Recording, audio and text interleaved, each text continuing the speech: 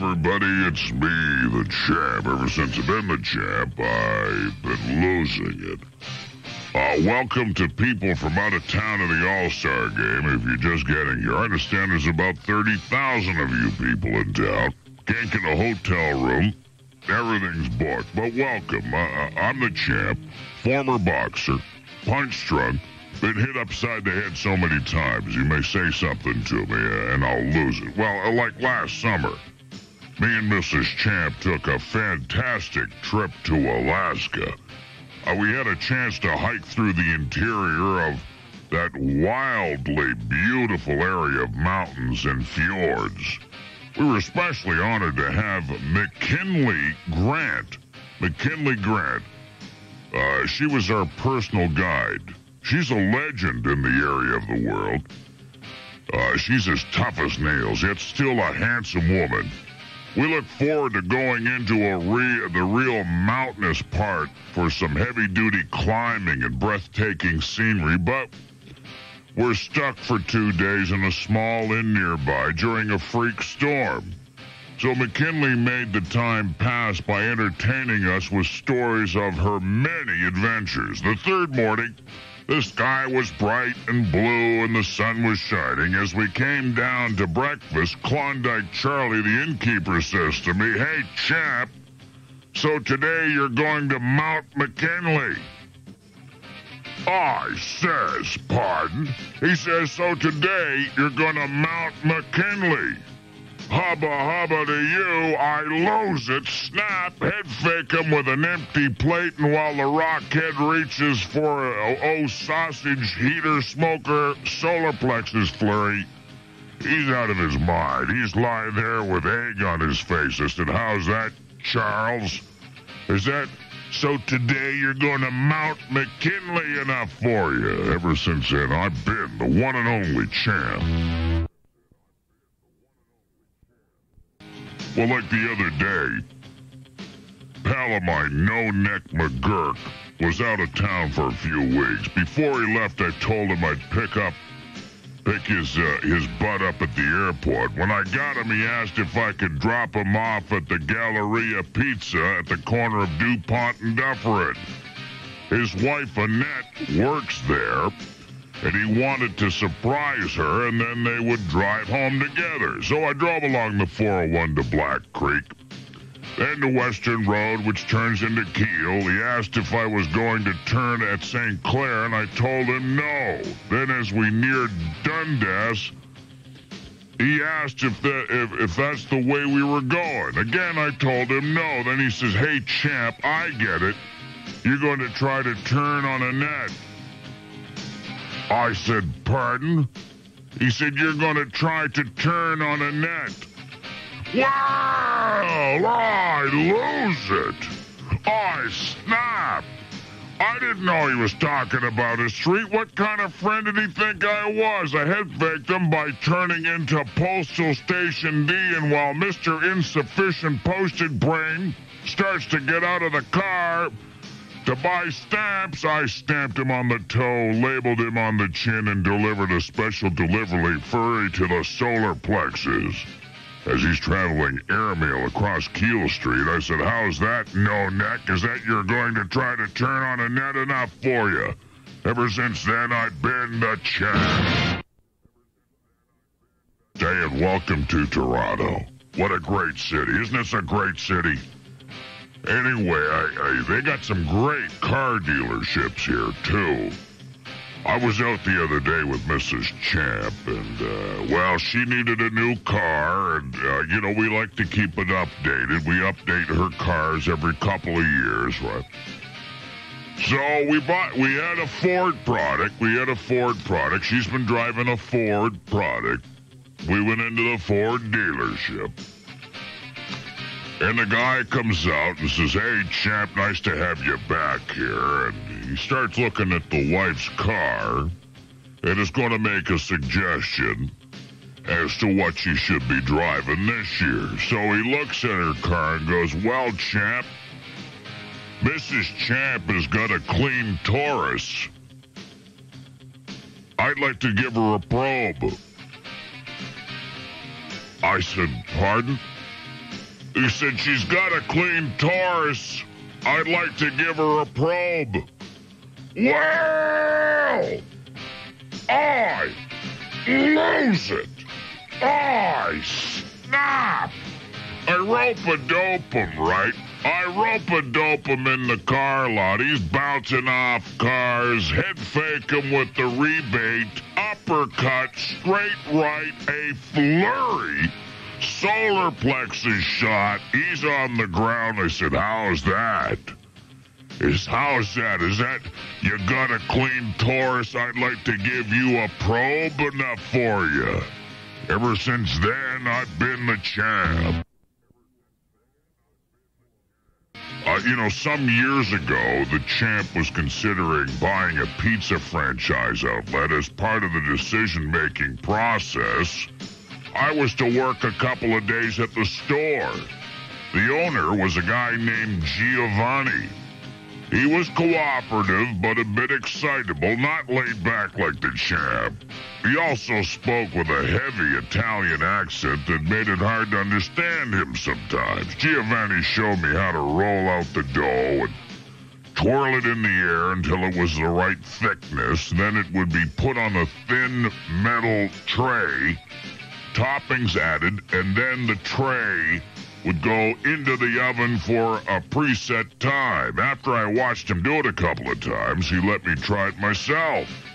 After spinning the dough in the air quite artfully, I looked for the thin tray, but I had forgotten to put one out.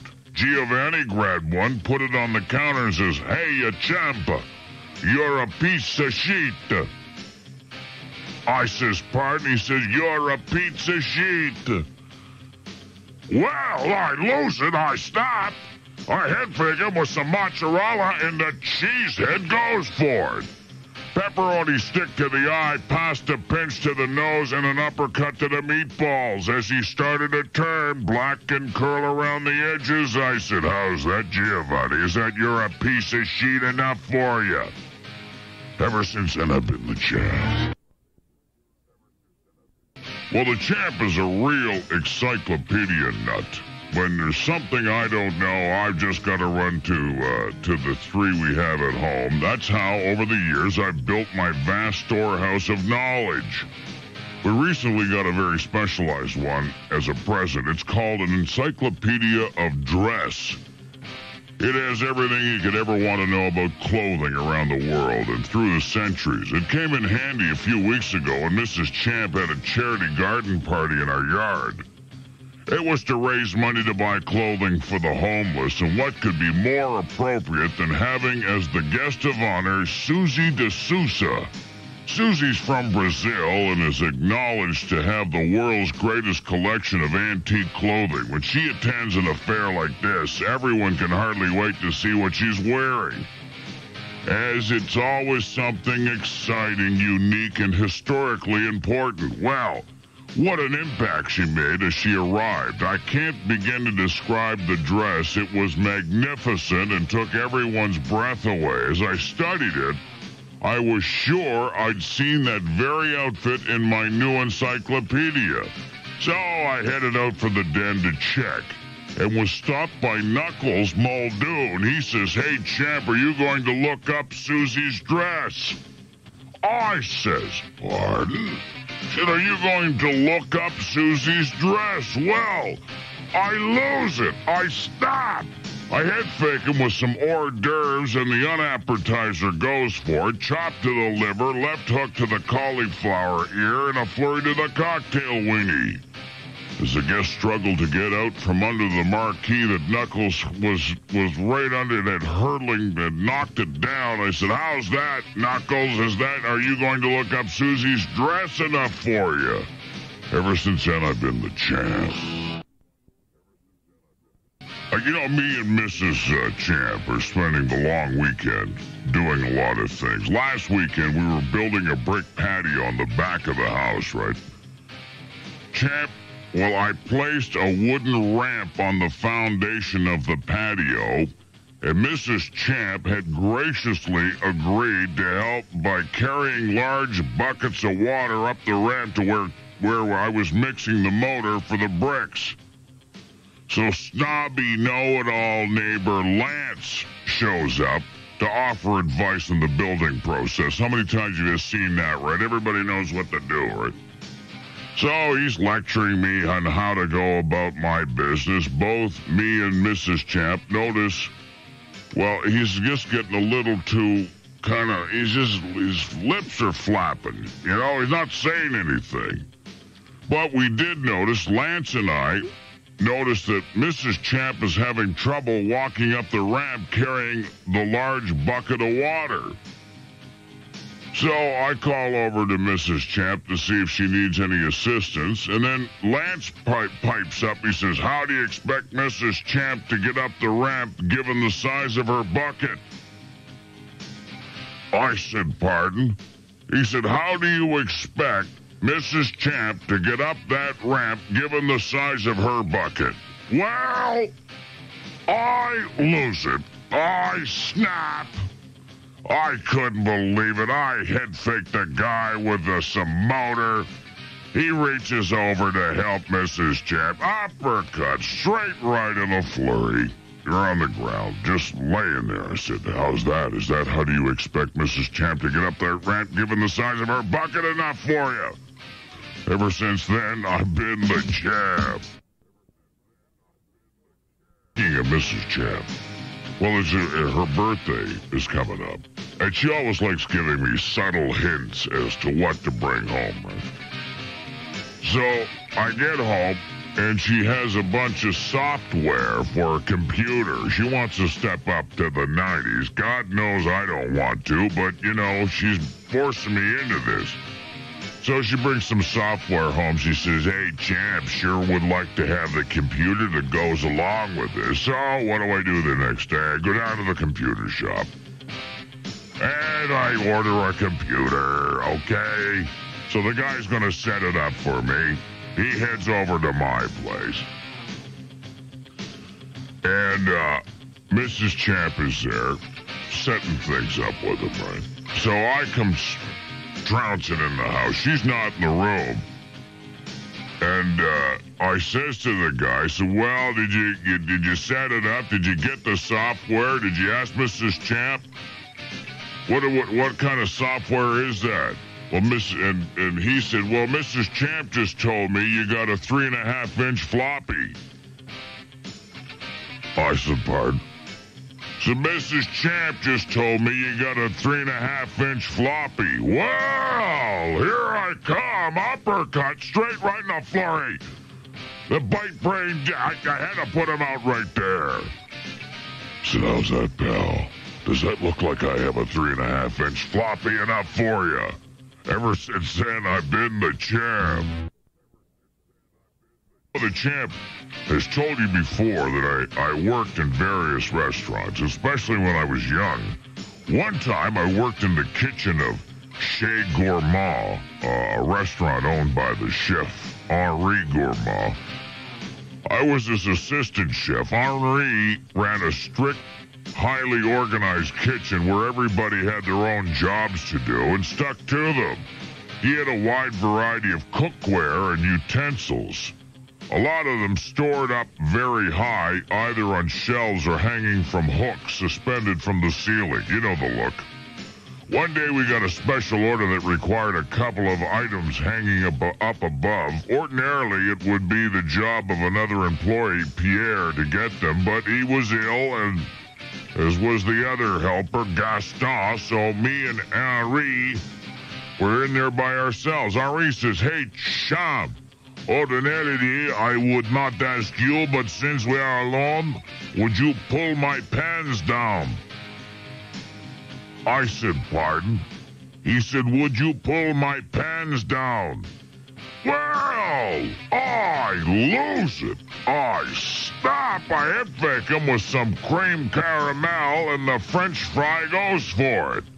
Smoker to la nez, heater to la bouche, and flurry to l'estomac. As she's lying on the floor covered with Béarnaise sauce, I said, How's that, Henri, mon ami? Is that what you pull my pants down enough for you? Ever since then, I've been the champ. Mrs. Champ buy a lot of our fresh produce from Vernon's Veggie Mart. Vern's a nice guy and always tries to give us the best products in the store. Usually we do well, but sometimes we get something that is not quite up to snuff. That's what happened the other day. Fern was out for an hour and his assistant Vic waited on us. We bought some strawberries and a couple of cantaloupes. We came home and tasted the strawberries. They were fantastic. We cut open the cantaloupe and it was horrible. It was black and mushy inside. It was the same with the other one. Mrs. Champ called Vern up to complain. He apologized and asked her to bring them back so he could see them and give us give her a suitable replacement. So we come through the door. Mrs. Champ's leading the way. Vernon says, Hey, Mrs. Champ, I'm glad you returned with the old rotten fruit. I says, pardon. He said, I'm glad Mrs. Champ returned with the old rotten fruit. Well, I lose it. I stop. Who's he calling old? I head faked him with a honeydew and the melon head goes for it. Artichoke to the neck, cucumber clout to the side, and a roundhouse to the bean. He's lying in a shopping cart like a limp leaf of lettuce. I said, how's that, Vern? Is that I'm glad Mrs. Champ returned with the old rotten fruit enough for you? Ever since then, I've been the champ. You should have seen me when I was a young man. With a finely sculpted body and a chiseled feature, I tell you, I was known to send more than one woman into a swoon. Because of my good looks and athletic prowess, lots of people figured me for a real ladies' man. You know, visiting a different woman's boudoir every night. They didn't know that for me, there was only one woman, the future Mrs. Champ. I was quite a track star, participating in many events and excelling in most. The high jump was my best, combining blazing speed with explosive upward leg thrust.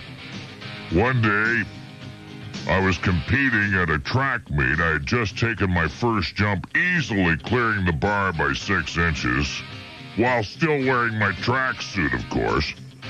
As I rejoined the other competitors on the grass, a famous track coach came over and introduced himself. He complimented me on my form and says, Hey, champ, how are you in other events? I bet you're quite a broad jumper. I says, pardon. He said, I bet you're quite a broad jumper. Well, I lose it. I snap. I head fake him with my track pants, and the athletic supporter goes for it. Shot put to the ear, discus to the mouth, and a javelin to the solar plexus as he's staggering down the track, knocking over the high hurdles. I said, How's that, pal? Is that I bet you're quite a broad jumper enough for you? Ever since then, I've been the champ. Some years ago, me and Mrs. Champ were in Italy. We love to walk around the cities we visit to get a feel for them, you know. Seems we always run into some kind of demonstration in Rome. One evening, as usual, we ran into a group of people milling around and carrying placards. It was an anti-nuclear peace demonstration. Speaking to the crowd in fluent Italian was that dynamic singer-entertainer, Eartha Kitt. Suddenly, she spotted me and drew attention to my presence. Well, you should have seen the excitement. Before I knew what was happening, I was hoisted on the shoulders of two burly guys and carried through the wildly cheering crowd and up onto the stage. Eartha gave me a big hug, and one of the guys asked me to say a few words on behalf of the cause. I really didn't want to get into any kind of political controversy and told him so. Eartha tried to convince me, and then the guy says, Hey, uh, Signor Champ, uh, don't you want a piece on Eartha? I said, Pardon? He says, Don't you want a piece on Eartha? Well, I lose it. Of course, I snap. Naturally. I head fake him with a bottle of Chianti, and the vino brain goes for it. Destra jab to the nose, Sinistra hook to the chin, and a la la la palooza flurry to the solar plexus. He's lying on the stage having found kind of some kind of peace for himself. I said, How's that, paisano? Is that the don't you want a piece on earth enough for you? Ever since, I've been the champ. Hey, you know, me and Mrs. Champ have recently gone into the lingerie business. No kidding. She's a fantastic designer, and I, I help with the manufacturing and selling. Uh, we've gotten quite a few celebrity customers who insist on having something specially designed for them, regardless of the cost. Recently, we were approached by representatives of Madonna. She's looking for someone to design a set of underthings to wear as a costume in her next music video and concert tour. There was also a couple of other companies contacted. The winning design would get a lot of publicity, and if it was us, business would really boom. It promised to be a lucrative job, but a lot of work with no assurance of being chosen. Finally, we decided to go for it. Our friends were excited when they heard, although there were reservations as to whether we could beat out our large competitors with their limitless resources. So the other night, Knuckles Muldoon and Mrs. Knuckles dropped by for a coffee, and the subject of Madonna's design contest came up. Knuckles says, Hey, champ, about Madonna's underwear, will you be able to pull it off? I said, Pardon? He said, About Madonna's underwear, will you be able to pull it off? Wow! I lose it. I snap. I head fake him with some fine silk. And as the dressmaker's dummy reaches up to, to, to stroke it, I stroke him with a right to the jaw left to the ribs and a flurry to the unmentionables. He's lying there looking demure under the baby dolls that were draped over his inert form. I said, How's that, Knuckles? Is that about Madonna's underwear? Will you be able to pull it off enough for you? Ever since then, I've been the champ.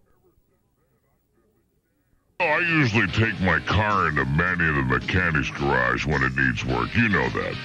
Last week, my radiator hose went right in the middle of traffic. Luckily, I was in front of a rad repair shop and was able to drive in. I arranged for them to fix it and went into their waiting room. I was surprised to find an old schoolmate of mine waiting too. It was it was easy. Uh, Mary. Yeah, that was her name, Aunt Mary. I don't know how she got the nickname Easy Mary, but I don't know, it was something. Maybe it was uh, her easygoing personality. Uh, and if you believe that, I've got some shares in a Bolivian tin mine for sale. Anyway, she's still quite a looker, and we rehashed old times. I asked what she was doing there. Her rad hose had gone just like mine. Her her repairs were finished first, and we said goodbye after I politely turned down her invitation to visit. Well, the next day, I saw my old buddy, Crazy Kazmaier. I was going to tell him about bumping into Mary, but he seemed to know already. He says, Hey, champ, I hear you and Mary had leaks together at the rad shop. I says, Pardon? He says, I hear you and Mary had leaks together at the rad shop. Wow, I lose it. I stop. I head him with a sausage I just bought from a street vendor, and the hot dog goes for it straight right with plenty of mustard on it. Oh, a beautiful left hook. Kinda, kinda relished one to the jaw and a boot to the buns as he's lying there with ketchup or something on his face. I said, How's that crazy? Is that you hear you and Mary had leaks together at the rad shop enough for you? Ever since then, I've been the champ.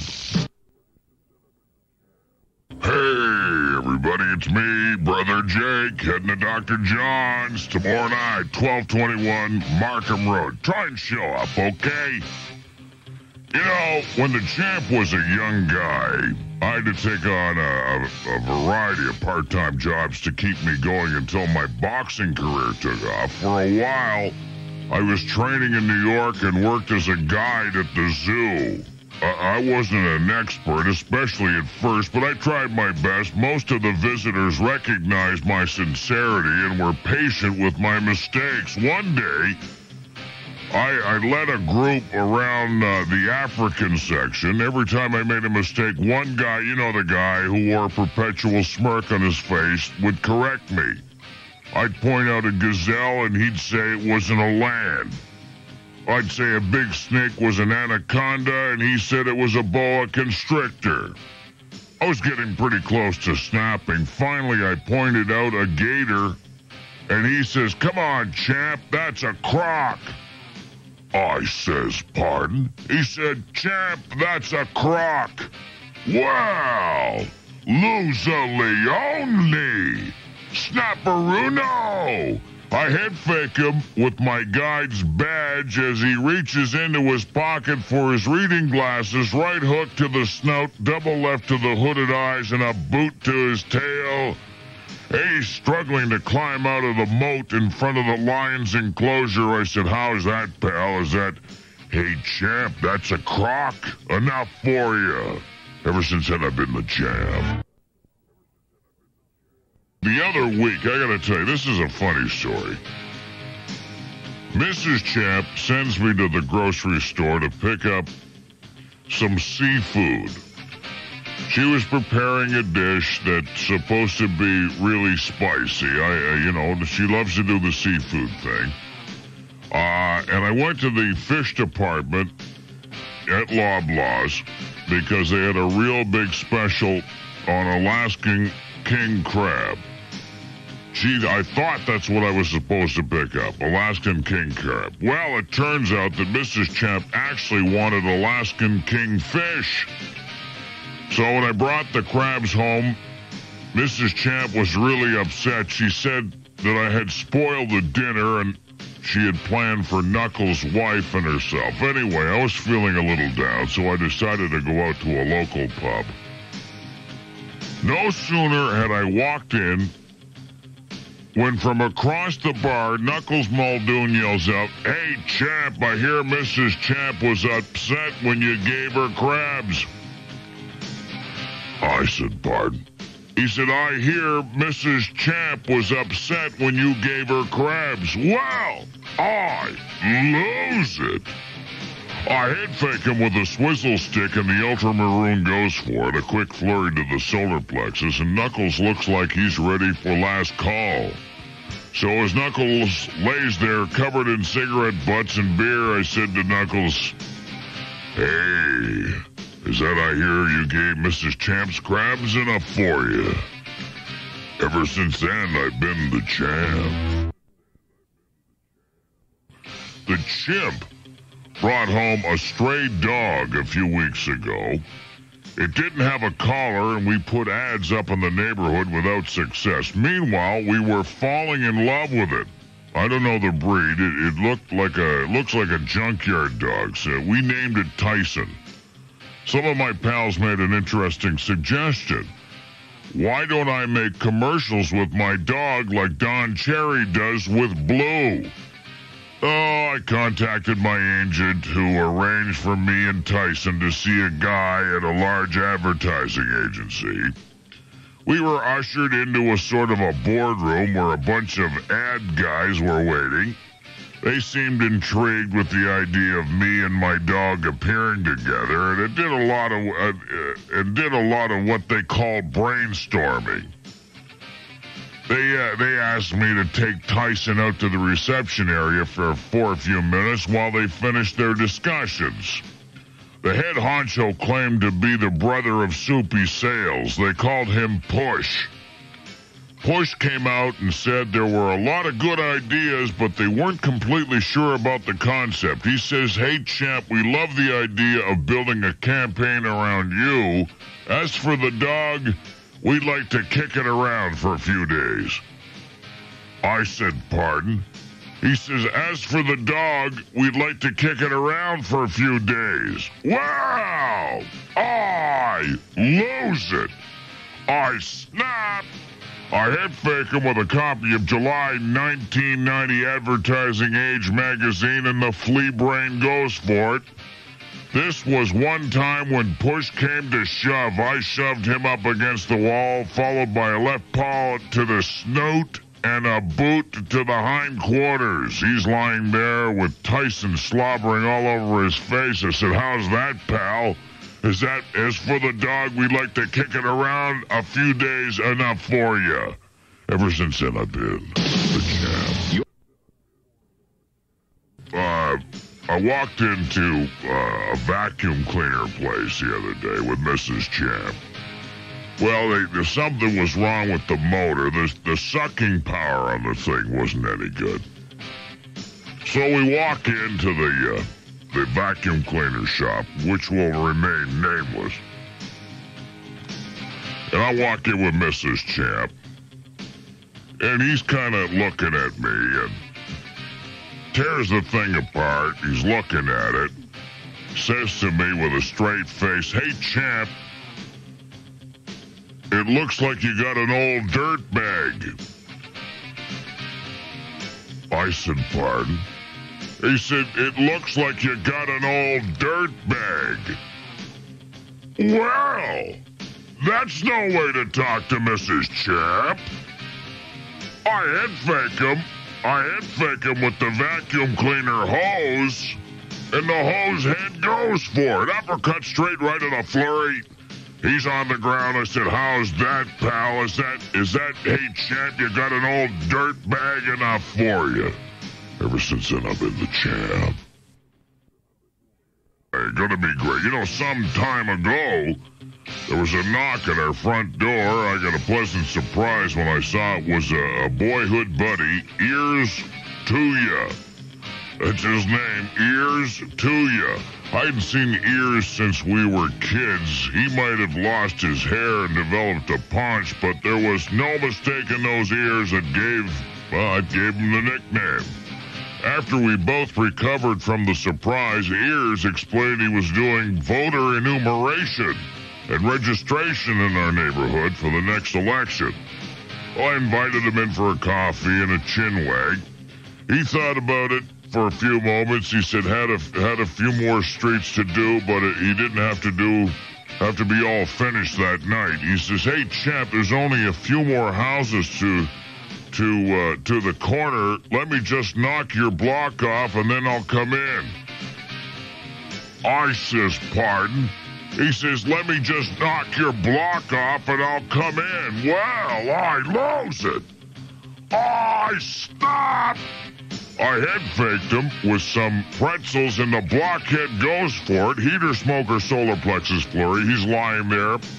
He's even more than normally swollen ears, making him look like a sleeping Dumbo. I said, how's that, ears? Is that... Let me just knock your block off and then I'll come in enough for you. Ever since then, I've been the champ.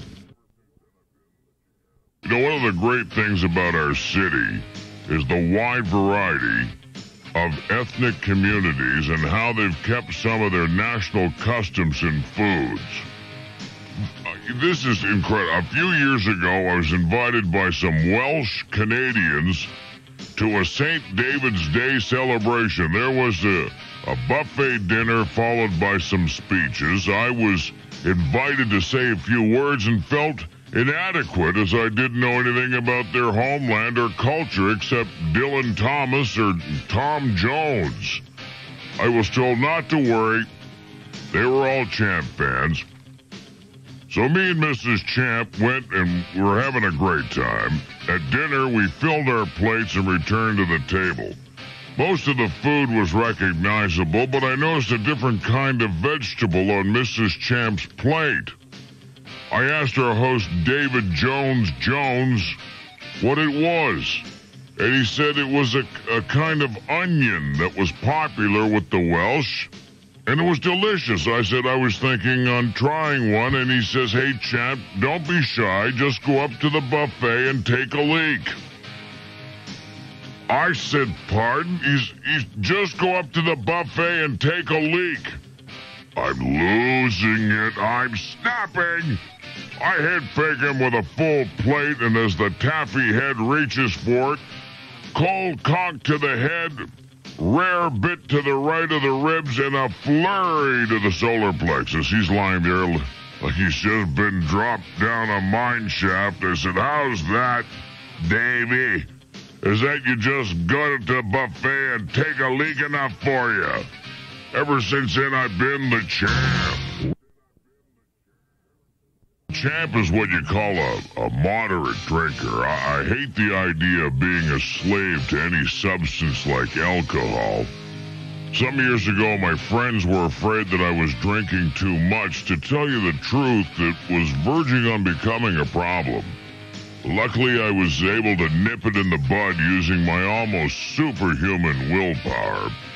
I promised my pals that I would stay off the booze for a year, most of them had complete confidence that I could do it, but Crazy Casimir expressed reservations and suggested I seek professional help. I knew he had my best interest at heart, but deep down uh, I resented his lack of faith in my abilities. I, I, guess it was a couple of months when one night I uh, I went for a hayride. Hadn't had a drink. Went for a hay, hayride a lot of fun. We were like a bunch of kids. There was some drinking, but of course I abstained.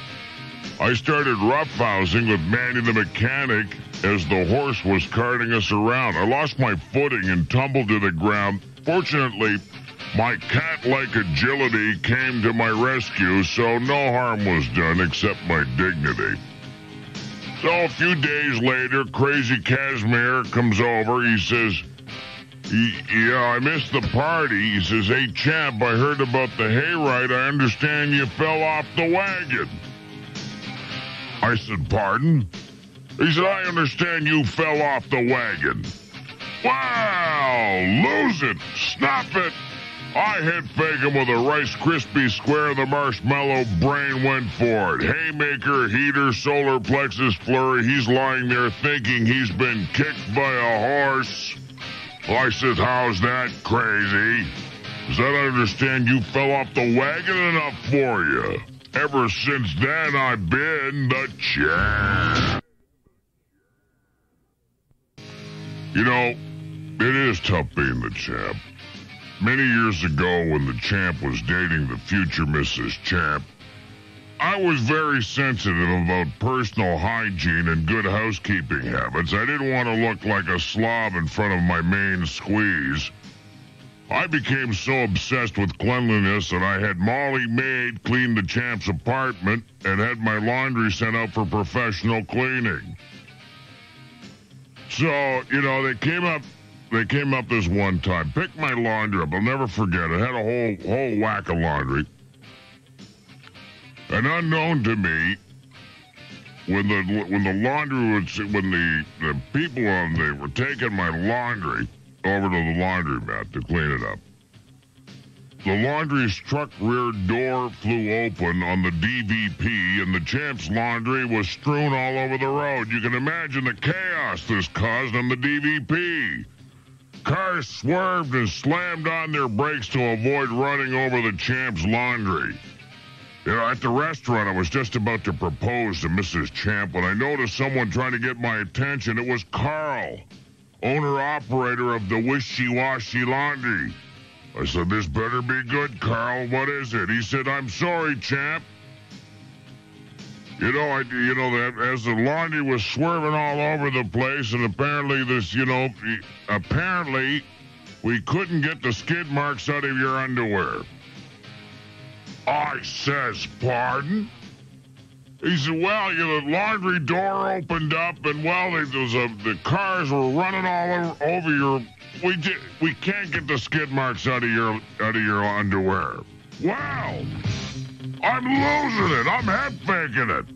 I bacon with a salad fork, and the sucker goes for it. I follow that with a flurry of jabs to the solar plexus, and the jerk falls headfirst into my Caesar salad. I said, how's that, pal? I said, I couldn't get the skid marks out of your underwear enough for you. Ever since then, I've been the champ. You know, me and Mrs. Champ were invited by John Candy to an Argo football practice the other day. He's an old Champ fan, and being a Torontonian, our, uh, you know, our paths have crossed many times. He hadn't seen Mrs. Champ in a long while, so made a special point of inviting her. He greeted us with open arms and introduced us around. Wayne Gretzky was there, of course. The great one asked for my autograph. John carried on about how, how young Mrs. Champ still looked. He drew special attention to her complexion, which is as clear and smooth as a baby's. She explained that part of the per- the reason is a secret set of lotions I've concocted. I massage them into her face every night when I'm home, and that's why she has the skin of a cover girl. Just then, a loose football came flying our way. I nonchalantly one handed it and threw a 60 yard spiral to the to the starter rocket Ismail. John says, Hey, champ, you really know how to handle that pig skin. I, I said, Pardon? He said, You really know how to handle that pig skin. Well, I lose it. I snap. I head fake him with a kicking key and the tackle dummy goes for it. Clip to the mouth, rough play to the offside and illegal motion to the backfield. He's lying across the 40 yard line like a one man pileup. I said, How's that, Candy Man? Does that you really know how to handle that pig skin enough for you? Ever since then, I've been the champ. I was filling in behind the bar at Rizzo's Pub for my good buddy Biff Ladrift the other night. You see, me and Mrs. Champ had a smoker of a fight this morning, and uh, I thought I'd get out of the house for a while, so I, I'm keeping an eye on the joint. When I see Mrs. Champ and my good buddy Knuckles stroll into the bar, so I figured well, she probably had to talk to someone about our wicked argument this morning, and being the tender and forgiving man that I am, I decided to send over a bloody Caesar for the little lady, sort of a peace offering, you know. I realized after I sent it over that I forgot to put the heavy spice in it, right? So, about 20 minutes later, I'm talking to the lads at the bar when Knuckles comes over to me with a big grin on his face and says, Hey, champ, I hear you gave Mrs. Champ a mild seizure today. I said, Pardon? He said, I hear you gave Mrs. Champ a mild seizure today. Wow!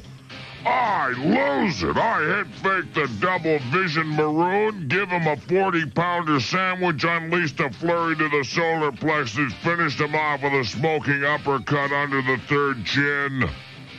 After giving him a, well, I, just a kind of a facial rearrangement, I said, I, how's that, pal? Is that I hear you gave Mrs. Champ a mild seizure today enough for you? Ever since then, I've been the champ. It's tough being a celebrity's child. A lot of them are spoiled or have a tough time coping with what they feel are the ex- expectations of others, especially of their parents. Me and Mrs. Champ have tried to bring up our son, the chimp, as a normal boy. You know, being a parent is a, is a crapshoot. All a parent can do is shorten the odds we feel very grateful that he's turned out as well as he has. Sure, he's he's in a, a rebellious stage, wearing a leather jacket with a punk hairdo, but we don't make a big deal out of it. Basically, he's a decent youngster despite his appearance. Well, the other day, me and the chimp were driving to the store when the motor stalled, so we, we got out to look at the problem, but we were having some trouble getting the front open. I could only open it six inches, no further. So our neighbor, Nosy Parker, passes by. He's one of those snobby types who's never gotten over a low-life fighter moving into the neighborhood and is driving driving him crazy by the chimp's appearance. I mean, you know, here's the champ and here's the chimp. He saw us struggling and says, Hey, champ, you're having trouble raising that hood. I said, Pardon? Said, You're having trouble raising that hood. Well, I lose it. I head fake him with a set of wrenches, and the tool head goes for it. Smoker to the headlights, Eater to the trunk, and a flurry to the spare tire. He's lying under the wheels, his head having sprung open the car front as it crashed against it. I said, How's that, neighbor?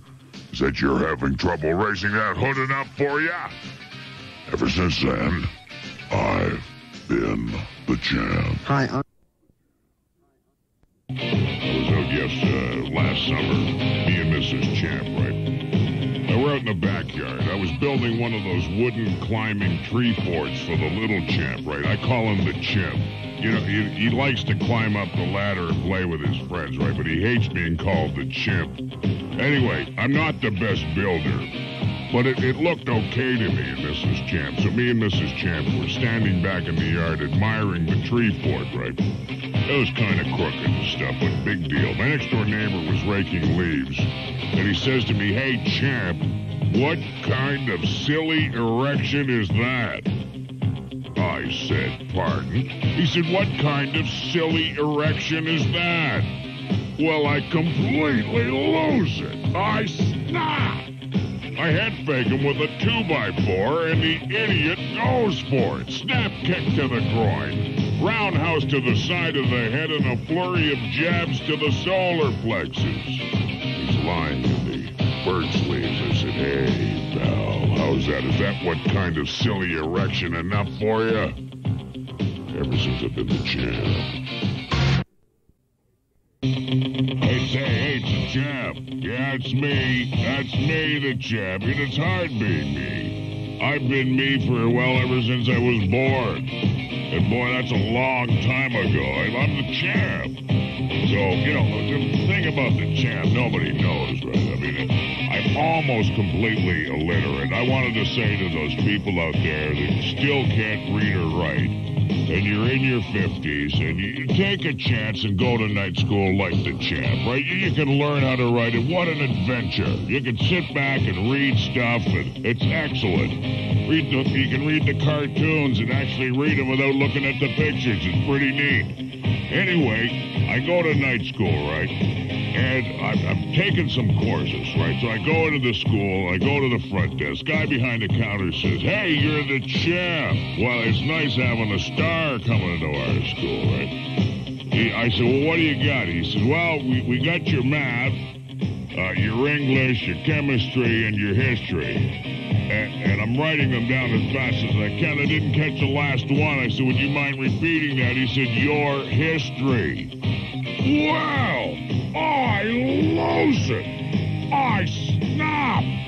I fake him with the Socrates philosophy book, right? He goes for it. I come up with a heater to the head, smoker to the middle of the jaw, and a solar plexus flurry.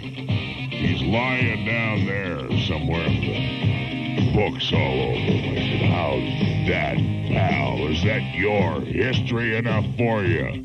Ever since I've been the champ.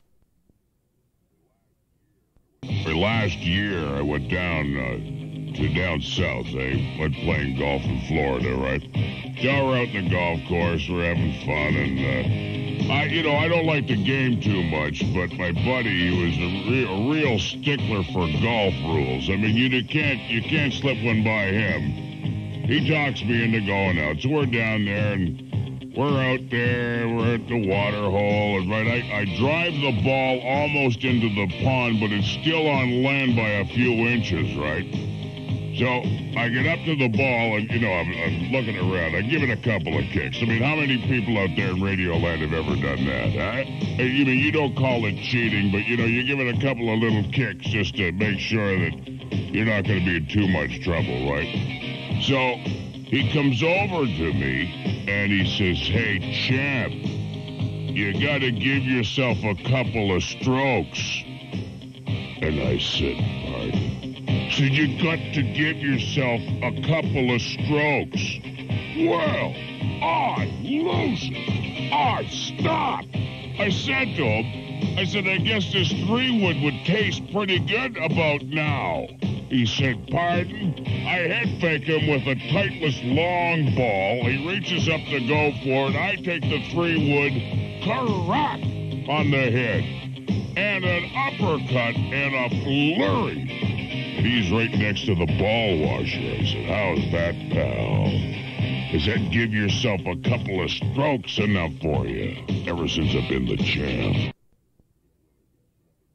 is really concerned about the environment. That's why I don't go outdoors too much. Not because I don't want to suck in any of that dirty air. I'm just trying to keep the environment clean by me not being there. Anyway, I was out planting some flowers, you know.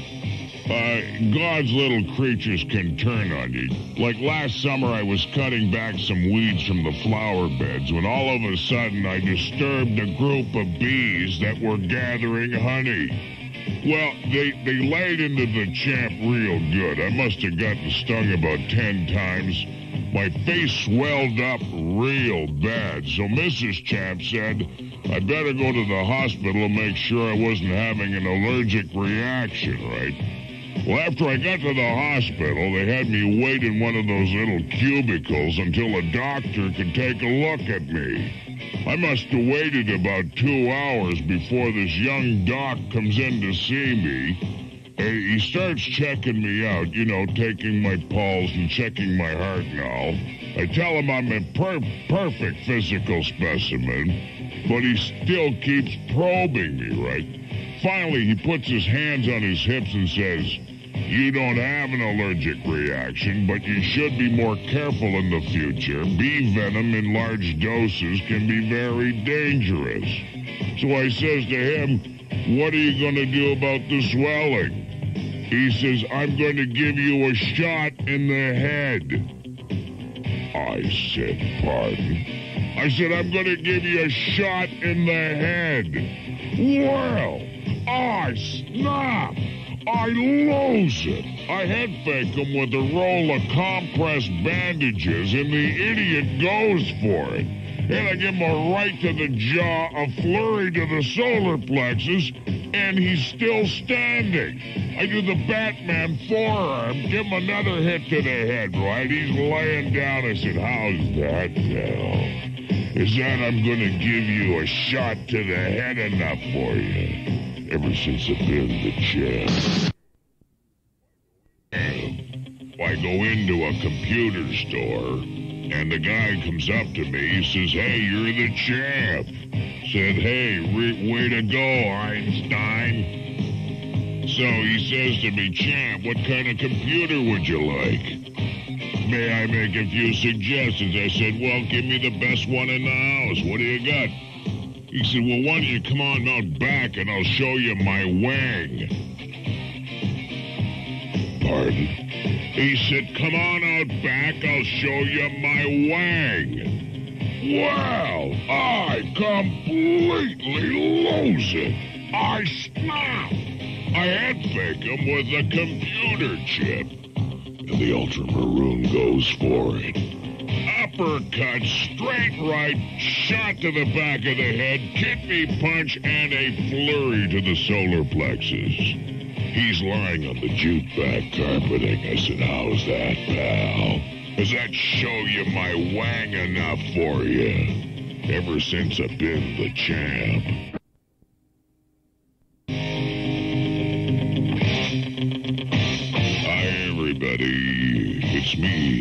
Champ. And ever since I've been the champ, I've been losing. Of course, you don't need me to tell you that, right?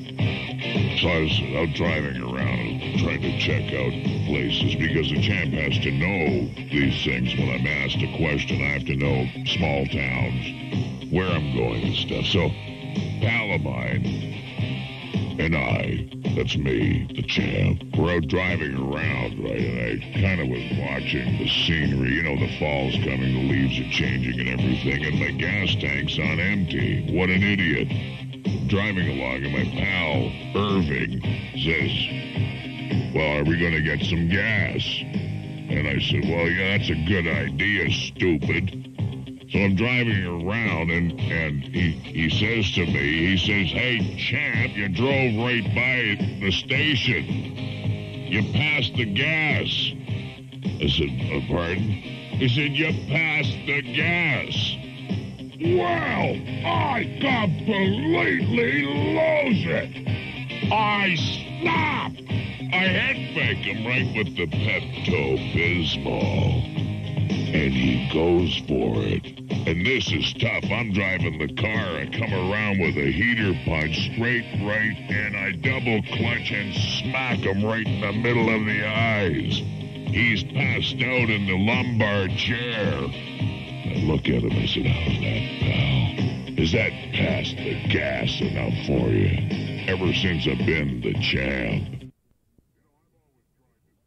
You know, I've always tried to stay in top condition, but the last few years, uh, well, they've been tough. I'm not as young as I used to be, and my time is limited. As a result, I'm developing a bit of a pot. I'm really upset about this, and it doesn't help to be kidded about it uh, by my buddies. It's almost enough to drive me crazy. In fact, I've been losing it even more than usual. I went to see my old trainer, Cuts Kucher. Uh, he, he's now a diet and fitness guru who has put some of the top bodies in show business back into shape. He made some time to fit me into his busy schedule. After all, I am the champ. Uh, so I, I went over there yesterday. He had me stripped down to my shorts while we chatted about old times. I told him how the weight gain was affecting me. He looked at me, shook his head sadly. He prodded my soft tummy and says, Hey, champ, it's clear you need a shrink. I, I says, Pardon? He says, You need a shrink. Wow! I lost it! I snap a snapperooned! I head faked him with a diet soda and a bubble brain goes for it. Left jab to his thin nose, right hook to his gaunt cheek, and a flurry to his thin waist as he's hanging by his collar from the arm of the scale. I said, How's that, Cuts? Is that you need a shrink enough for you? Ever since then, I've been the champ. Uh, you know, being a champ is tough. I've always been the champ, and I'll always be the champ. Say the other day, me and my uh, good buddy Knuckles went out for a, guy's night on the town. You know what those are about. You know, without the women folk with you, you know? So we decided to go for a bite at a local steakhouse, the Rawhide Beef and Seafood Hut. Knuckles and I get a booth in the non-smoking section and have a seat. This young buck of a waiter comes over and asks to take our order. I decided to buy, so I ordered for both Knuckles and myself. I ordered the special, the 100 ounce New York strip. The waiter soon brings us the steaks and a couple of diet sodas. Don't want to put too much fat in in one evening. Knuckles and I both dig in and finish these hips of beef in record time. Four minutes tops, no kidding. Waiter comes back over, takes a look at my empty plate sitting in front of Knuckles and myself, and with a shocked look says, Hey, champ, Knuckles, you two guys are finished. I looked at him and said, Pardon? He says, You two guys are finished. I looked over at Knuckles and he nods at me. I head faked a jump with a piece of fat from the New York strip and the walking toothpick goes for it. I give him a straight right to the temple. Knuckles hit him with an uppercut to the chops. Knuckles gets up, headbutts the pipe pipsqueak in the nose, flurry to the solar plexus. The guy's lying on the floor. Knuckles stands over him and says, Hey, pal, how's that? Is that you two guys are finished enough for you? Ever since then, I've been the champ. You know, me and some of the guys decided to get together for a game of poker the other day. I told them they could play at my place, and Mrs. Champ said she didn't mind as long as she could play herself. Well, Mrs. Champ had never played before, so Knuckles Muldoon offered to help her out for the first few hands. We started off with a, with straight poker, and I was feeling pretty uh, confident with a pair of queens. My wife happened to have two aces. Beginner's luck, I guess. As she's laying them down on the table, Knuckles is leaning over her shoulder and he says, Hey, it looks like Mrs. Champ has a nice pair. I says, pardon? Excuse me? He said it looks like Mrs. Champ has a nice pair. Well, I lose it. I snap. I hand faked him with one of those eye jacks. The fool goes for it, then club him with the set of poker chips, a flurry to the solar plexus. He's lying face down in a bowl of beer nuts. I said, How's that? Does that look like Mrs. Champ's got a nice pair enough for you? Ever since then, I've been the champ.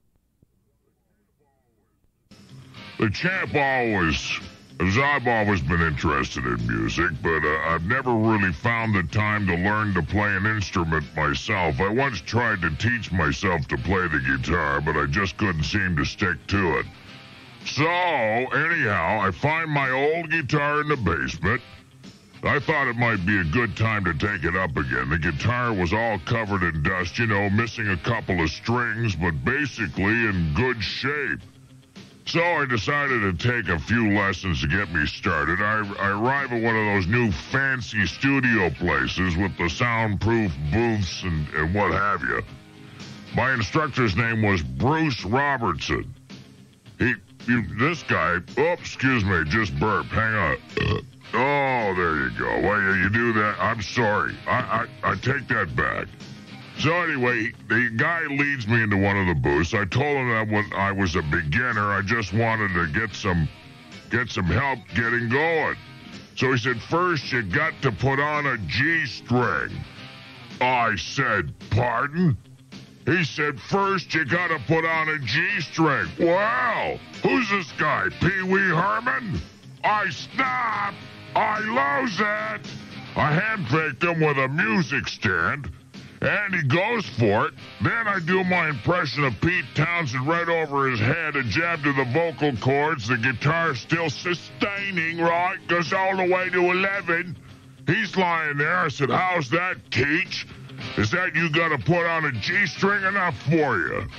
Ever since then, I've been the champ.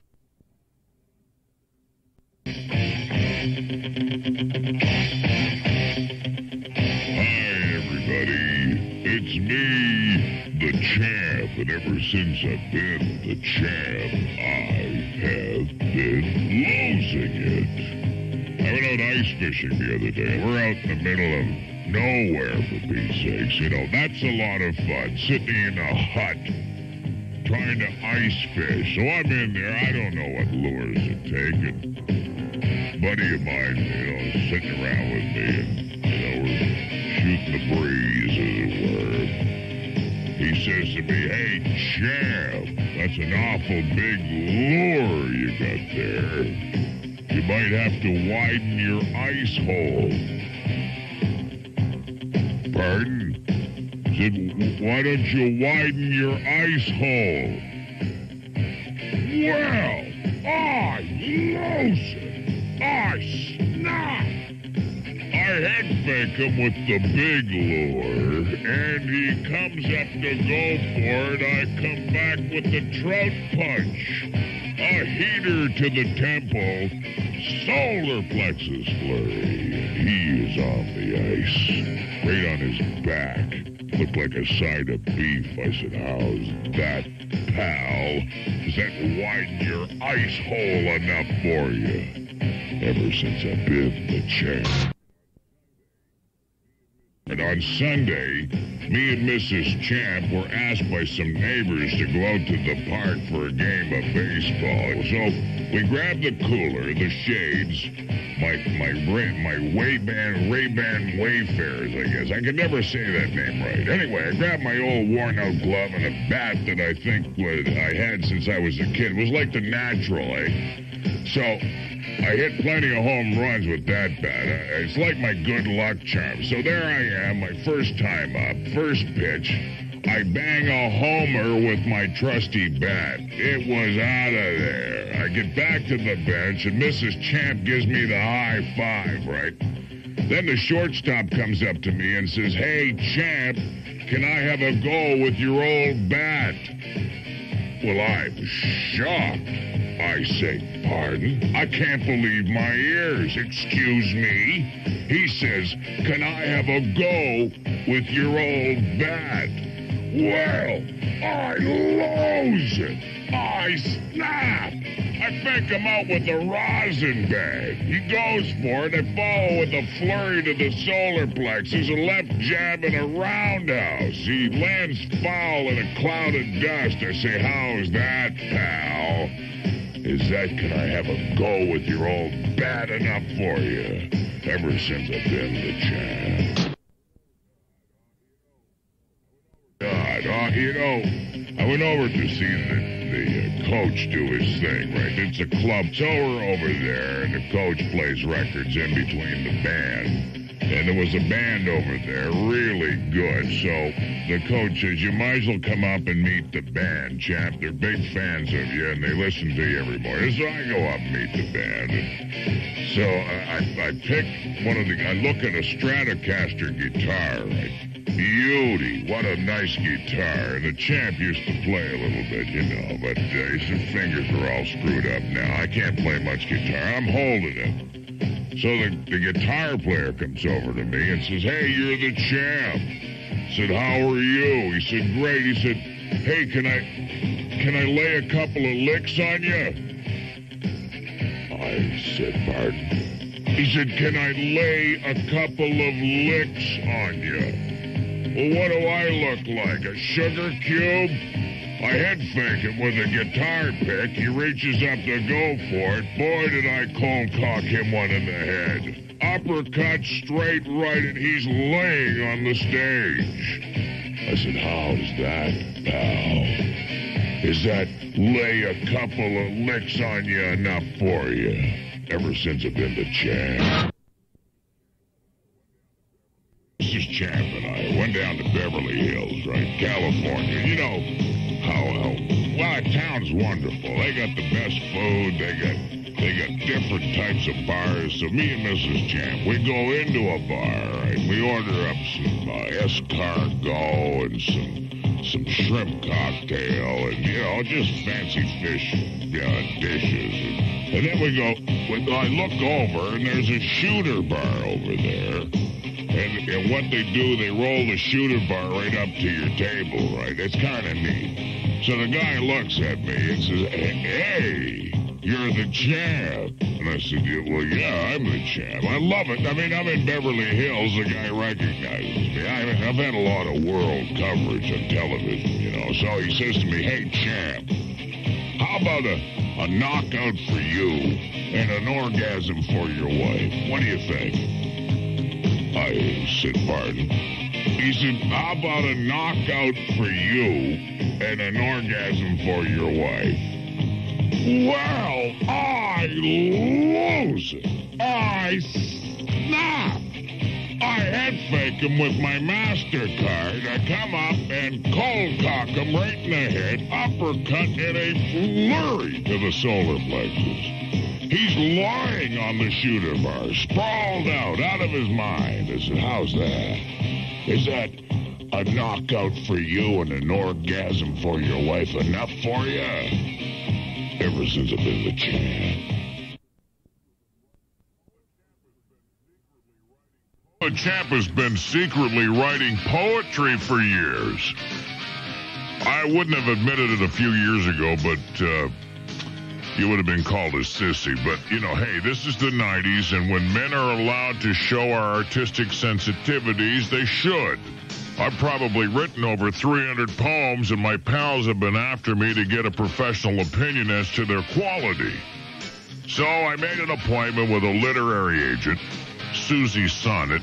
No, really, that's her name, Susie Sonnet, for her to see if there was enough merit in my work for her to represent me. She was intrigued by the fact of me being the champ. I told her how many I had written. She said that it was a, a substantial body of work, but I should only bring a few of the better ones to the interview. I spent a few days selecting the very best pieces for her. She seemed impressed by my choices and asked for a uh, a few days to go over them more closely. That night, Knuckles Muldoon dropped by the house. Oh, get ready, here he comes. So I told him what I'd done, how I'd kind of whittled down the vast body of my work into a few finely selected poems. He says, Hey, champ, so you showed the best part of your body to Susie. Ah, uh, yeah, pardon? He said, So you showed the best part of your body to Susie. Well, I lose it. I stopped. Words failed me.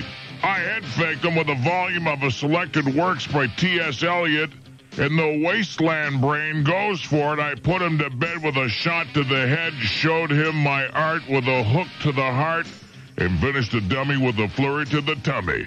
As he's lying there, head resting gently on my Roget's thesaurus, I says, How's that, Knuckles? Is that you showed the best part of your body to Susie enough for you? Ever since then, I've been the champ.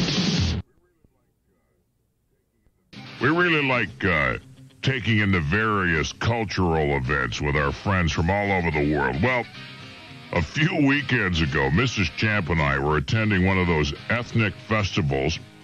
There's all kinds of traditional dancing, songs, and games, all followed by a huge feast. It's set up. Uh, it's it's set up buffet style, and, and at the end of the buffet table is this guy named Alexandros carving up a roasted pig, which is still on the spit. Well, I get down to Alexandros, and he recognized me, and before I, I can do anything, he grabs me, gives me a hug, and kisses me on both cheeks.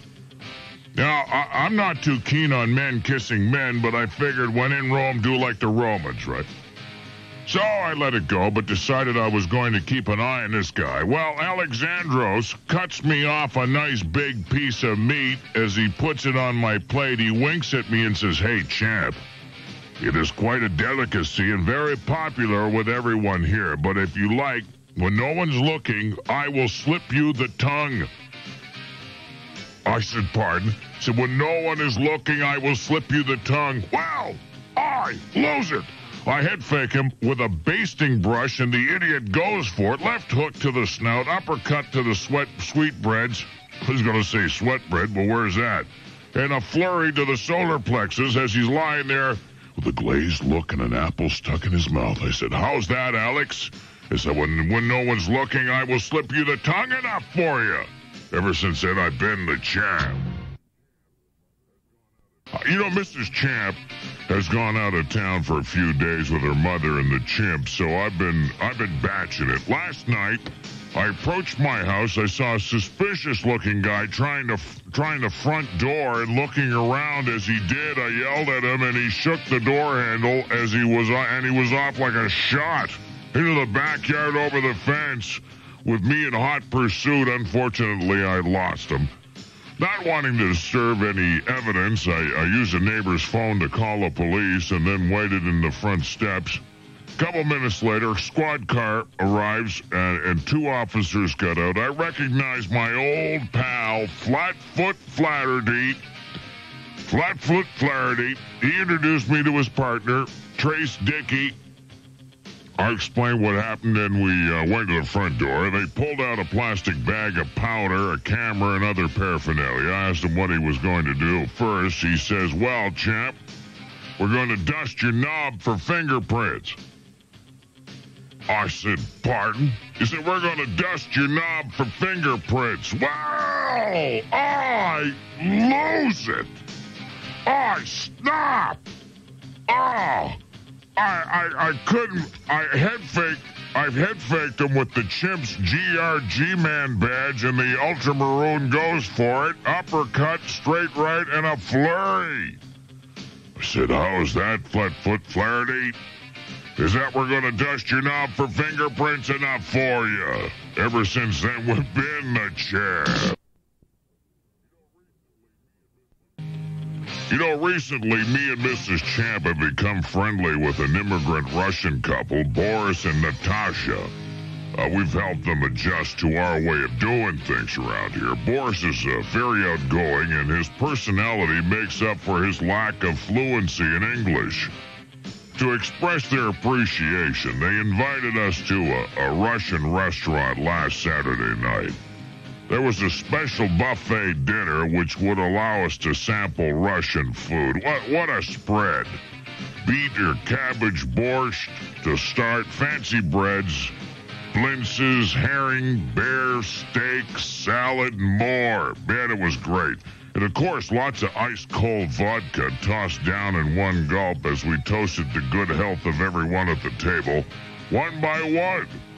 When, when time came for dessert, I, I, I was stuffed. Boris insisted I try the special cake, but I told him I just couldn't. He insisted, he says, Hey, Chamsky, give it a taste. Please, you going to dessert table and taking nice piece. I said, pardon. He said, please, you going to dessert table and taking nice piece. Well, I, I, I lose it. I, I snapped. I head faked him with a cabbage roll, and the cabbage head goes for it. Moscow mash to the cheek. Leningrad lair up to the chin, followed by a crushing Russian bear hug. He's lying there no longer rushing anywhere. I said, how's that? How's that, Todovich? Dovadich? Dovadich? I don't know how I say that, but I'm, I'm you know, I'm kind of, I think I got it.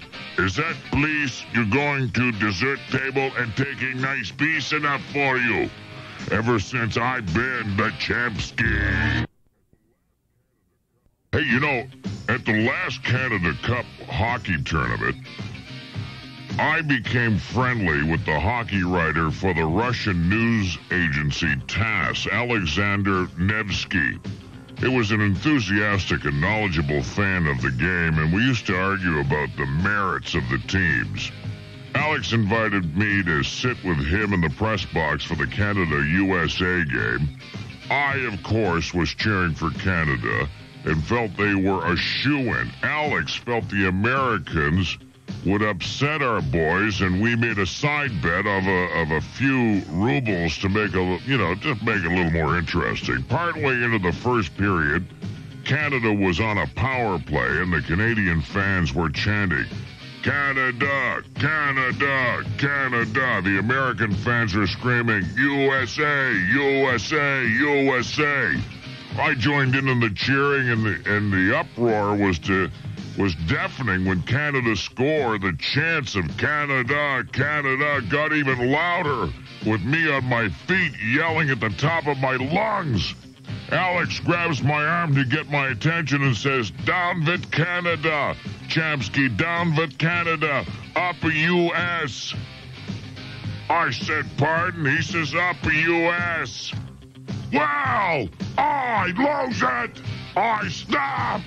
I head faked him with a souvenir program, and the hockey puck goes for it. Slap shot to the chin, elbow to the ribs, and a hook to the solar plexus. He's holding up his fingertips to the ledge of the press box window. I says, How's that, Alex? Is that up your ass enough for you? Ever since I've been the champ. No, I used to work selling houses for a real estate company. I won't tell you how far behind the times they were, but they were called Century 15. That's a joke. You know, every month the top salesman was announced, right? They do this in all the companies. They had a large trophy that looked like the Stanley Cup and put each month's winner's name on it. The winner also got a small replica with the details engraved on it. One time the champ was announced as the winner for the month of May. There's a big presentation at the office. The ace salesman, Bruce, was, uh, well, he, he had won the previous five months in a row. He had a reputation for being jealous and catty with other salespeople. He used to compliment me on my rosy cheeks and smooth skin. I was never sure if he was serious or not, if he's pulling my leg. So after the presentation, I was holding my trophy when Brucey comes over with his hand out, he says, Hey, champ, congratulations. Can I see your makeup? I says, Pardon? He says, Can I see your makeup? Well, I lose it. I mean, I don't wear anything. I head faked him with the latest MLS listings, and the blockhead goes for it. Double jab to the window, roundhouse to the side, and a flurry to the front porch. He's laying on the floor looking like a handyman special, drastically reduced for quick sale. I said, How's that, Bruce? Is that a. Can I see your makeup enough for you? Ever since then, I've been the champ. By the way, you know, the champ used to work in an office downtown. When you were out and a call came in, Marge, the receptionist, would write the message on a pad and put it into that person's uh, message slot. When you returned, you checked your slot. One of our top salespeople was Lola Palooza. Lola was quite a looker, and a lot of the guys made fools of themselves, making panting sounds as she walked by. The only man in the office she felt comfortable with was with me, the champ. What else? I was as usual friendly and outgoing, but Lola never had any reason to think I was on the make. Of course, those other yahoos would make all sorts of remarks when me and Lola chatted, and especially when we went out to lunch together, as we sometimes did. Well, one time, an important client phoned Lola when she was out. Marge wrote the message down and thought she put it in the right cubbyhole. When Lola returned, the message was gone, and poor Marge could only recall that it was crucial for Lola to return the call, but she couldn't remember who called or who or where the phone number was. Lola got upset, and so did Marge. I just got back in before Lola had and hadn't made it back to my office yet when I heard the commotion. One of the supervisors, Harry Hott, was already in the reception area when I got there to find out what the problem was. Harry says, Hey, champ, I know you just came back before Lola. Did you remove her slip? I says, Pardon? He said, Did you remove her slip? Well, I lose it. I snap. I head fake him with a box of paper clips, and the idiot goes for it. I delivered a message of my own with a roundhouse heater and a solar plexus flurry. He's lying face down in Marge's lap. I said, How's that, Harry? Is that did did you remove her slip enough for you? Ever since then, I've been the champ. You know, the champ is a great baseball fan. You know that, especially uh, our beloved Blue Jays. I used to be a big fan of the Montreal team, too. However, they've been slipping for the last few years, and so has my interest in them, quite frankly. I have a buddy, uh, Montreal Monty, I call him, who grew up in the shadow of Mount Royal. He's an avid Expos fan, and me and Knuckles have great arguments with him about the relative merits of the two teams and also of the two leagues. He complains about the designated hitter in the American League, and we tell him how boring it is to watch a pitcher try to hit. Well, the other day, Knuckles and I were telling Monty that the Expos players were a bunch of pooches. He said that there had to be at least a couple of them we'd like to have on the Blue Jays. I admitted that I was I was exaggerating a little. I did admire Tim Wallach and Dennis Martinez, of course. He says to Knuckles, Aha! I told you the champ likes to expose himself. I said, Part. He said, You like to expose yourself. Error! Error! Error! I lost it. I snapped. I head faked him with a Blue Jay seat cushion, and the soft brain goes for it. Line drive to the teeth, curve to the ribs, and sinker to the solar plexus. He's lying in the neighbor's yard, having bounced over the fence like a ground rule double. I said, How's that, Monty? Is that you like to expose yourself? Enough for you. Ever since then, I've been the. Wake. Well, I'm always working out. I'm exercising and, and, and I'm keeping my svelte muscular body in the condition my admiring fans expect. Well, last week, I decided I'd start running again now that the warm weather is here. It's been a beautiful summer. I started to, you know, because then I work out all winter long into the spring. I've got muscle on top of muscle on top of muscle working out the gym. Anyway, I thought I'd find you know, a new route to run and took off through the park near my house so I could tone down my muscle tissue. I've been running about five minutes when I came across this old guy. Well, he wasn't an old guy, I guess. He was, he was just sitting down there. Kind of scruffy looking, you know. So I, I stopped to give him a quarter because he looked like he needed some money. And the guy says to me, Hey, champ, do you know it's a psychopath? Uh, I said, What? Pardon? Psychopath, champ, psychopath. Well, I lose it. I head fake him with a newspaper. He goes up for it. The bitter's breath kind of reached over. Here it comes, shot to the greasy head and right to his unshaved chin and a flurry to the solar plexus. He's lying there, kind of go, whoa, what happened? I said, how's that, pal? Is that psychopath enough for you? Ever since I've been the champ. We really love helping those less fortunate, and Mrs. Champ, bless her heart, puts an awful lot of time and energy into the work. Well, a few weeks ago, Mrs. Champ took on the responsibility for organizing a fundraising thing in Toronto to help the needy. It was a big sale of the sort of old things people give away to charities so other people can buy them. I guess it, I guess you'd uh, call it a glorified garage sale, but hey, it works and that makes Mrs. Champ happy. So anyway, a couple days after the successful event, I'm out walking the dog when I ran into my old pal Knuckles Muldoon. Now Knuckles was riding an antique bicycle and I was kind of being curious. I said, Hey, Knuckles, where'd you get the bike? He rides over to me and says, Your wife's bizarre. I said, Pardon? He said, Your wife's bizarre, champ. Well, I lose it.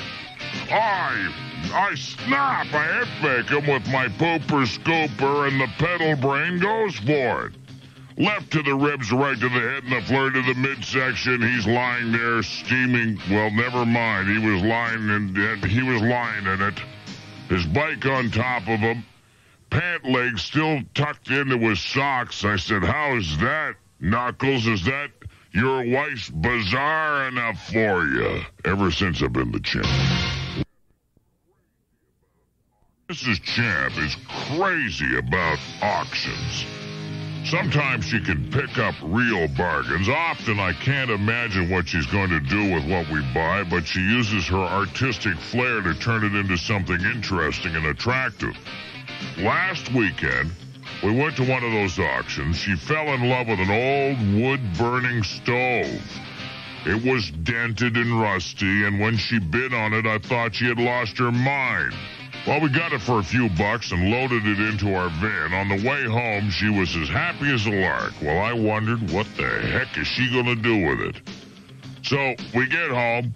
She went right to work. She banged out the dents, painted it shiny black, then decorated by painting all sorts of psychedelic colored flowers on it. Before I knew it, we had a cute, wild conversation piece. She had fake and real flowers and leaves coming out of the top, and the door in the front. Fingers Finnegan and his wife visited last night. Naturally, they hadn't seen the old stove and how Mrs. Champ had made it into quite a work of art. I wanted to see their reaction. When we all went into the living room, Mrs. Fingers squealed with delight. Fingers looked at me and says, Hey, Champ, you have quite a cute pot belly there. I said, Pardon? He said, You have you have quite a cute pot belly there. Well, I lose it, I stop. I hit fake with a purple flower, and the pansy goes for it.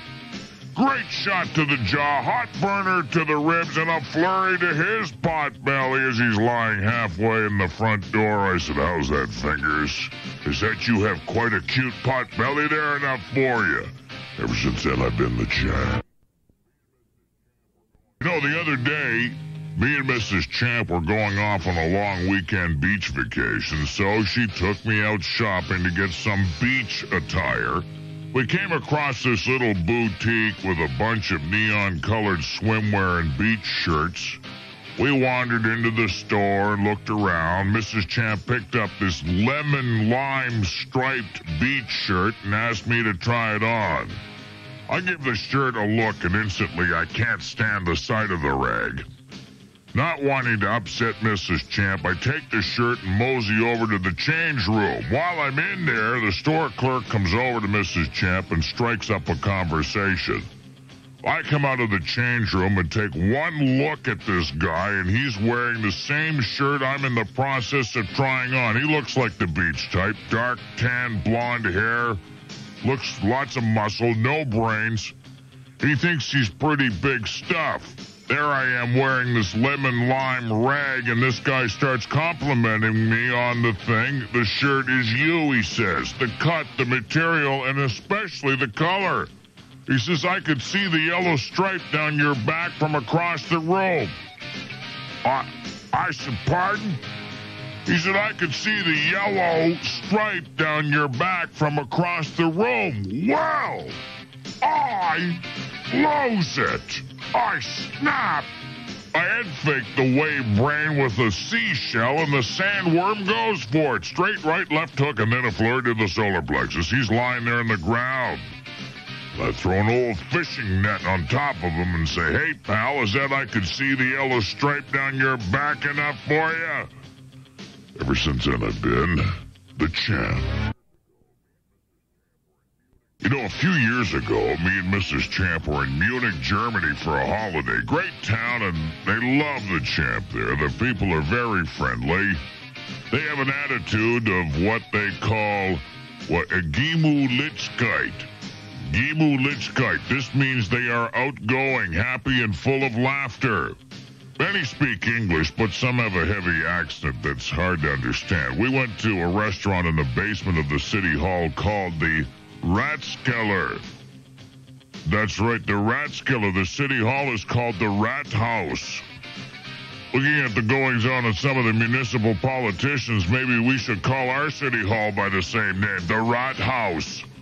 Fortunately, they had an English menu. Our waiter, Carl Hines, there is no other kinds, tried his best to help out, but uh, it was hard to make out what he was saying. It seems the house specialty was schnitzel.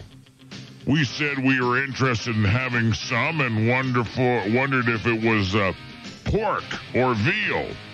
He says, Herr Champ, we have both. We can give you a very good pork or foot you likest a very nice feel. I says, bit? That's pardon the German. And he says, foot you likest a very nice feel. Well, I lose it. I snap. I faked him with a stein of Pilsner, and the foam head goes for it. Dunder smoker to the comp, Blitzen heater to the nosh, and the flurry to the brust basket. As he's lying there being stomped on by heavy boots on a troop of Bavarian folk dancers wearing lederhosen, I said, How's that, mine friend? Is that foot you like a very nice feeling up for you? Ever since I've been her champ.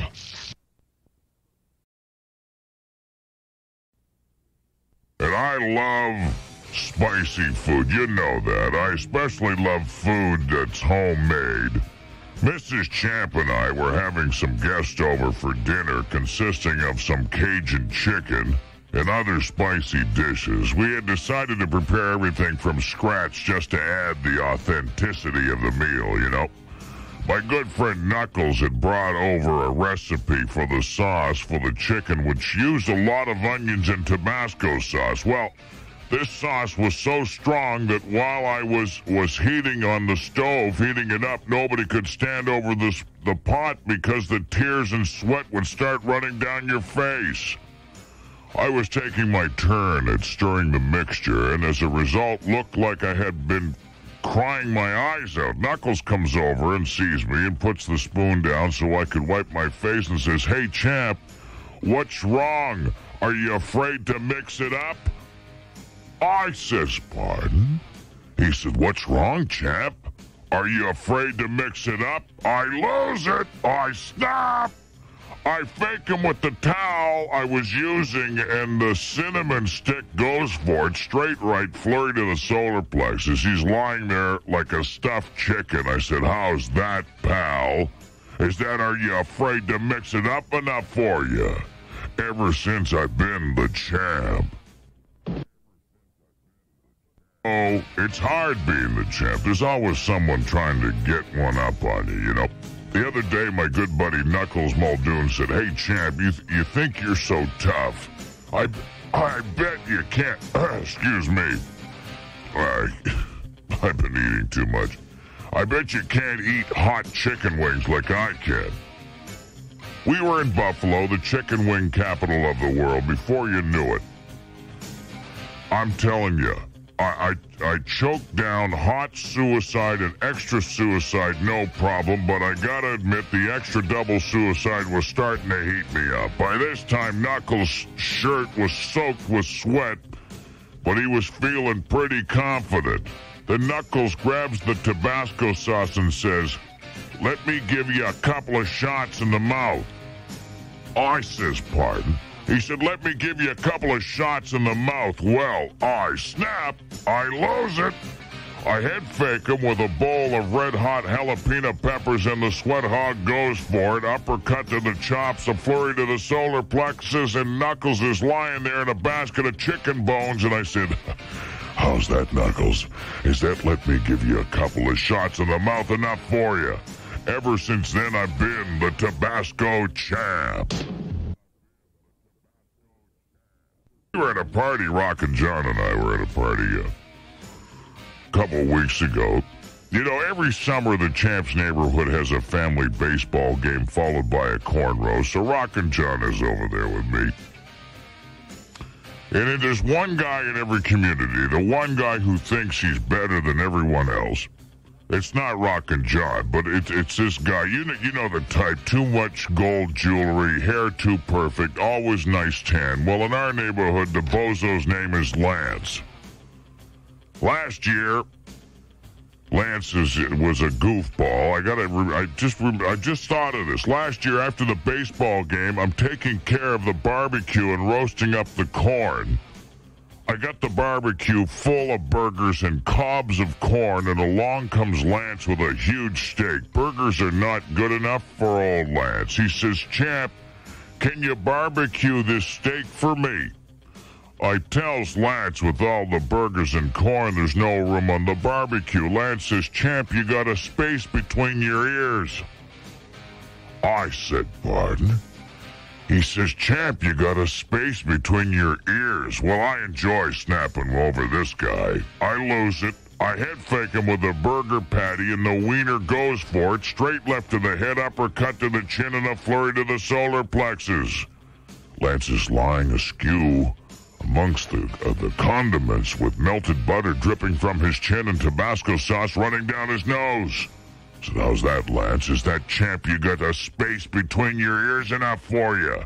Ever since I've been the champ. Everyone knows that the champ just loves hot food, and the hotter the better, right? One Friday night, I really got into the, the Mexican cooking. I just kept pouring the Tabasco sauce to it. Mrs. Champ has, has had made a batch of her special two-burner salsa. So she calls it two burner because it gets you you you both coming and going if uh, you get my drift. Anyway, I, I may have an, an even overindulged just a, a little. I, I ate quite a bit. Next morning, Knuckles Muldoon comes over. Knuckles just loves listening to my old Johnny Cash records. And we're sitting there listening to them when I was taken with a touch of gastrointestinal distress. I, I excused myself to the bathroom, and when I got back, Knuckles was looking through the records. He says to me, Champ, have you got Ring of Fire?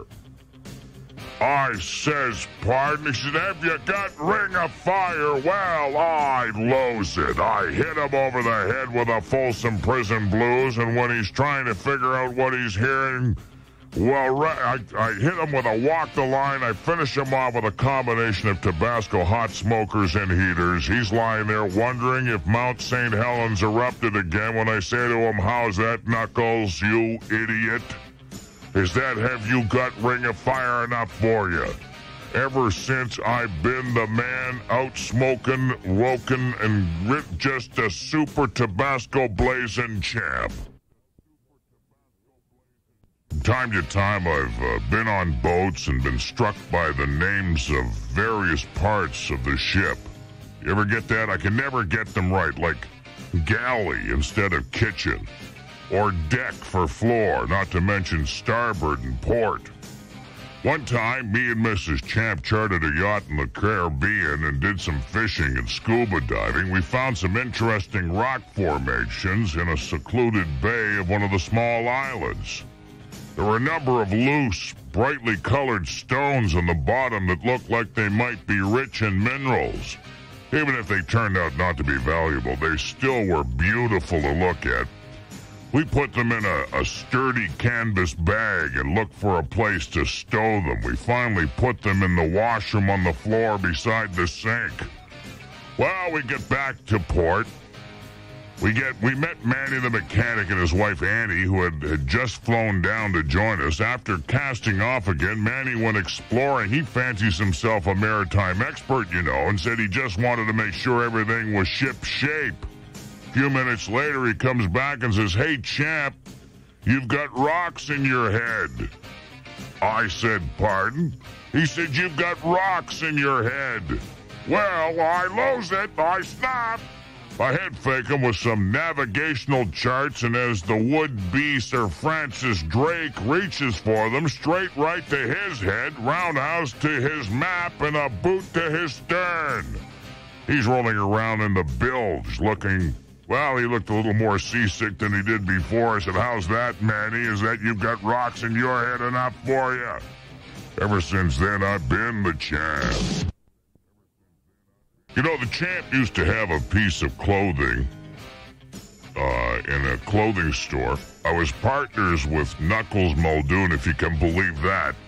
We tried to make it interesting, uh, nice place to shop by featuring all sorts of wild and different clothing. Our slogan was if you want to see something crazy, see the champ. So one day a guy came in and started looking at the sports jackets. He tried on one of our special blazer, uh, a, powder blue number with a yellow lightning bolt down the back and an orange left sleeve. I went over to see if I could help, and he got real excited to actually meet the champ. He says, Hey, champ, your store motto is really true. Well, I wasn't sure how to take that and let it pass. So after helping try on a few other wonderfully wacky jackets, he picked one. He couldn't stop talking about how he liked to express his individuality, and my jackets were just the ticket. Then he says, Hey, champ, having seen the selection of your jackets, can I see what you have in your pants? I says, Pardon? He says, Can I see what you have in your pants? Well, I lose! And I stop. I head fake him with my measuring tape. And as the size zero brain goes for it, I measure him for a heater to the button smoker to the lapel and a flurry to the zipper. As he's lying there on the floor having a fit of his own, I said, How's that, pal? Is that can I see what you have in your pants enough for you? Ever since I've been the champ. You know, the champ once had an interest in a company that supplied doll parts to the toy industry. We molded arms, legs, and bodies, as well as heads for some of the largest companies in North America. I know you find this weird, but stay with me. One line that was in demand was doll eyes. Doll eyes, that's right. There were only a couple of people in that business, I'll tell you, and there were times when we got swamped with orders, particularly if one eye got popular. During the busy season, me and Mrs. Champ helped out. She worked on the order desk. I helped out in the factory and shipping as well as in customer relations. One time there was a sudden demand for number 15 blue eyes. And we couldn't keep up. We got we got a big order from Handsome Harry Smooth, the purchasing agent for a large company. And he cleaned us out. I never liked Harry because he used to come on to Mrs. Champ to get the best prices and deliveries. However, we stuck to our prices and to our policy of first come, first serve. Later that day, I got a frantic visit from Baby Doll Nelson. He said he had spoken to Mrs. Champ, who told him that we couldn't supply him with number 15 Blue Eyes for a couple of weeks. He said he heard that Harry had been able to arrange for immediate delivery. He says, Hey, Champ, Mrs. Champ has eyes for Harry. I said, Pardon? He said, Mrs. Champ has eyes for Harry. I lose it. I snap. I head fake him with a blow molded body from a 20 inch doll and the plastic head goes for. Double jab to his baby blues, uppercutting in a flurry to the stuffed body. He's laying across my desk, his lip as a rag doll. So how's that, pal? Is that Mrs. Champa's eyes for Harry enough for you? Ever since I've been the champ. So I, I, figure I'll go over and wet my palate, and uh, the bartender tries to give me, uh, well, he, he wanted me to, to, get, to give me a, you know, a hard shot. I mean, the champ doesn't drink, right? Then he says, how about it? Can I get you a beer, champ? Now, I'm getting a little hot and steamy because I don't want any alcohol, and I told him that. So he leans over to me, says, hey, champ, how about a nice Hawaiian punch? So I, I, I said, pardon? He said, how about a nice Hawaiian punch? Well, you know what's next. I'm losing it. I snap, I hit him with a bottle of 1964 Bordeaux, and he goes for it. What an idiot. I mean, where are you going to get a 64 bottle of Bordeaux anywhere? Uppercut, straight right, and a flurry to the solar plexus. He's lying down on the ground. I said, How's that, Mr. Tarbender? Is that how would, they, how would you like a nice Hawaiian punch enough for you? Ever since I've been the champ for some reason, rumors have been flying around about troubles between me and Mrs. Champ and how we're always fighting. It's ridiculous. And it's starting to get under my skin. We're a team and always will be. And if I ever find out who started these stories, more than rumors will be flying, buddy. To show what a team we are, we've been collaborating for the last few years and, cre- creating puzzles. You know, the kind you find in newspapers and magazines, cryptograms, jumbles, that sort of thing. Well, we work very closely. We start on separate puzzles, then help each other when we get stuck. Finally, when it's close to being finished, we polish it up together.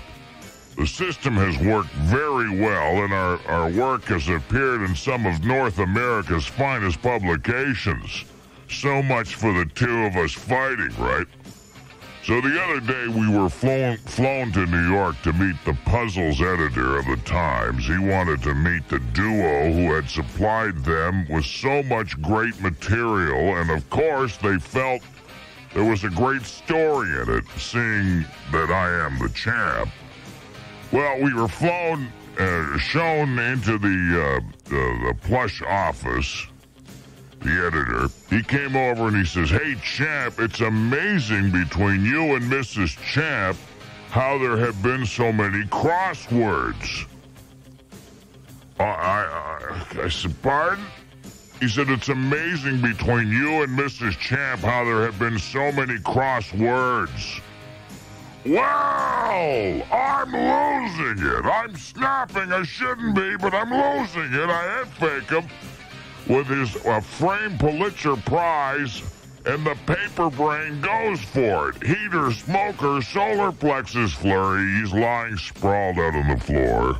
A puzzled expression on his immobile face. I said, How's that, pal? Is that it's amazing between you and Mrs. Champ how there have been so many crosswords enough for you. Ever since then, I've been the champ. You're... Says, Come on, champ. we're going over to the theater and we're going to see Backdraft. He'd already seen it three or four times.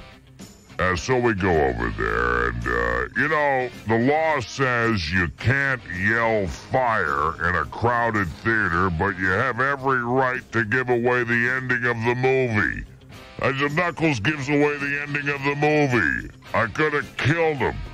Anyway, plus I had some bad popcorn, you know, the stuff with the mystery butter and I I started to kind of feel sick to my stomach, and I, I wasn't saying much on the way home. And uh, Knuckles is in the car as a passenger, and he, he leans over to me, says, "Hey, champ, you're not feeling yourself tonight."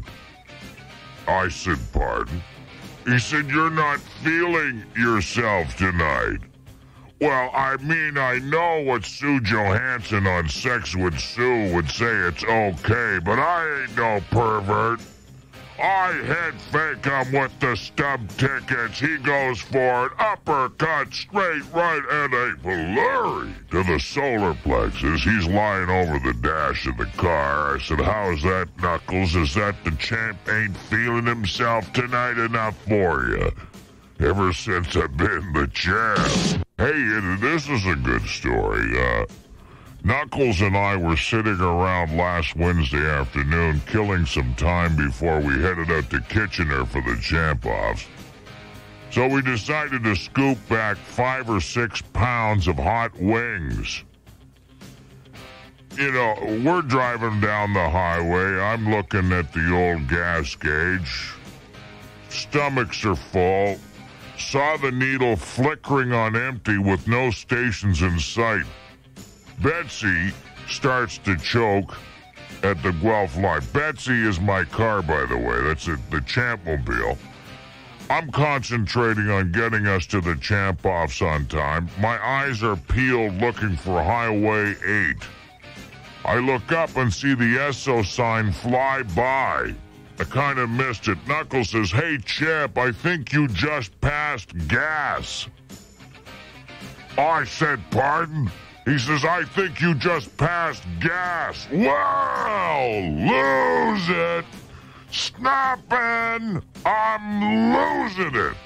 I fake the grease ball with a move to the clutch, and the rib ball rider goes for it. Roundhouse to the side of the head, straight left, and a flurry to the solar plexus. He's down on the back seat of Betsy. I said, How's that, Knuckles? How's that for I think you just passed gas enough for you? Ever since then, I've been the champ. Oh, the champ is anti-drugs, you know that. They may give you a temporary high, but hey, who wants to be a slave to some substance and get your brain fried at the same time? Last weekend I made a series of personal appearances in a large American city. It, it sickened the champ to see the blatant drug use. All sorts of guys were trying to push the stuff on me. It really steamed me. Some of them acted like they were my buddies and wanted to give me some free. The champ knows you don't get nothing for nothing. To make it even worse, I was there to talk about the evils of narcotics. On the Sunday morning, I went to the hotel restaurant for breakfast. There was a, a, brunch buffet, and what a pile of food. Wow, there was a terrific variety. Cereal, toast, muffins, fruit, salads. There were several kinds of hot foods in those metal containers that you take the tops off of and scoop the food onto your plate. Things like scrambled eggs, seafood stew, home fries. There was even a chef sli- slicing roast beef. So I went through the line. There was a young guy helping explain the various dishes and, and puts it on your plate, right? His badge said his name was Benedict. So I lifted up some of the lids, and Benedict would ask if I wanted some beef stew or scallops and so on. As I opened one dish, he said, Hey, champ, do you want some hash? I says, pardon. He says, do you want some hash? Well, I lose it. I stop. I couldn't believe my ears. I head him with my plate, and as the acid head reaches to put some shredded up meat on his plate, roundhouse to the ribs, uppercut to the loins, and a flurry to his eggs Benedict. He's lying face down in the horseradish. I said, How's that, pal? Is that, do you want some hash enough for you? Ever since then, I've been the champ. You me and Mrs. Champ went out to uh, Steve's Sporting Goods to buy some equipment for the local Little League baseball team, to which uh, I'm I'm the coach. I I, I love kids. You know, I, I used to be a little champ a long time ago too, and when when older people take time to show these little kids about baseball, it's good. It's good.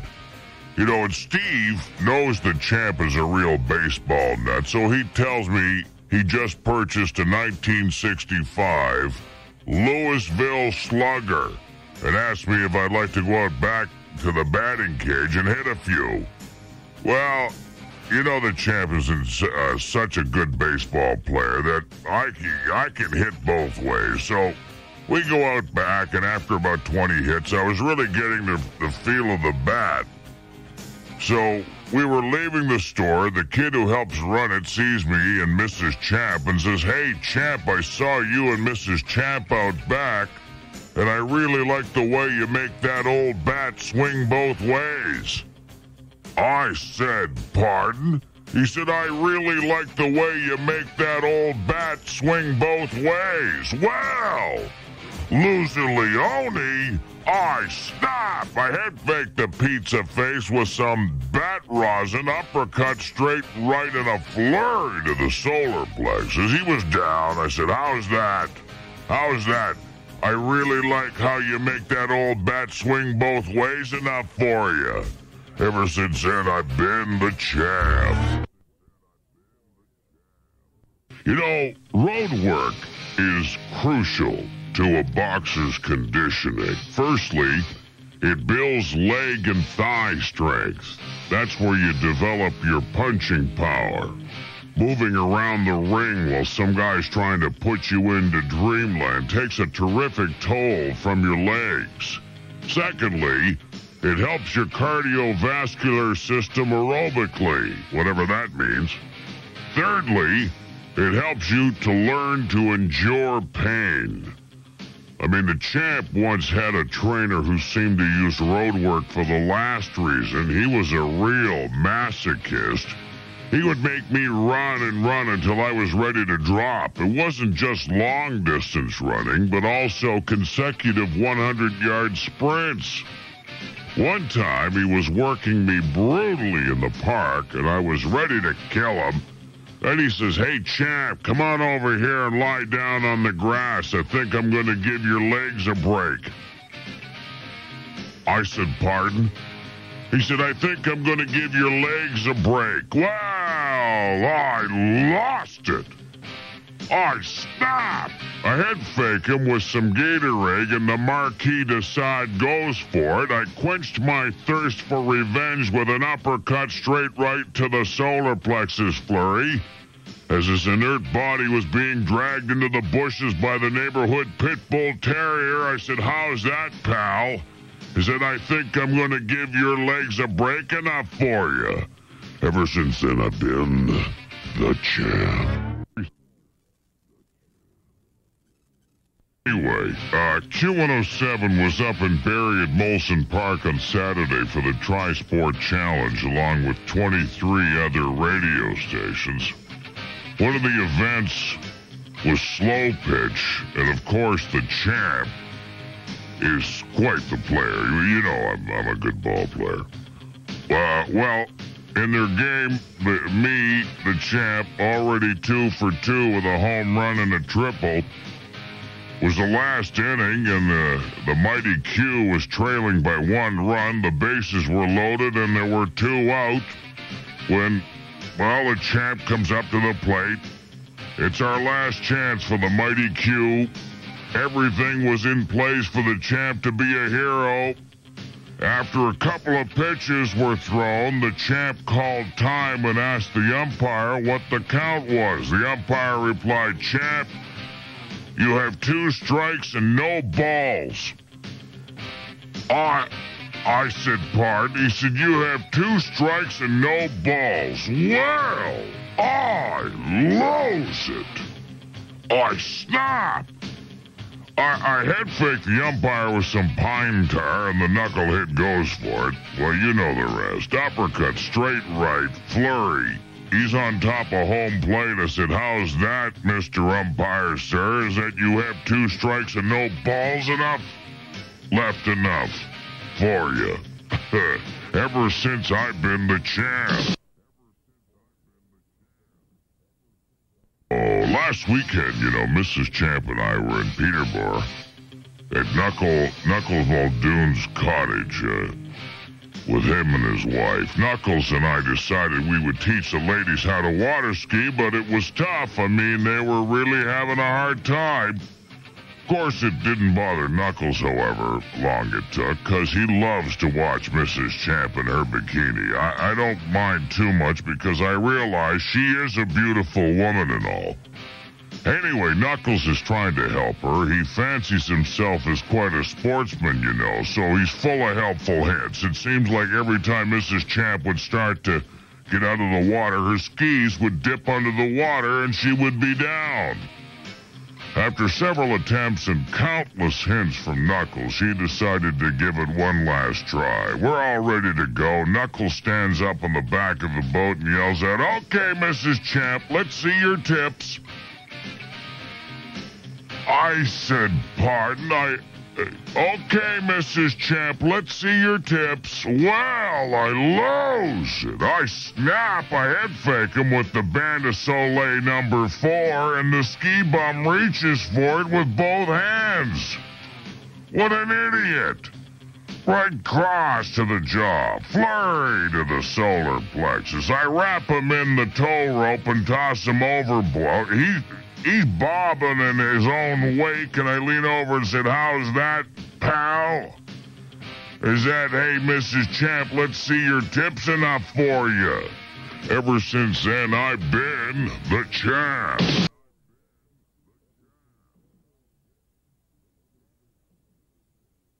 Uh, I was out the other day with Knuckles, right? Knuckles Muldoon. And uh, we went to see a Jays game. And we're down at the Dome. It was a good game. Old Knuckles didn't seem to mind all the little champ fans stopping by to ask for autographs. It was kind of nice of, uh, of me to do that kind of thing, but he can't believe it. After the game, we went to the restaurant for a bite to eat. Hard Rock Cafe, love the place. So Knuckles took the liberty of ordering while the, the champ was in the little champ's room. Went to wash my hands. When I returned on the, the table was a, a heaping mound of this breaded chicken strip stuff. You know, couple of colas. Seeing as we both had good appetites, we mauled through it in no time. Next thing I knew, there was only one strip of, of chicken left. I being the champ's a generous guy, I said, Knuckles, you had it. He declined. He said, no, no, no. He said, No, you paid for the tickets, champ. He said, We had lots of fun. Champ, you deserve the finger. I said, Pardon. He retorted, Champ, you deserve the finger. Well, I snapped at owned I couldn't believe it. Smoker, heater, uppercut. He's lying there shaking like a chicken, without a head. I said to him, Hey, Knuckles, how's that? Is that champ? You deserve the finger enough for you. Ever since then, I've been the champ. Anyhow, back around Halloween time last year, Mrs. Champ and I were invited to a party at Crusher Kilgora's house all of those who uh, uh, are in the boxing world and media were going to be there, so we, we gladly accepted. Mrs. Champ was asked to bring some Halloween decorations, so she agreed and decided to make it a bit of a jack-o'-lantern carving party. If you can believe that. So the day before the big Gowl Bash, Mrs. Champ and I went out to retrieve her a pumpkin. Well, once she found this huge, colossal six, six, I mean, this thing weighed 60 pounds. It's a big pumpkin. Took it home and left it in the car till the next day. I mean, this thing was almost as massive as the champ himself, I tell you. Anyway, Mrs. Champ bought some cauliflower for the ears, a piece of steak for over the eye, and, uh, you know, just to kind of get the special effect. She wanted to make the jack o' lantern resemble one of my many humbled opponents, which, uh, which sounded pretty pretty good to me. As as we pull up to the Crusher's house, Mrs. Champ instructs me to get the cauliflower and so on. She'll bring in the pumpkin, seeing as she's been hitting the aerobics pretty hard of late as of late, and had no other choice. I, I, I agree. So we walk in the door. Lots of people were there already, including the media types, and one of those weasels from another radio station says, Hey, look at the big vegetable Mrs. Champ just walked in with. I said, Pardon? He says, Look at the vegetable Mrs. Champ walked in with. Well, remembering that this melon melonhead has started this false rumor about the champ, I lose it, I snap, I uppercut him, uh, straight right, flurry, he's down said, how's that, pal? Is that look at the vegetable Mrs. Champ walked in and enough with you? Ever since then, I've been the champ. I was in Florida with Knuckles Muldoon, just sunning around the pool, having a pretty good time. So we're around there. Passing on the far side of the pool was a waiter spinning his bar tray, yelling out, Bar service, bar service, repetitively. Knuckles waves him over. By sheer coincidence, Knuckles, Muldoon, and I order the same drinks. Two Caesars, right? Waiter turned to leave. I called him back after explaining we were tourists from Canada. I requested a fresh slice of orange in my Caesar. So the waiter, whose name read Winston, wrote down my order, then left. While waiting for our drinks, Knuckles was pointing out some of Florida's natural beauty, only to be interrupted by Winston with his stacked bar tray. Winston turns towards me and says, Are you the fruit? I says, pardon me. He said, are you the fruit? Well, I lose it. I snap. I head fake him with a bottle of suntan lotion, number two. Uppercut, straight right flurry. Winston lays sprawled out on the beach umbrella. I said, how's that, pal? Is that, are you the fruit enough for you? Ever since I've been the champ. So the champ, being the well-known celebrity, is often invited to fancy cocktail parties and receptions. Last week, me and Mrs. Champ were invited to a garden party thrown by the British consul, Sir Chauncey Throckmorton. Ch- Chauncey's a pal of mine, and, and, and the party was in, in honor of the new British ambassador who was visiting. To tell you the truth, I'm never perfectly at ease at these fancy dues, but I, I go anyway. Chauncey made a special point of telling me that the ambassador was looking forward to meeting me. And as me and Mrs. Champ and Chauncey were standing on the lawn, I got nature's call and excused myself. While I was gone, the ambassador came over to where Chauncey and Mrs. Champ were and says to Chauncey, I say, old boy, I can't remember the name of that boxing fellow you wanted me to meet, but didn't I just see the champion beside you on the lawn? I says, pardon, he says, didn't I just see the champion beside you on the lawn? Well, she lost it. She snapped, she head faked him with a canapé, and while the twit adjusts his monocle for a closer look, roundhouse to the fi- the finely trimmed mustache, left hook to the stuffed shirt, and a flurry to the under the cummerbund. He's lying there, head buried under a plate of watercress sandwiches on white bread with the crust removed. She says, How's that, Your Excellency? Is that didn't I just see the champ peeing beside you on the lawn and enough for you? Ever since then, I've been the champ.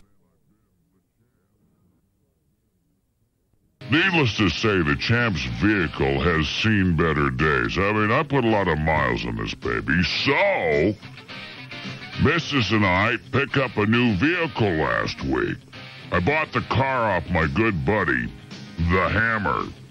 Anyway, we went down to our insurance company to change our policy over the new vehicle, and we're sitting down at our agent's desk when the guy looks at, at the missus and says, Can I see your pink slip? I said, Pardon? He said, Can I see your pink slip? Oh, well, I think he's looking at Mrs. Champ. I head fake him with the policy, uppercut, straight right, I flurry. He's lying on the ground. I said, How's that, pal? Is that can I see your pink slip enough for you? Ever since then, I've been the champ. While we're there, Mrs. Champ orders us 60 of the suicide wings. You know, she likes her wings hot. She even asked the waiter to bring over some extra, well, here we go. I'm going to mention this again Tabasco sauce, right? She likes them really, really hot. You know, I don't like to eat really hot ones, so I'm getting pretty warm, you know, really cranky. Well, the waiter comes over and sees Mrs. Champ chowing down on her suicide wings, and they're just dripping. She doesn't even flinch. Well, the waiter knows this pretty well because we're, we're there a lot. So he says, Hey, Champ, looks like your wife doesn't have any taste. I said, Pardon? He said, Looks like Mrs. Camp doesn't have any taste. Well, I lose it.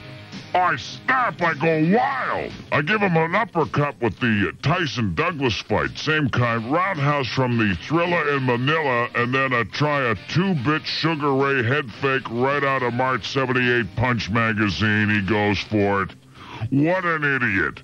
I finish him off with a Holyfield straight right, a Billy Martin marshmallow salesman left hook, and a furious flurry to the solar plexus. He's lying on the floor holding the bottle of, of whatever he had in his hand. I couldn't make it out. I said, How's that, pal? Is that does that look like your wife doesn't have any, any taste enough for you? Ever since then, I've been the champ. It's me, the champ. The champ is back for a Monday. How's it going? You know, Mrs. Champ was recently left some jewelry by her old Aunt Edna. A lot of it was junk, but there was some fine looking ones too. Uh, we took some of the better pieces along with some of the other jewelry to my old pal Harry Gemstone for an appraisal. We left it with him and got quite a jolt when we went back for his report. We looked at it and experienced a combination of delight and shock. The delight was in learning that the jewelry was far more valuable than we ever dreamed. The shock was that we had been very sloppy in how we had stored it in considering its value. So we talked to Harry about what we should do. Uh, we didn't want a safety deposit box. Uh, I suggested that I go to Grand and Toy and get a filing cabinet with a lock. Harry laughed. And he, he called, he, he laughed at what he called my endearing naivete. He says, Mr. Champ, to protect the family jewels, use a good safe. I says, pardon? He says, to protect the family jewels, use a good safe. Well, I lose it. I snap. I mean, I've always been faithful to Mrs. Champ and her to me. I head faked him with a little glass gadget that jewelers look through, and the loopy head goes for it. A gem of a right hook to the nose, a brilliant left cross to the chin, and a flurry. A flurry. He's lying, lying across the display case parts of his $10,000 Rolex lying beside him. I said, How's that, Harry? Is that to protect the family jewels? Use a good safe enough for you. Ever since then, I've been the champ. Well, you know, the champ has a heart as big as all outdoors. I mean, you people know that. I don't have to tell you that. My generosity knows no bounds, yet it it's uh, a, a peculiarity of mine that I find it hard to let others be as generous to me as I am to them. We often go to Bob's Bakery and Body Shop for cookies and cakes. We just love Bob's chocolate chip cookies. He's kind of a he well he's he's kind of sweet on me and Mrs. Champ, if you'll excuse the pun. He's always sneaking a few extra cookies into the bag for us. I, I asked him not to, but he keeps doing it even though that that might be to his profit on the sale. So last week I ordered a double chocolate cake and two dozen cookies. I just knew Bob would give us extra cookies. So when he handed over the bag, I opened it and reached in. Bob asked what I was doing, and I, I told him that I was checking that he didn't add any extras that I hadn't paid for.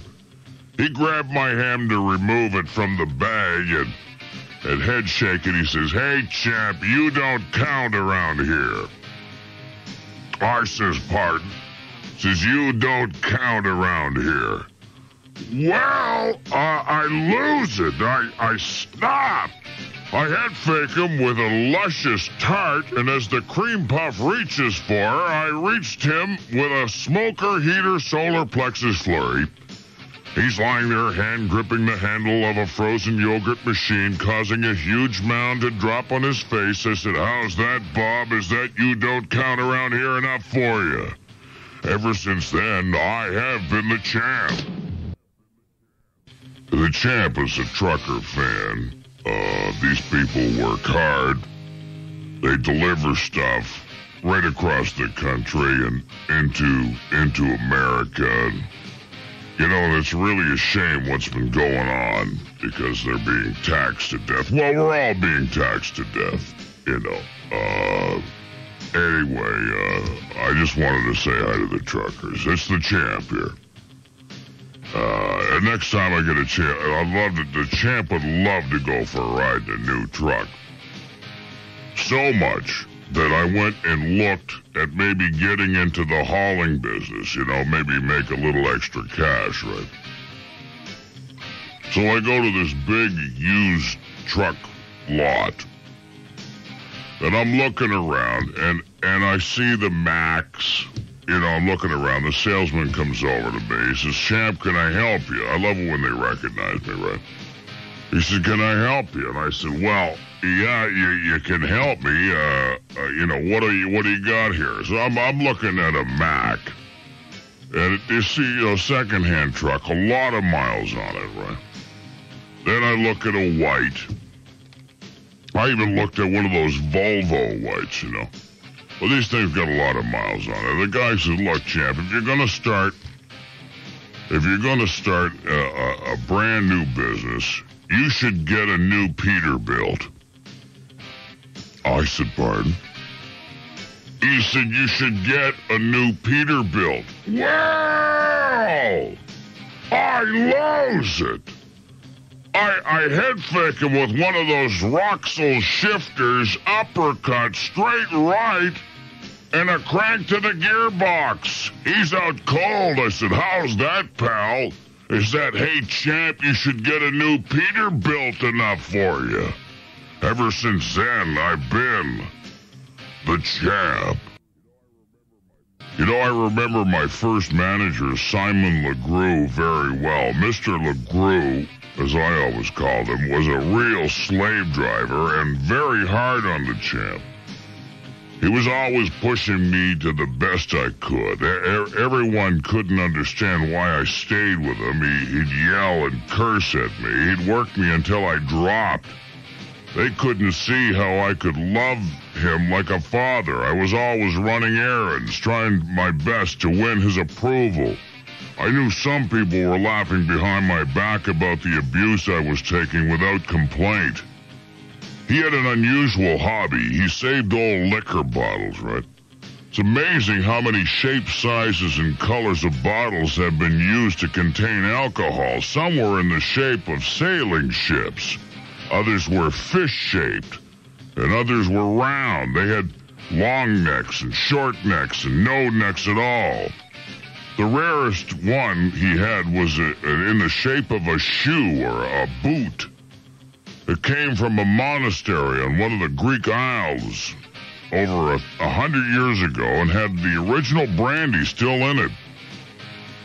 One time he made an appointment to show it to an expert who was in town for a Sotheby's auction. He, he asked if I could help him by carrying it for him. I, always seeking his approval, I, I readily agreed.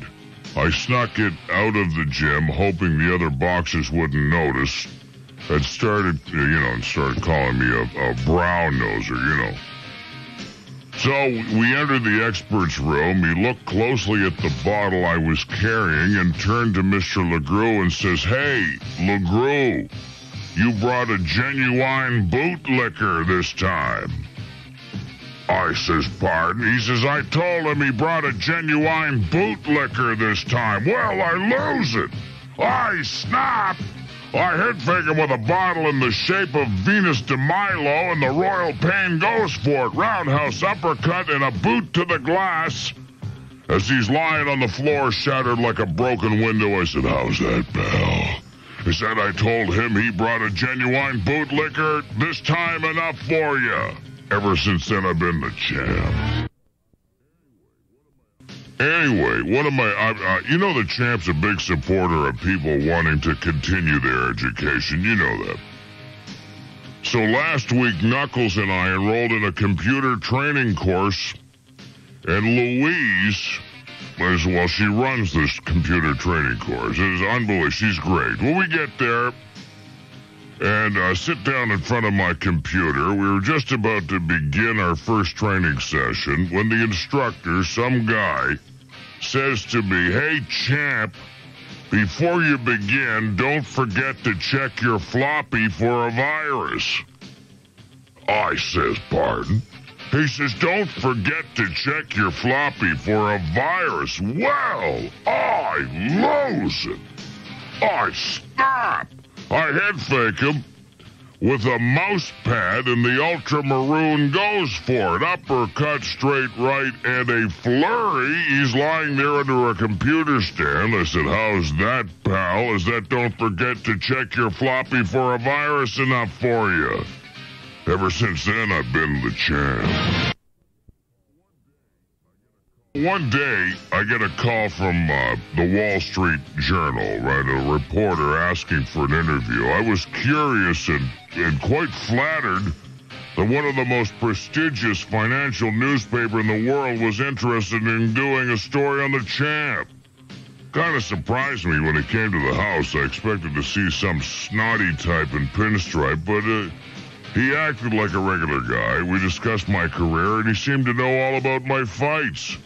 He asked about the fear of some experts that I was getting hit too much. I got a little hostile. I gotta, I gotta admit, I got a little hostile and told him uh, what I thought of that idea.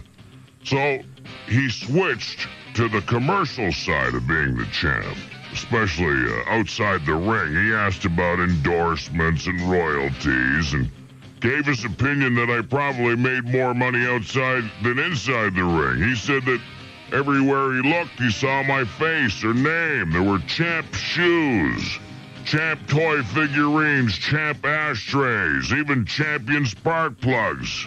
Where do you think they got the name from? So he says, Hey, champ, you're a pair of underwear. You're, you're, you're a tuxedo. I go into the sporting goods store and you're a pair of boxing gloves. You're a punching bag. I says, pardon. He says, you're a punching bag. Well, I lose it. I snap a head fake him by dropping a genuine champ oven mitt. And as the idiot bends over to pick it up, I showed him who was a punching bag, uppercut straight right, and a solar plexus flurry. He's lying, head resting comfortably on a champ whoopee cushion. And I said, How's that, Scoop? Is that you're a punching bag enough for you? Ever since then, I've been the champ. That, uh, you know, Man- Manny the mechanic and his wife got four tickets to the Phantom of the Opera and decided to invite me and Mrs. Champ to go along with them. Well, Mrs. Champ went out and bought a new dress and she bought me some new clothes to wear to the gala event, you know. She bought me what they call a smoking jacket, even though the champ has never smoked in his life, and, and one of these English ties, you know, the kind of that's a, a broad tie that you loop under and it puffs out under your chin, you know.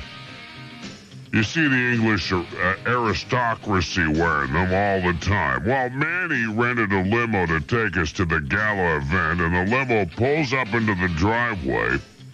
Manny gets out and comes to the door, and me and Mrs. Champ are putting the final touches on her outfit. And Manny looks at me and says, Hey, Champ, I see you got your ass caught around your neck. I says, Pardon? He says, I see you got your ass caught around your neck. Well, I lose it. I snap. I hit him with my handkerchief and the grease monkey goes for it. What's this mechanic going to an opera for anyway? Uppercut, flurry, headbutt. He's lying in the flower bed. I said, how's that? How's that? Uh, is that I see you got your ass caught around your neck enough for you? Ever since I've been the champ few champsters have contacted the champ asking about the mental health of uh, Knuckles Muldoon just because I've lost it a few times with him. You shouldn't worry. He's got a head like a cast iron cooking pot and just as empty. Just kidding, Knuckles. Uh, you know, we were we've been buddies. Uh, well, we've been buddies for a long time since we were kids, and anyone who casts aspersions on either of us is in big trouble with the other. The other day, uh, I came across uh, something in the attic that I hadn't seen in years. It was an old movie reel, and I recognized it immediately. It was a series of old Bugs Bunny, Daffy Duck, and Elmer Fudd cartoons. Many, uh, many, many of the times when me and Knuckles were kids uh, that we decided to watch them. I called Knuckles over and, and, what a flood of memories washing over us as we watched my on my old projector. I wondered if they could be collector's items. So I calls Warner Brothers Canada. The guy I spoke to, Fred Flick, got quite excited, and I arranged to bring it into the office the next day. Knuckles went with me, and we walked into Flick's office. The guy behind the desk leaps out of his chair, big smile. He goes to shake our hands. He says, Hey, champ, I'd recognize you anywhere. I see you brought the Looney Tunes with you. I says, pardon. He says, I see you brought the Looney Tunes with you. Well, I lose it. I snap. I fake him with an old Citizen Kane poster, and the celluloid head goes for it. I sent him reeling with an uppercut roundhouse and a solar plexus flurry. He's lying across my desk or I guess it was his, looking like the Terminator just finished him. How's that, pal? He said, I see you brought the Looney Tunes enough with you. Ever since I've been the champ. You know, me and Mrs. Champ got involved in the auto racing business a few years ago. I, I didn't last long. It's a, it's a very expensive game, but we had a lot of fun. Me and Manny, the mechanic, designed a, and built the motor and moving parts. Mrs. Champ, who's an artistic whiz, designed a car body that was out of this world. Even standing still, it looked like it was going 200K. When we put the car together, it looked like a dream and ran like a nightmare. I'm afraid Manny and me were out of our league. In desperation, we took it to Roger, head honcho at one of America's leading race car teams we'd met at various sport banquets. He had his chief test drive, Leadfoot Larry running a few laps over their test track. While the car was being driven, Roger asked who the designers were. The car faltered on the second lap and limped into the pits. Roger and his experts went over it while we waited. When he was finished, he said the engine, frankly, wasn't well enough engineered, but Mrs. Champ's design was brilliant. He says, Hey, Champ, I'd love to put my engine into Mrs. Champ's body. I says, Pardon? He said, I'd love to put my engine into Mrs. Champ's body. Well, loser Leone. Snapperoo! Head fake him with one of those power wheel nut removers, and the motor mouth goes for it. Double hook to the headlights, boot to the chassis, and a flurry to the drive shaft. He's lying on the track looking like he's taken the checkered flag for the last time. I said, How's that, pal? He said, I'd love to put my engine into Mrs. Champ's body enough for you. Ever since then, I've been uh, the champ. You know, a boxer learns to protect himself. You know, when sparring, you wear headgear and kidney protectors. The gloves are more padded to save your hands and your sparring partner, of course. You know, both in sparring and an actual bout, you wear a jock with a metal or hard plastic protector. Also, your hands are expertly taped. During my boxing career, I was famous for drinking a secret concoction before sparring a, in a bout. It was a brownish, foul smelling, bubbly liquid tonic whose recipe was passed on to me by my great old champion, Jack Dempsey. I have jealously guarded it until I see there's another fighter I feel is worthy of being my successor. One time I was in the gym getting ready to spar with Moose Colley.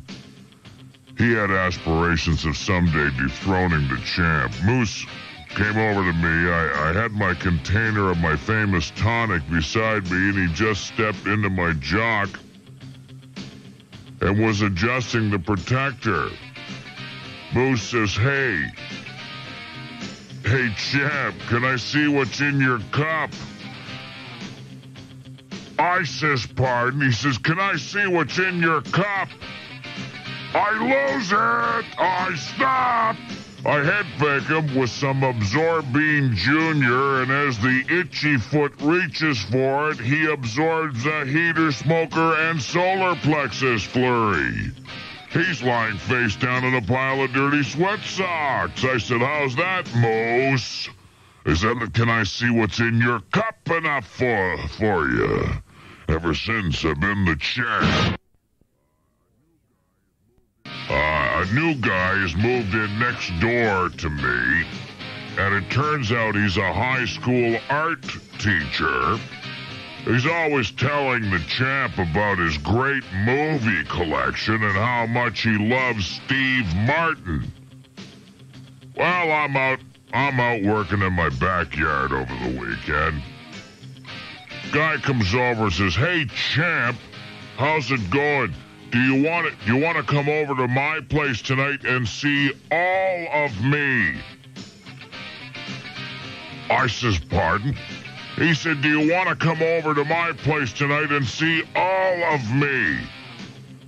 Well, Steve Martin movie aside, I head fake him with a set of garden shears. I work him over with the weed whacker and a flurry to the solar plexus.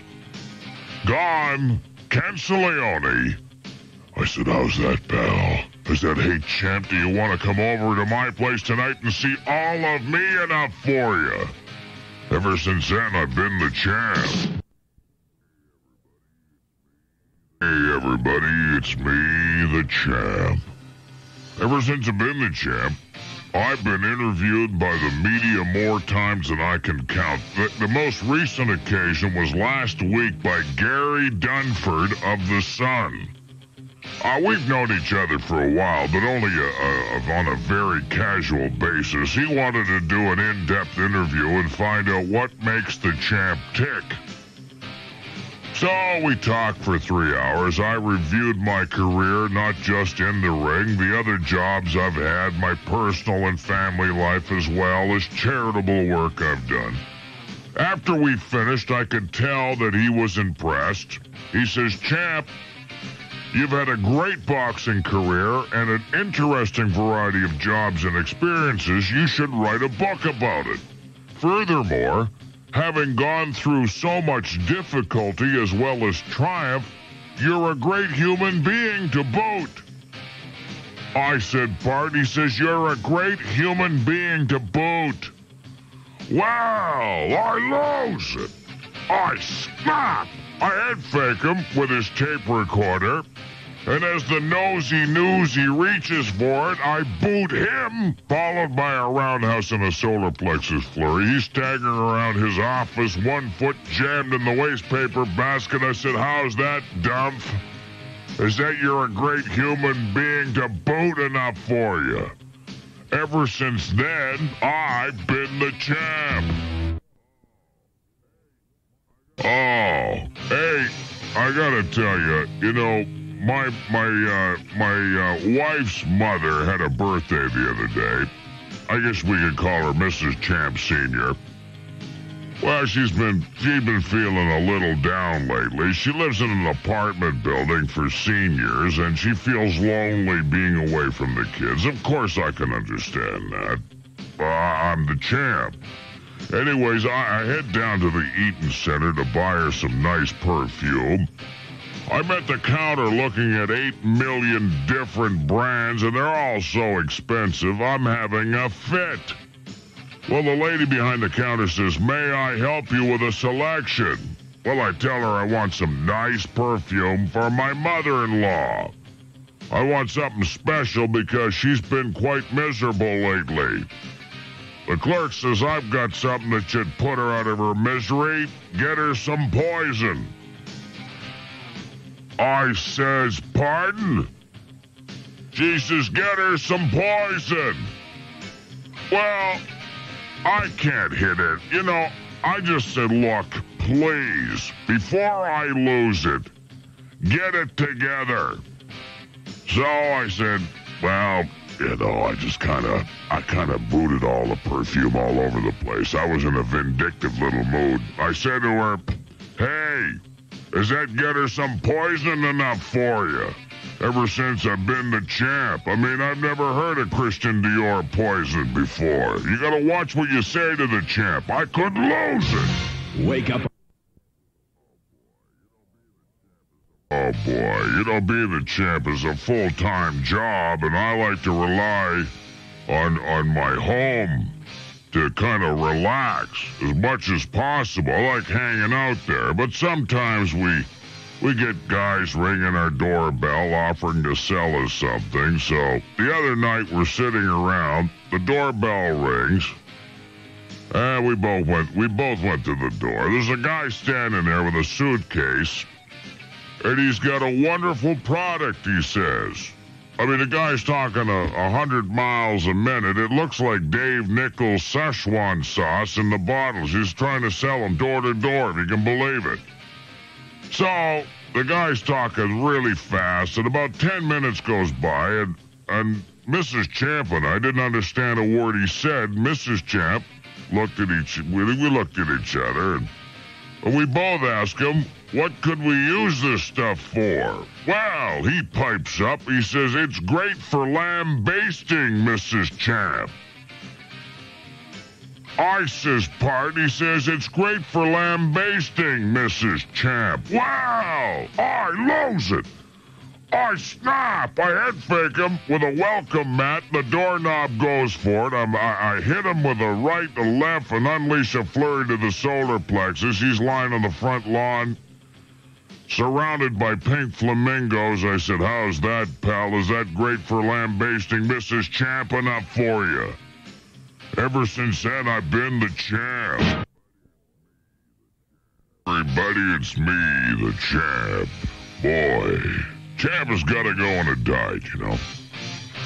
When you get a little older, your body won't let you get away with some of the excesses of youth. I'm, I'm starting to develop love handles, and it bothers me. Mrs. Champ doesn't seem to mind, but deep down, I'm upset. I kid around that I'm built for comfort, not for speed, but there, there's been so many snide comments that it, it was only a matter of time before I snapped. The other day, I took my car into Manny the mechanic's garage for a complete checkup. Manny was away, and his assistant Mario looked after me. He said he would uh, do a thorough check and let me know if anything was uh, serious or had to be done to the car. That evening, I went back. After absorbing an unmerciful ribbing at the station from the denizens of the morning zoo, Jake, the coach, the Spike Meister, bad enough. But when downtown Jane Brown says, and grabs a fistful of cellulite from my waistline and giggles, things have gone too far. Anyway, I go to Mario and ask about the car. He tells me they did a complete service and everything major seems to be okay. He then says there's only one thing, champ. You should do something about your spare tire. I said, pardon? He said, you should do something about your spare tire. Well, I lose. I stop. I head fake him with a socket wrench, and the nuthead goes for it. Left hook to his chassis, boot to his differential, and a flurry to his ball joint suspension. As he's lying there at the bottom of the service pit, I said, How's that, Mario? Is that you should do something about your spare tire enough for you? Ever since I've been the champ. It's tough being the champ. Uh, I've been losing it. Uh, you know, I, I don't know what's wrong with me. Uh, been the, the many boots to the head, uh, punches, and, uh, you know, I've always been the type of guy who cherishes spending quality time with both family and friends alike, whether it's a, a simple thing like a backyard barbecue or a more complex outing like a weekend excursion somewhere in this fine province of ours. Just the other day, my good friend Manny the mechanic dropped by my house. We were chatting outside over some cold drinks on the back porch, soaking up the beautiful afternoon sunshine. The weather being nice, Manny starts suggesting some weekend travel ideas for the upcoming spring and summer holiday season. You know, I mean, he's, you know, he's, for about the past five years, Myself and Mrs. Champ and Manny and his wife have usually managed to spend at least two quality weekends together away at Manny's brother's Pedro's cottage. And he's up there in the Muskokas. Well, we have a great time and stuff, and despite my occasional snappage on Manny every weekend, there has there's been uh, it's been kind of relaxing. So naturally, when Manny started suggesting that we do something different together this summer, other than go to the cottage, I didn't exactly get, you know, it didn't get me all wound up with excitement. It probably didn't help Manny's cause that I was feeling a little cranky in the first place, but anyway, that's besides the point. He wouldn't stop talking, continued to make suggestions of going down to the States and partying down there. Finally, uh, you know, I just kind of was starting to lose it. He was suggesting this and suggesting that. He said, uh, he's I shrugged off all those ideas. I wasn't keen on going to the States. So Manny says, Champ, since you're not big on that suggestion either, why don't I feel like your wife and see if she likes it? I said, pardon? He said, why don't I feel like your Mrs. Champ and see if she likes it? Well, I, I, I'm really cranky. I'm losing it. I'm stopping. I'd cold cock him with a left hook, roundhouse him with a right, and finish him off with a furious flurry to the solar plexus. So how's that, Manny? Does that let me feel like your wife and see if she likes it enough for you? Ever since I've been the jab. Can Mrs. Champ and I decided to do something different. Anyway, from from uh, you know you know the normal cutting the grass and barbecue. So Mrs. Champ suggested horseback riding. Well, being a great lover of horses, we were both looking forward to our first attempt at riding. Anyway, we went to the stables and our instructor came out to greet us. Of course, he was dressed to the hilt with the boots and the riding outfits. A real pro. He indicated it was, was an honor to guide the champ and Mrs. Champ on their first riding adventure, so he left and and uh, brought out two beautiful mares for us to ride. So the saddles were strapped to the horses, and with us anxiously awaiting, Bruce, by the way, that was his name, Bruce, was getting the mare ready for Mrs. Champ when he yelled back to me, Hey, Champ, do you mind if I mount her first? I hey, champ, do you mind if I mount her first? Well, I- am losing it. I'm snapping. I head fake him with a straight uppercut to the chin, flurry to the solar plexus. He's propped up against the horse. I said, how's that, Brucey? Hey, do you mind if I mount her first? Good enough for you. Ever since then, I've been the champ. You know, the champ's always prided uh, himself on caring for his body. I, am talking about the champ as if he's another character. I mean, I exercise this body regularly and eat what's safe and good for me. The only way I abuse myself is to try to do too many things and thus get exhausted. Well, this happened last summer. I, I got a call from my old buddy Bobby Bass. Bobby, or Big Mouth as we used to call him, had a fishing and bait store in cottage country. He was in a spot. Business was booming and he was short staffed. He asked if I could help him out for a few weeks. I agreed. I got a heart as big as all outdoors. I, I haven't I haven't the heart to turn down a pal. I meant I meant that every day after putting in my usual strenuous early morning working day, I had to drive two hours to his place, work till ten in the evening, and then drive home again. By the time he didn't need me anymore, I was exhausted. On my last day, I was really dragging my behind. A new customer came in and got excited when he recognized the champ. He asked if I worked there. I told him I, I did and asked how I could help him. He commented that I wasn't looking well and then says, Hey, champ, do you have worms? I says, Pardon? He says, Do you have worms? Well, I lose it. I snap, I head fake him with a bucket of minnows, and the sucker goes for it heater, smoker, solar plexus flurries, lying down looking green around the gills. I said, How's that, pal? Is that do you have worms enough for you? Ever since then, I've been the champ. Mrs. Champ and I decided to go on vacation this summer to the Fiji Islands, so I was packing the suitcases in the trunk of the car when Knuckles Muldoon and a couple of friends show up to bid me farewell. While I'm waiting for Mrs. Champ, I told them how Mrs. Champ and I traveled to different places around the world for our vacation. They seem all impressed with the story, so I told them that I was going to the Fiji Islands with Mrs. Champ so a friend of Knuckles says, Hey, champ, looks like you're abroad all the time. I said, Pardon? And the moron says, Looks like you're abroad all the time. I lose it. I snap a Leone. I head it with my passport. The ultramaroon goes for it. Oh, you know what happens next. He's out for the count. I said, How's that, pal? Does that look like you're abroad all the time enough for you? Ever since I've been the champ.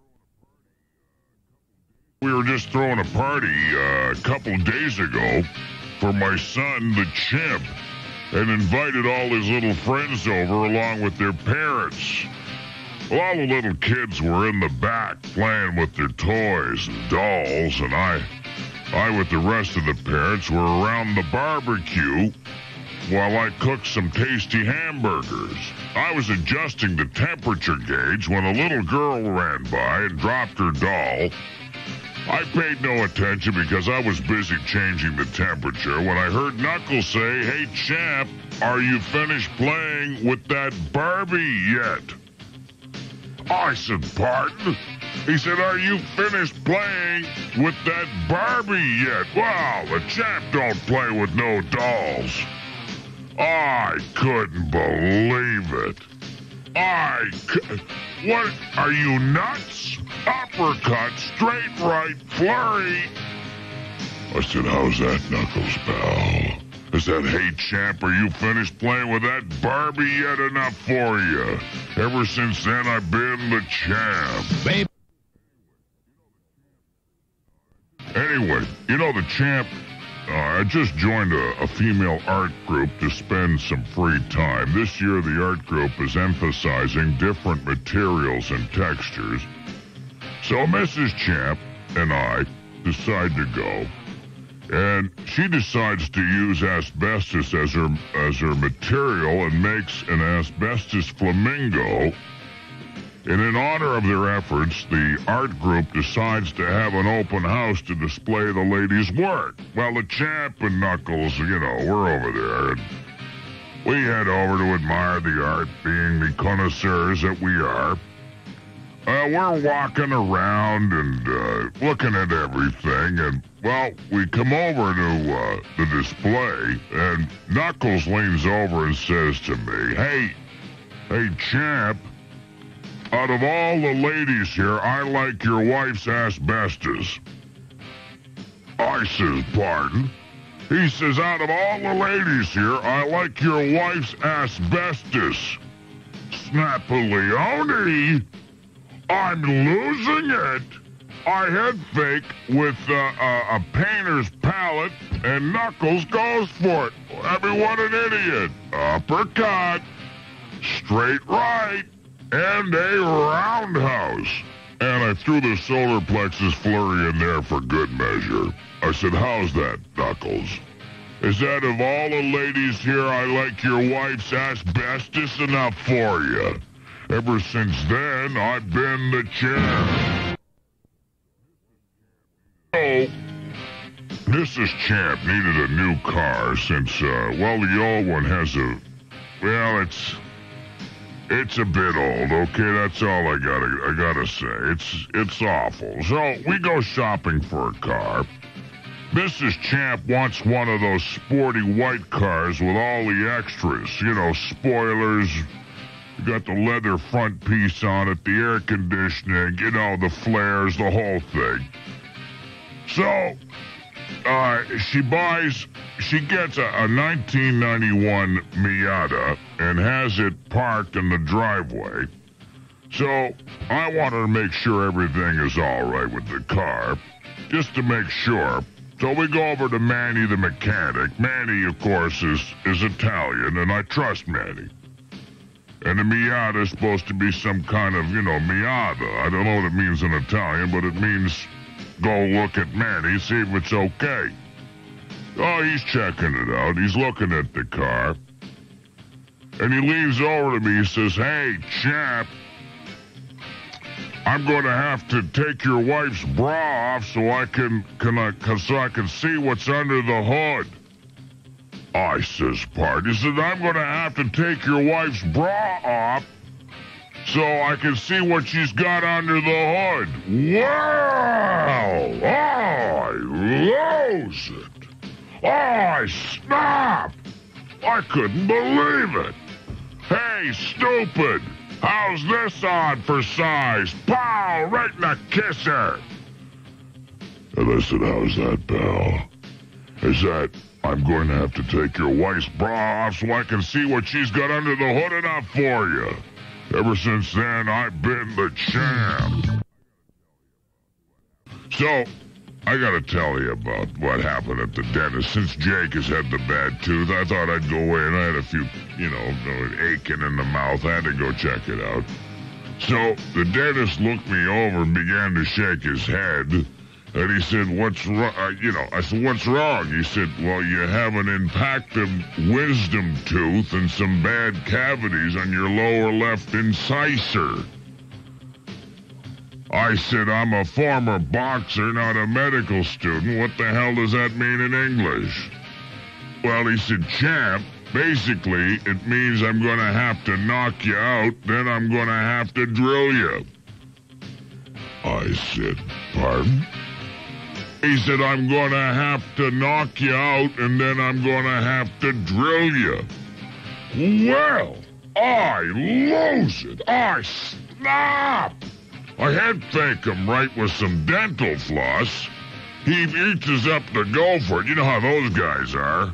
I come across with a smoker, jab to the head, solar plexus flurry, and he's lying right down there with that little white bowl you spit in, just lying right on top of it. I said, How's that, Doc? Is that I'm gonna have to knock you out, then I'm gonna drill you enough for you?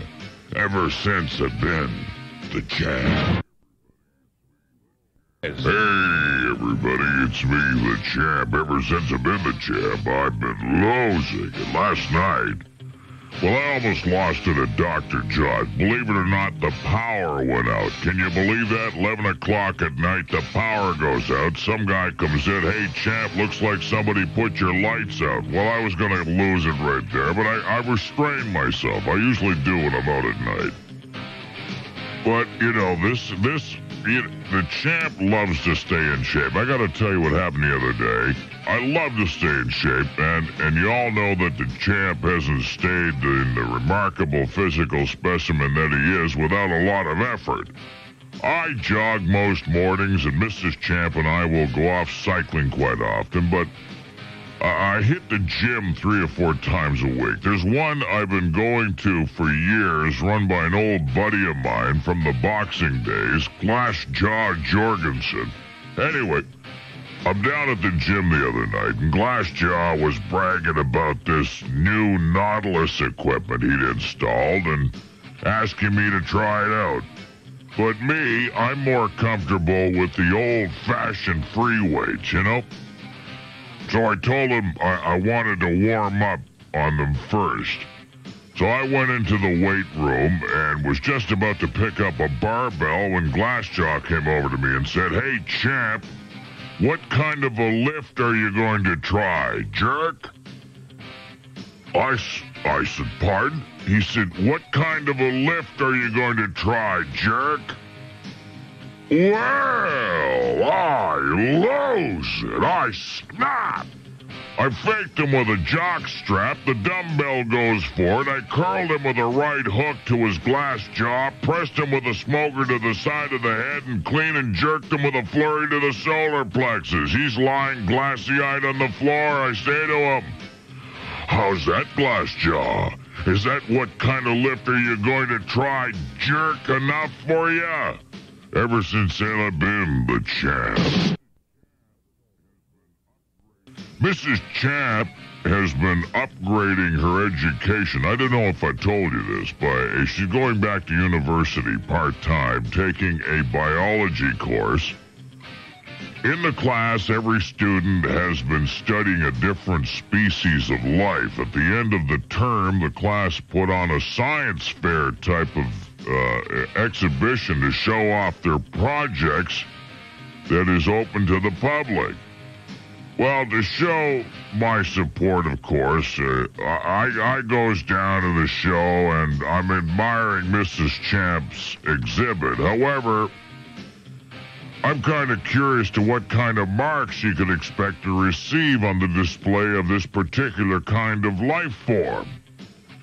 The course professor happens to stroll by, and I ask him how Mrs. Champ did. The professor, recognizing the champ, beams with pride in what must be his favorite student and says that she did very well. Mrs. Champ had a great organism in the class. I said, pardon? He said, Mrs. Champ had a great organism in the class. Wow! I snap, I lose it. I, I head faked the beaker brain with a microscope, uppercut straight right in a flurry. He's on the floor. I said, How's that, pal? Is that Mrs. Champ had a great organism in the class enough for you? Ever since then, I've been the champ. You know, you know me. I, I've been the greatest motivator of all time. To be successful, you have to be a self-starter as well as able to inspire others to outdo themselves. A number of years ago, I worked for a large company as a kind of a troubleshooter. Whenever they had a problem, I went in, in and straightened it out. One time, a department was really underachieving and I was given complete authority to clean up the mess. In a couple of weeks, using my interpersonal skills, I whipped the employees into a smooth running, dedicated team. After about a month, I was called into the president's office. He expressed his appreciation for the fine job I had done. He told me that he was afraid I would have to get rid of everybody to turn things around. He says, Hey, champ, what a change. It's great the way your staff really sticks out now. I says, Pardon? He says, It's great the way your staff really sticks out now. Well, I lose it. I stop. I head faked him with uh, one of those in and out baskets, and the idiot goes for it. Uh, in with a straight right, out with his teeth and uh, left hook, and well, he's out. You know, he's just, that was it. He sprawled across his 12 foot inlaid mahogany desk. I said, How's that, Mr. Tycoon? Is that, is that it's great the way your staff really sticks out enough for you? Ever since then, I've been the champ. This champ's niece, Mary, I gotta tell you this story came into town for some summer courses at the university. Uh, we wanted her to stay with it, but uh, she preferred to be in one of those on-campus women's residences. She's a sweet girl, and we let her use a few pieces of our old furniture. She needed a comfortable chair, a small desk, and a bureau for her clothes. I, I rented a small van and got No Neck and Knuckles to help me. No Neck developed a bad back, but offered to come along to supervise and open doors. Actually, we think he wanted to chat up some of the pretty young co-eds, right? So me and Knuckles, well, we could handle the heavy stuff ourselves, but we're happy to have No Neck along for the company. So we unloaded the furniture at the residence front door and then took it inside to the bottom of the main stairs. Mary had a room on the second floor, and we prepared to carry the pieces upstairs. No Neck asked if, if I had any tape. I asked why. He says, Hey, champ, I'm afraid you guys will drop your drawers. I says, Pardon? He says, I'm afraid you guys will drop your drawers. Well, I lose it. I stop. I couldn't believe it. Knuckles head faked him with a ping pong racket from the games room, and the celluloid head goes for it. I serve him with a forehand to the chin, and Knuckles returned him with a backhand to the jaw. He's flying across the net. I said, How's that, no neck? Said, I'm afraid you guys will drop your drawers enough for you. Ever since then, I've been the champ decided to sign up for a night school class in art, right? Because uh, I want to be able to put what I'm thinking on permanent print so people in the future can appreciate the champ's work. You know, I mean, uh, I thought of photography and stuff, but I figured, what the heck? I'm going to take art up, right? So anyway, after a few basic courses, I'm in there and you know, the, champ gets the knack of things real early, right? So the teacher says, well, I think it's it's time to start painting, right? So the teacher is an old fight fan and kind of fond of me, and and he helped me out a lot. He kind of edged me on, you know. So he says to me, he says, well, I've been watching everything, and I, I, I think you're ready for the canvas. I, I said, pardon. He said, I think you're ready for the canvas. What are you, deaf? Well, I lose it. I snap. I head fake him with an artificial Renoir, right? A fake one. He thought it was a real one. He reaches up and goes, Wow, that's a Renoir. I come around with a heater, a sidekick. Don't use my boots too often, but he deserved it. Uppercut and a flurry to the solar plexus, and he's lying all over the paintings. I said, How's that, pal? Are you ready for the canvas? Enough for you? Ever since I've been the champ. You know, when I was a young fighter, just starting out, I went to New York to train. To make ends meet, I took a part-time job at the zoo as a guide. There was a lot I didn't know at first, but I was enthusiastic, and so my lack of knowledge was accepted gracefully by most of the visitors. One time I was taking a group around. There was this one grouch who obviously didn't want to be there. He had his wife and seven kids, and when he wasn't correcting my mistakes, he was grouching about how much it had cost him to get into the zoo. He remembered how much it was the last time he had come, and it was a ripoff. Of course, that was 20 years ago. So I told him, hey, hey, don't blame me. I only work here. I don't set the prices. So, when we got to the Australian area, everybody's interested perked up, except old Oscar the Grouch. I pointed out a couple of koalas way up in the tree chewing on some leaves. They were kind of hard to spot, but finally the people were able to pick them out. They were so adorable, and one one of the group asked me what kind of tree they were in. I, I couldn't remember the name, but I, I knew it was the kind they lived in back in Australia. So the old grouch says, Hey, champ, you clipped us.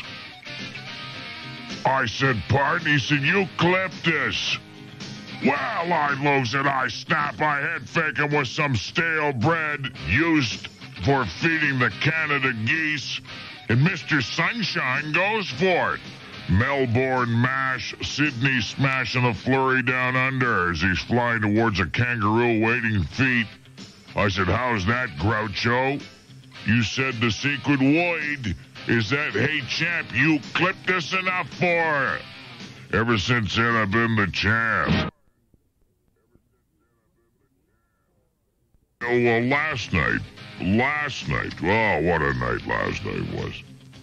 We're on our way home, and uh, it was Knuckles, Morris, of course, who, uh, who we nicknamed Mo, myself, uh, we're driving around. Of course, Knuckles is a designated driver. I don't drink, and Morris is a little, uh, well, let's just say he's a little tippy. So we're riding around and we're looking for his house. We've never seen his new house. We're actually over in uh, on Markham Road, running around trying to find his house. So you know, Knuckles leans back to me. He's looking at both of us and he says, "Is that your home, Mo?" I said, "Pardon." He said, "Is that your homo? Mo?" Wow! I lose it. I snap. I jump over the seat while he's still driving. Couple of quick shots. Uppercut straight right. He's lying on. He's lying across the seat. I reached over and hit the brake, put it in park, and I said, "Hey, Knuckles, is that your homo enough for you?" Ever since I've been the champ. You know, I was at the uh, vegetable stand the other day. There's a friend of mine owns a vegetable stand. Like over there. His name's Teddy. I go over and said, Teddy, how's it going? Boy, you got a lot of uh, nice looking vegetables in. Of course, if you're gonna buy fruit or vegetable, you buy it you buy it locally. Don't get the stuff from California. Don't get the stuff that's grown in Florida. Get it here because it's in season. And I'm looking around, and everything's so fresh. And I said, Teddy, that's a nice looking bushel of tomatoes you got there. He said, Yeah, champ. I, I just got him in this morning. Uh, I went over to your house and gave your wife a peck. I says, Pardon? He said, I went over to your house this morning and gave your wife a peck. Well, you two timing slime ball. Uppercut, straight right. I'm losing it. I'm roping doping him around the asparagus. Oh, man. How's that, Teddy? Is that I went over to your house and gave your wife a peck enough for you? Ever since then, I've been the champ. So I've been an expert downhill skier for many years, speaking of Blue Mountain. I, I would have been in the Olympics, except uh, at the time, if you'd been a professional in one sport, you weren't eligible to compete as an amateur in another. Professionals couldn't compete at the Olympics at all.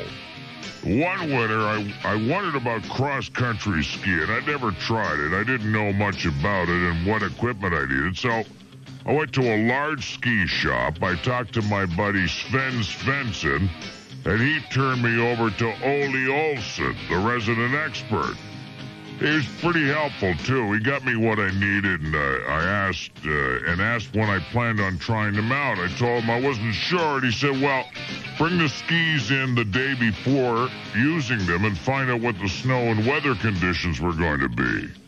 So I asked him why, and he said he wanted to prepare the skis properly. Then he says, Hey, champ, I have to know what kind of wax to give you. Uh, I said, Pardon? He said, I, I have to know what kind of wax to give you. Well, I lose it. I snap. I hit faked him with a ski pole, and the idiot goes for it. Roundhouse, uppercut, solar plexus flurry as the cross-country expert slowly goes downhill. I says, how's that, Ole? Is that I have to know how many kinds of wax to give you enough for you? Ever since then, I've been the champ. You know, I gotta say, I was walking down the sidewalk yesterday. The stranger approached, right? He says, Hey, you're the champ, aren't you? I said, Yeah, I'm the champ. I, I love it when people recognize me. He says, Hey, champ, you got the time? I said, It's a quarter past two. He goes, Is that all? I don't know, champ. I think you're a little slow. I said, pardon? He said, I think you're a little slow. I lose it. I snap. I head faked him with a $1.99 digital and Boulevard Lips goes for it. I come over the top with an overhand right left uppercut, wrist watch Crisco to the forehead. I knocked his mind all the way to the next time zone. He's lying in the gutter. I look down at him. I say, hey, pal. Is that champ? I think you're a little slow enough for you. Ever since then, I've been the champ. Hey, I, you know, I remember when practically all telephones were the same. There were no push button phones, and it was unusual to have one colored other than black. When the first, when the when they first came out, I got Mrs. Champ a princess phone. You know the one. I, it caused a stir among our friends and cost a lot of money for a young couple struggling to make ends meet. But I, I was crazy about Mrs. Champ, and I'm, I still am. In fact, I practically worshipped her in such an open way that our friends were amazed I wanted to give her something special. The day after the phone was installed, Knuckles Muldoon came over to see it. He was very impressed both by it and by my obvious devotion to Mrs. Champ. As I was leaving the room to get something, the phone rang. Knuckles says, Hey, Champ, let me grab your princess. I, I said, Pardon? He says, Let me grab your princess. Well, I snap. I lose it. I didn't like the message I was getting one bit. I head faked him with the yellow pages, and Mr. Wrong Number goes for it. I wired him with a heater, punched his buttons with a smoker, followed by a long distance flurry to the solar plexus. He's lying there temporarily out of order. I said, How's that, Knuckles? Has that let me grab your princess enough for you? Ever since, I've been the champ years ago, uh, the champ was involved. I'll go from volleyball to basketball. I was involved with Basketball Canada. I helped coach the national team, you know. We had an unusually tall team. Four players were 6'10 or taller, and another three over 6'6. Guys were a little slow and awkward, awkward but they sure could rebound. Uh, when the other team tried to get near the basket, they felt like they were in the middle of a redwood forest. So the Russians sent over a team for a series of exhibition games. The day before the first game, the Russian coach, uh, Boris Slam came to observe our practice. At first, he only had eyes for the champ. He ran over to the, for an autograph, uh, and his fractured English told me that that what a thrill it was to meet the champ, who was so admired by all true sportsmen in his country. And then his gaze moved uh, to the court and our players. His eyes opened like saucers when he saw the size of these guys. He says, Hey, Comrade Champsky, you're mental. I said, Pardon? He said, You're mental. Well, I lose it. I snap. I hit Fagan with a basketball in the air, head goes for it, hook shot to the nose ski, hard drive to the rib ski, and a flurry to the bladder ski. As he's lying there totally uh, deflated, I said, How's that, comrade? Is that your mental enough for you? Ever since then, I've been the champ. Hey, you know, me and Mrs. Champ have made a number of trips to Italy, and we're crazy about it. The people are so warm and friendly, and of course, they love the champ. Short time ago, we visited Venice, or Venezia as they call it. Is one of the world's most romantic cities, as long as you don't look too closely at the polluted water and the canals and have a faulty sense of smell. Uh, we were invited to a party at the Palazzo of the Contessa Sofia, who's a great fan of the champ. One night at the party, we got decked out in our finery and stopped for an early drink at Harry's American Bar, a well known watering hole made famous by one of its former illustrious patrons, Ernest Hemingway. Remember him? Well, when it was time to leave for the party, I realized I'd left the address in our room. So I scurry back up to get it. When I get back, Mrs. Champ was chatting up Vito, the bartender. He knew about the party and was going to advise us the best way to get there. As I approach them, Vito says, uh, Hey, uh, Signora Champ, uh, did you look up a Contessa Sofia's address? I said, pardon? He said, did you uh, look up a Contessa Sofia's address? Well, I'd lose it. I snap. I fake him with some grated cheese, and the meatball goes for it. Pasta punch to the nose, cannelloni crunch to the jaw, and a flurry to la bolognese. I think that's a bolognese to the solar plexus. He's lying draped over the bar stool. I said, How's that, paisano? Is that did you look up a Contessa Sofia's address enough for you? Ever since then, I've been the champ. You know, a few weeks ago, Mrs. Champ and myself were on holidays in Quebec. Uh, we traveled all around the province, having a great time. On the last day of our trip, we were in Montreal. I decided to take a ball game at Olympic Stadium. We really enjoyed the game, and we really like to watch the antics of the Expos mascot, Youppi. Have you seen this guy?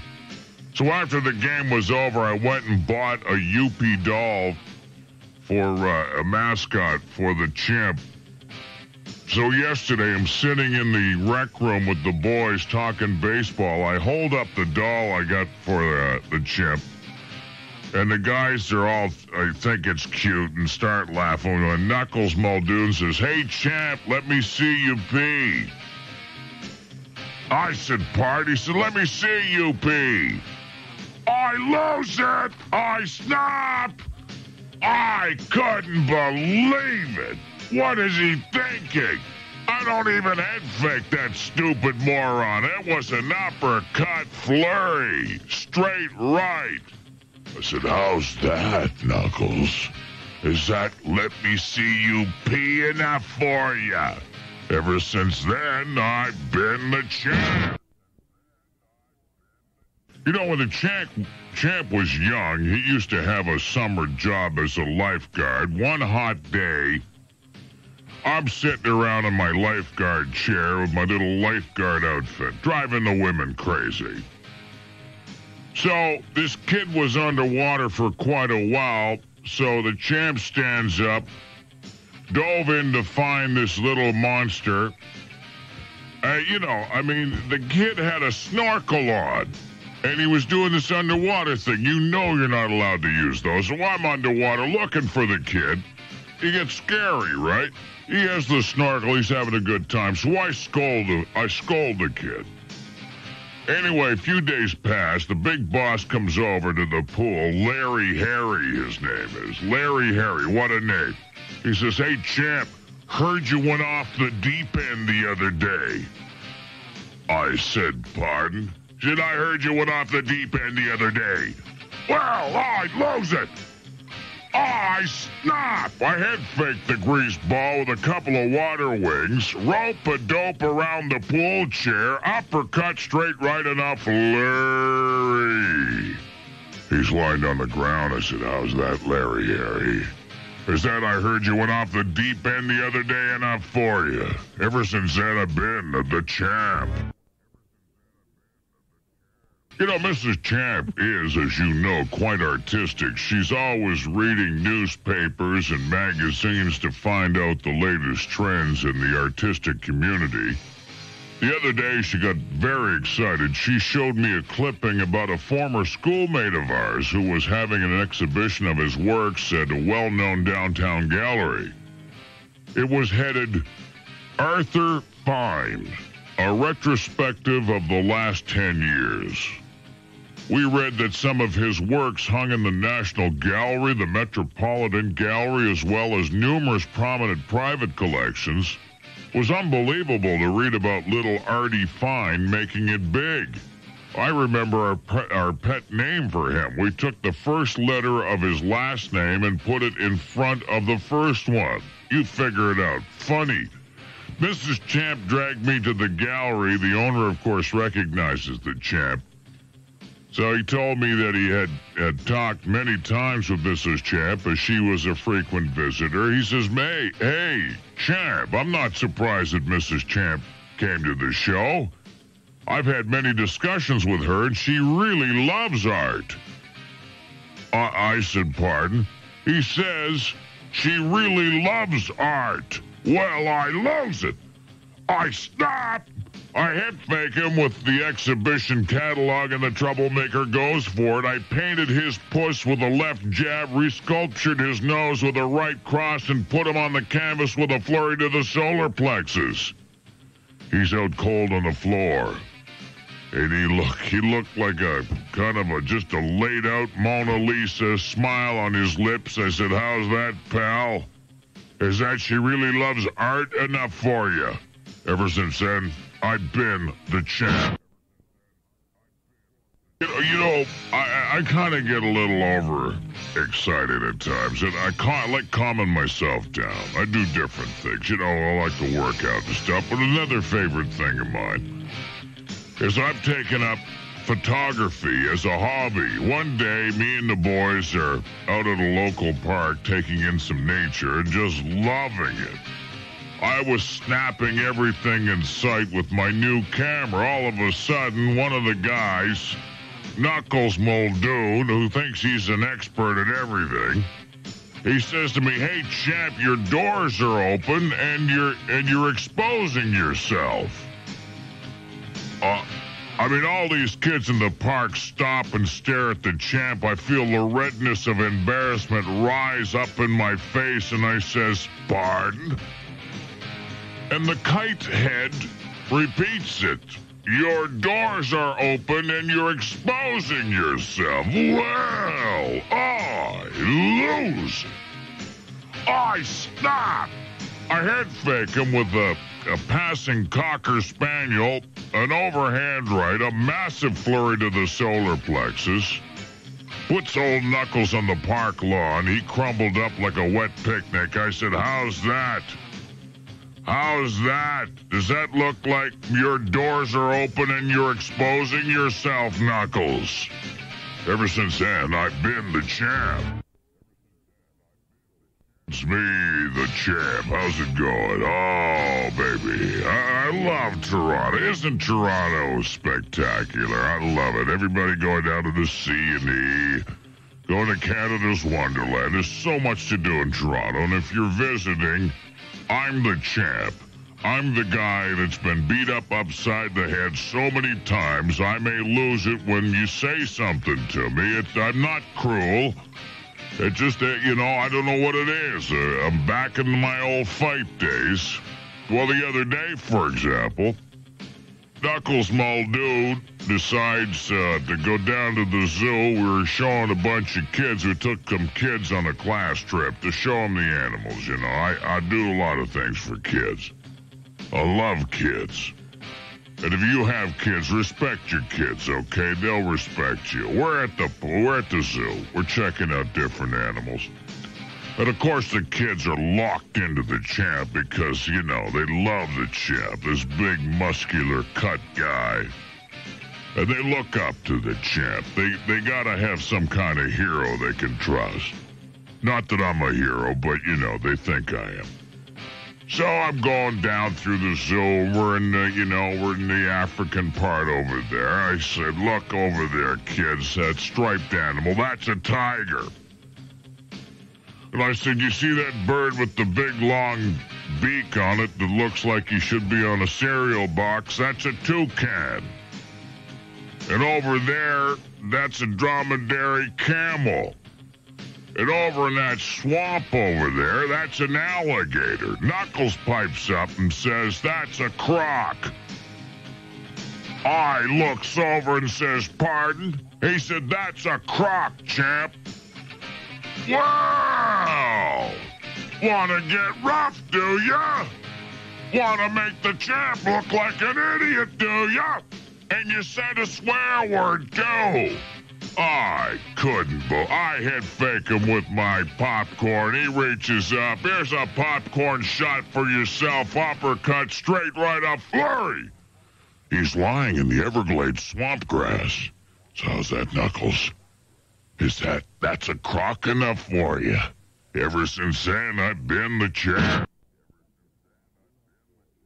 You know, uh, I like to play lotteries. How about you? You always looking to reach that brass rail, that golden rail out there. You just want to, you know, you want to get rich easy. Well, you know, you're allowed to fantasize. Or you like to play the lotteries now and then.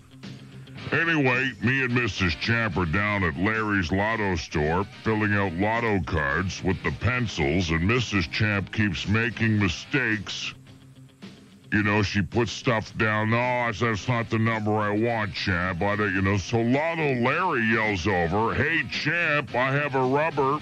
Can I give it to your wife? I says, Pardon? He says, I have a rubber. Can I give it to your wife? Well, I lose it. I snap. What an idiot. Head faked him. Head faked him with some cash. Larry Lotto loves cash. He makes a lot of it. He reaches out for it. I rope a dope him around the cash register. Peeky boo punch over the head.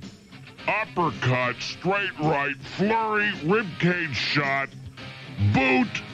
He's on the ground. I said, How's that, pal? Is that I got a rubber on? Can I give it to your wife enough for you? What an idiot! Ever since then, I have been the champ. Uh, by the way, you know, I Mrs. Champ has a real sweet tooth, and one of her favorite treats is honey. She'll eat it practically anytime. She loves it on anything.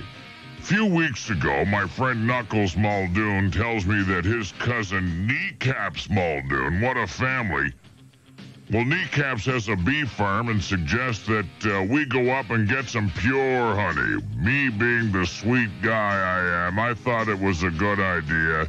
Be a nice surprise for Mrs. Champ to have uh, pure, pure honey. It'll be, it'll be unbelievable.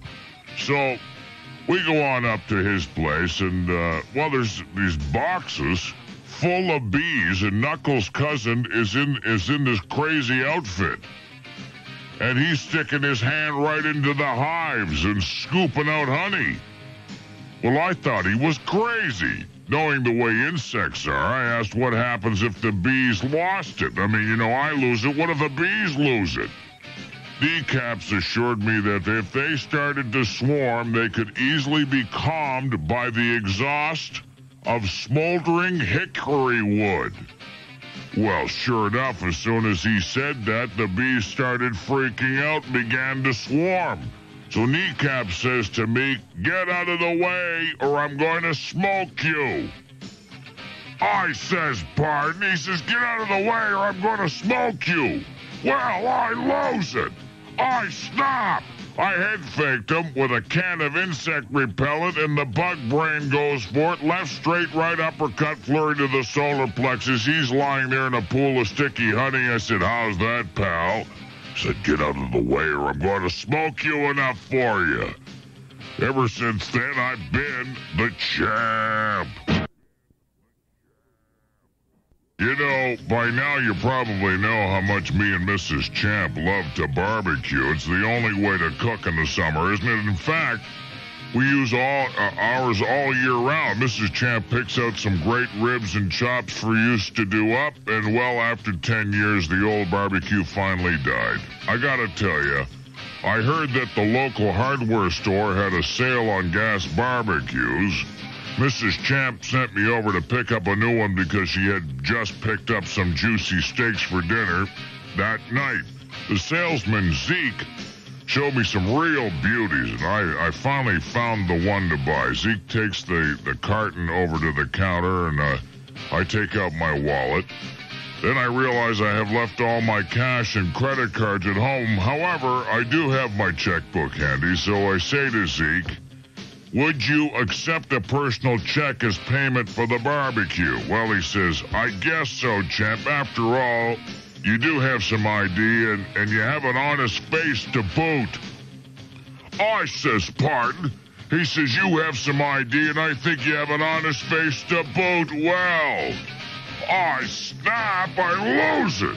I hit fake him and grill him with a flurry to the shish kebab. I really cook him before he knows it. He's on he's on his butt. So I say to Zeke, "How's that, pal? Is that you got some ID and an honest face to boot it up for you?" Ever since then, I've been the champ.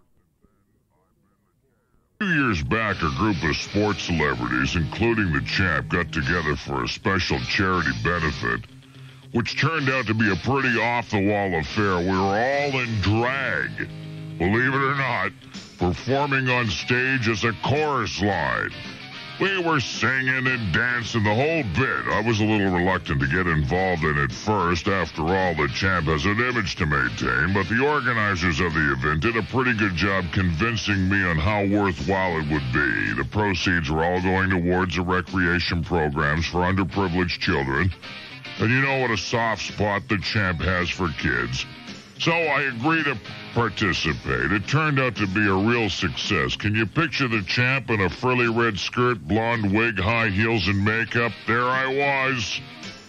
Fifteen other g- guys, uh, all shapes and sizes, kicking up our heels. The audience loved it. Of course, I had to go out and get a lady's outfit that would fit me, so I spent an afternoon at this big department store. I forgot exactly where it was, but I do remember that it was a little different from the usual Bay or Eaton stores. Everything was on one floor. And they had this little miniature electric streetcar with its own tracks and bells, the whole bit, to take you to the different departments.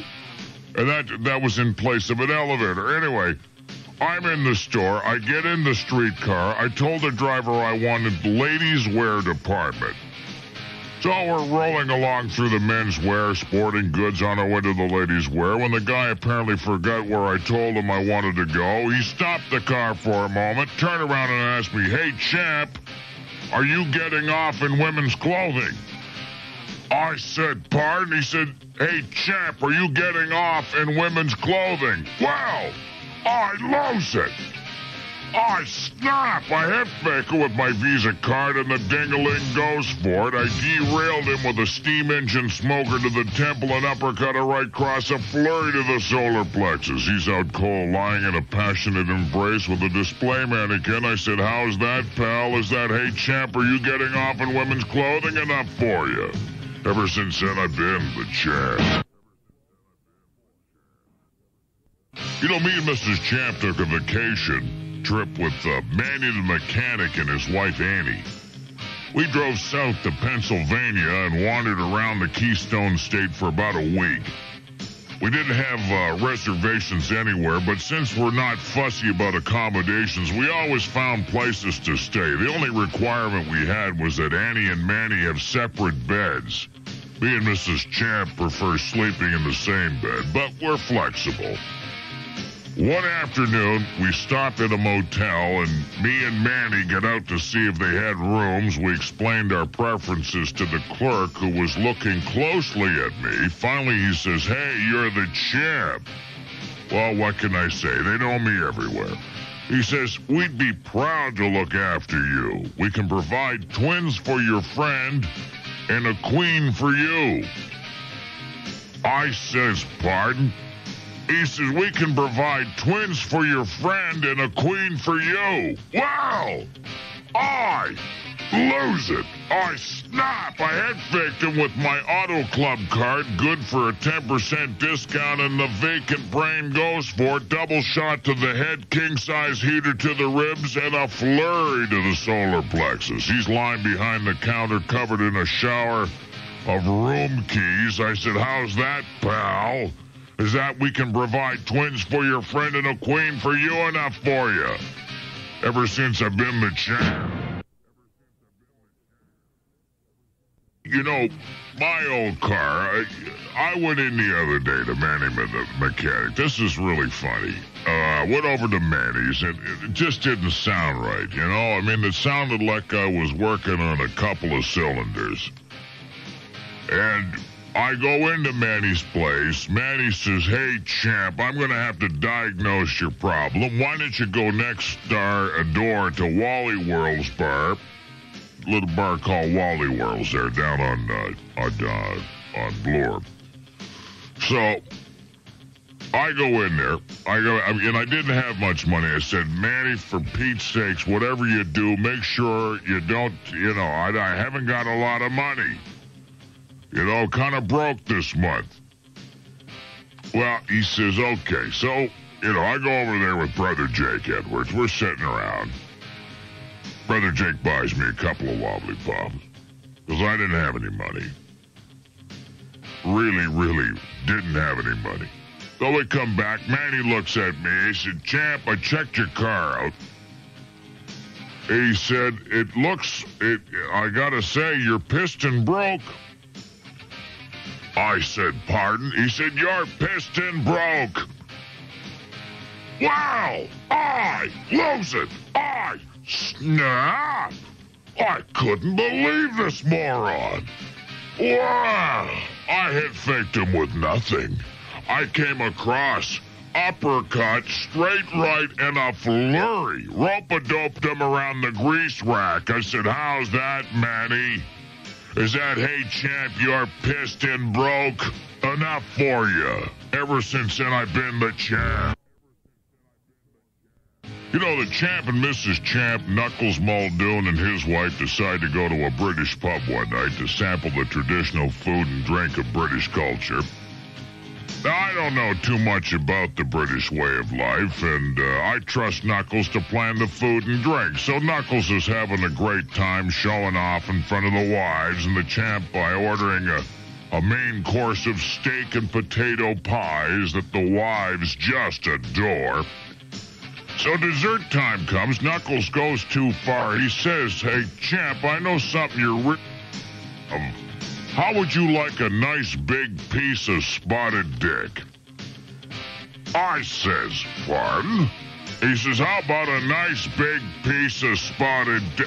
I, I lose it. I snap. I head fake him with a piece of Yorkshire pudding. And the dope goes for it. Quick flurry left hook. Square shot. So how's that, Knuckles? How's that? Is that, would you like a nice big piece of spotted dick enough for you? Ever since then, I've been the champ. You know, Mrs. Champ used to have a small uh, office supply company. She sold stationery, computer paper, typewriter ribbons, that sort of thing.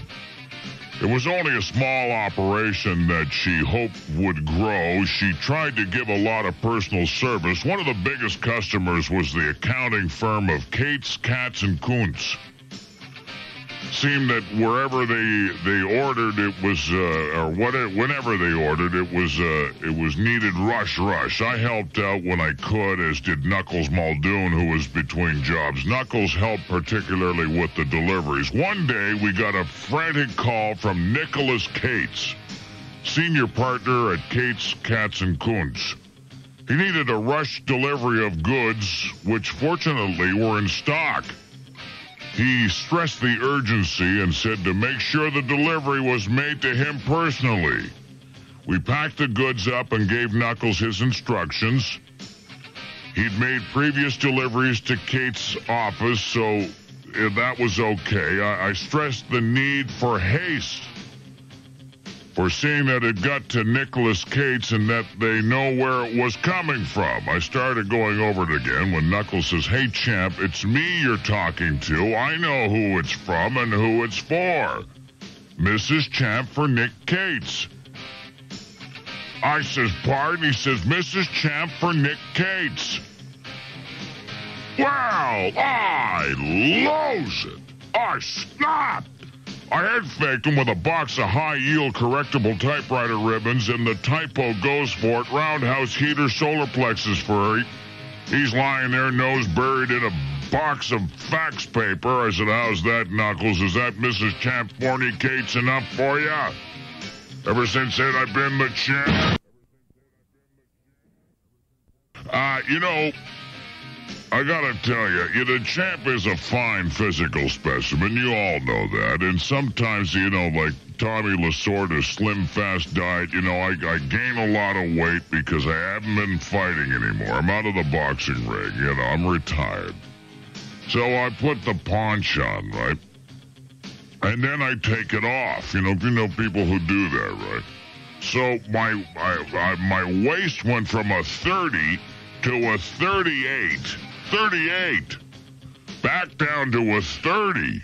So I had to go buy some new clothes. I mean, they were falling off me, right? I go into the place, I go into the, uh, the, the clothing store down there, and a guy says to me, Hey, champ. And he looking at my waist and stuff. Clothing was, was shedding off me. He says, Hey, champ, you could use a good belt. I said, pardon? He said, you could use a good belt. Wow! I lose it! I snap! I head fake him with the tape measure, and he goes for it. Uppercut, straight right, a flurry. He's on the floor, full of chalk dust. I said, How's that, pal? Is that you could use a good belt enough for you? Ever since then, I've been the champ. You know, summer's the time to take in a ball game. The Jays are cooking now. Sit back and relax. Uh, watch the professionals perform. Last week, Mrs. Champ, myself, and the Chimp traveled out of town for a big league game.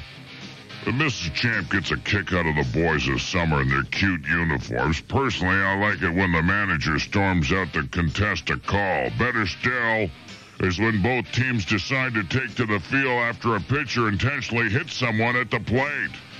The game was going well. The chimp and I had just finished chowing down a little picnic we had brought along. Suddenly, this guy in the aisle looks our way and proceeds to yell, Hey, hot dogs! The chimp says, Pop, are you going to let him get away with that? So I says, Pardon. He says, Hey, hot dogs! Yells the guy in the aisle again. Well, I lose it. I snap. I see red hots. I'm out, I'm out of my seat on the on the way in with a flurry.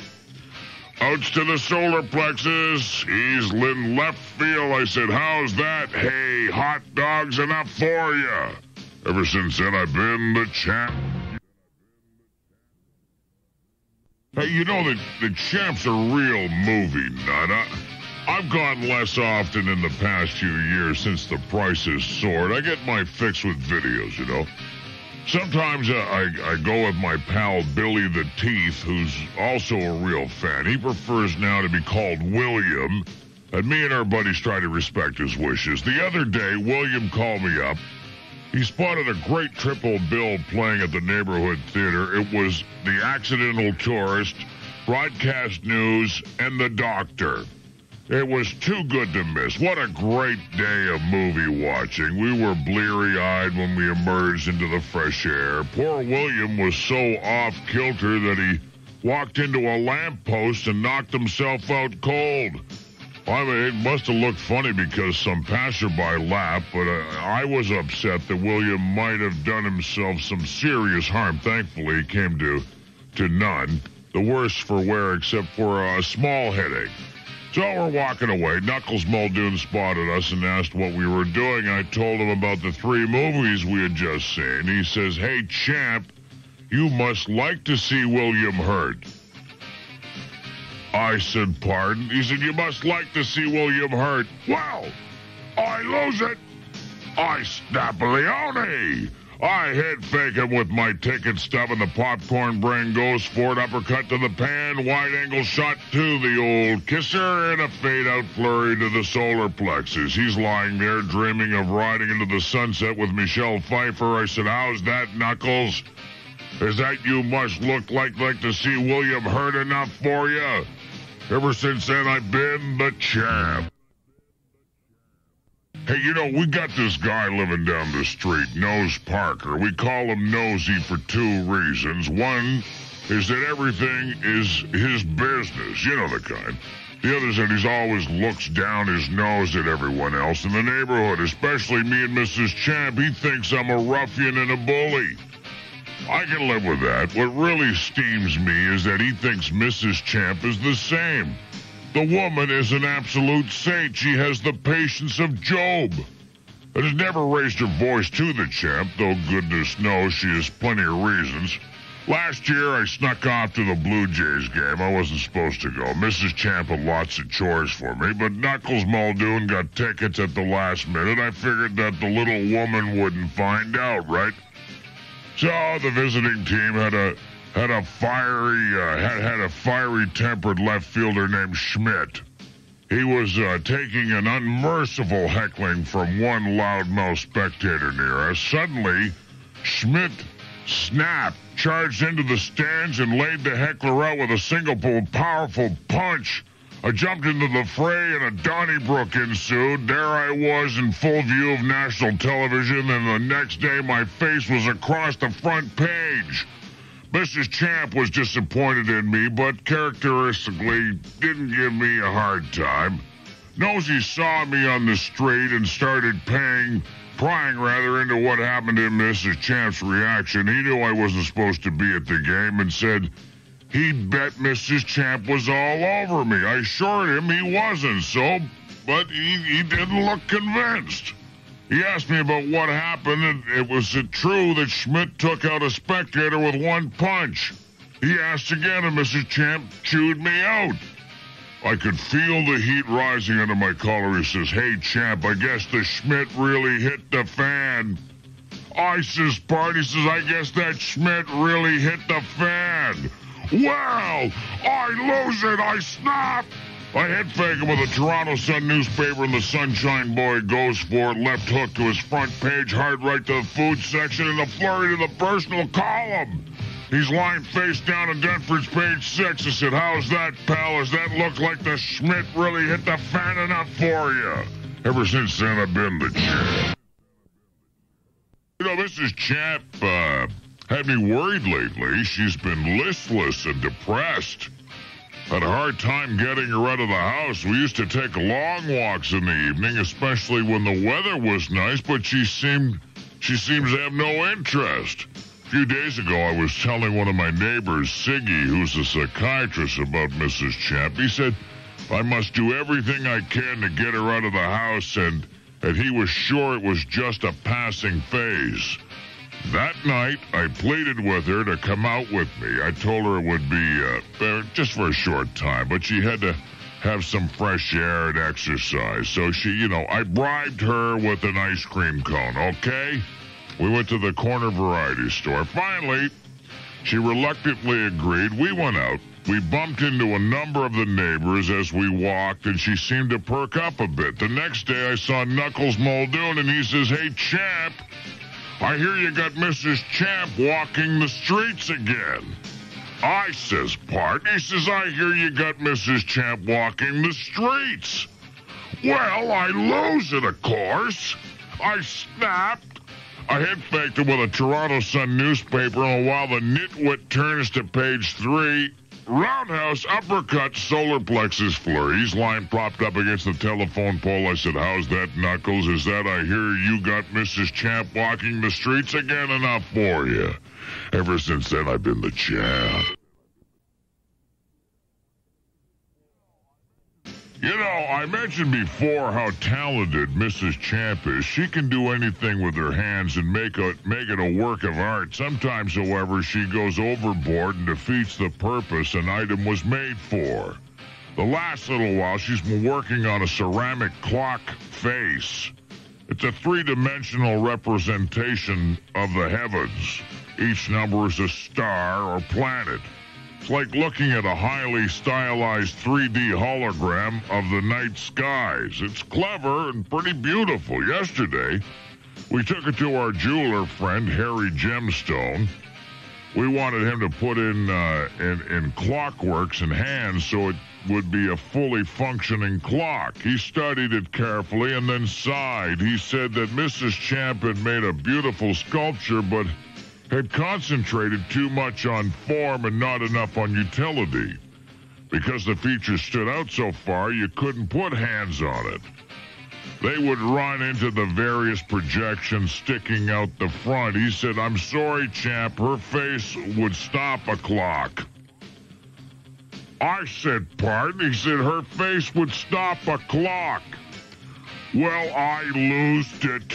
I snapped it. I head faked him with an antique Swiss clock, and the cuckoo goes for it. Uppercut roundhouse and a flurry to the solar plexus.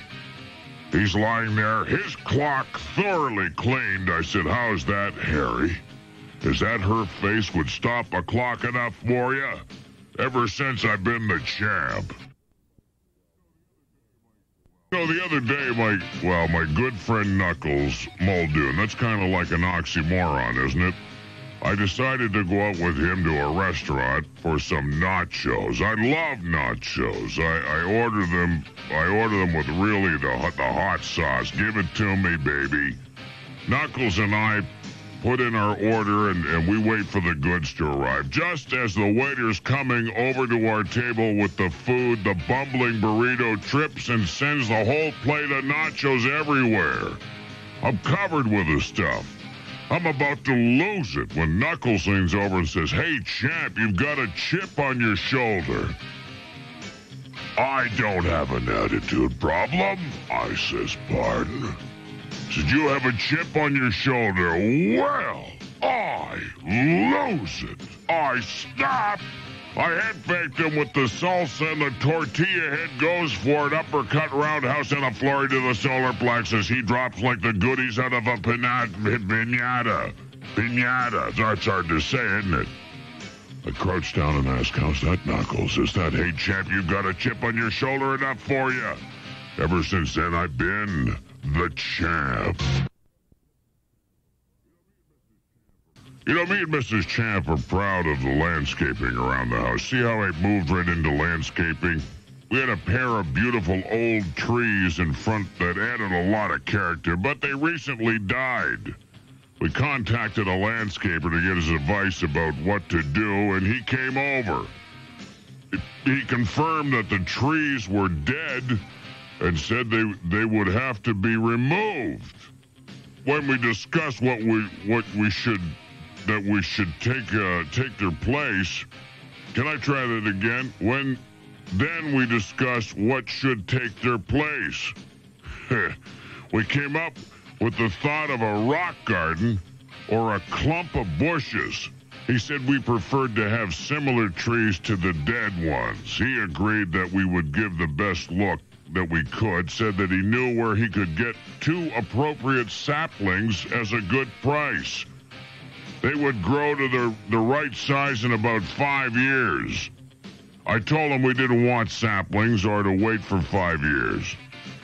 We needed mature trees. Now. He said it would be an expensive proposition, and I said we didn't care. We just wanted the yard to look the way it did. He says, Hey, Champ, I understand you and Mrs. Champ like adult trees. I said, Pardon? He said, I, I understand you and Mrs. Champ like adult tree. Well, I lose it. I snap. I head fake him with a seed catalog, and the bird brain goes for it. Roundhouse smoker flurry to the trunk as he's lying on the grass looking rooted to the spot. I said, How's that, pal? Is that is that you and Mrs. Champ like adult trees enough for you? Ever since then, I've I've been a, a, a, the champ. I'm losing it today. What's wrong with me?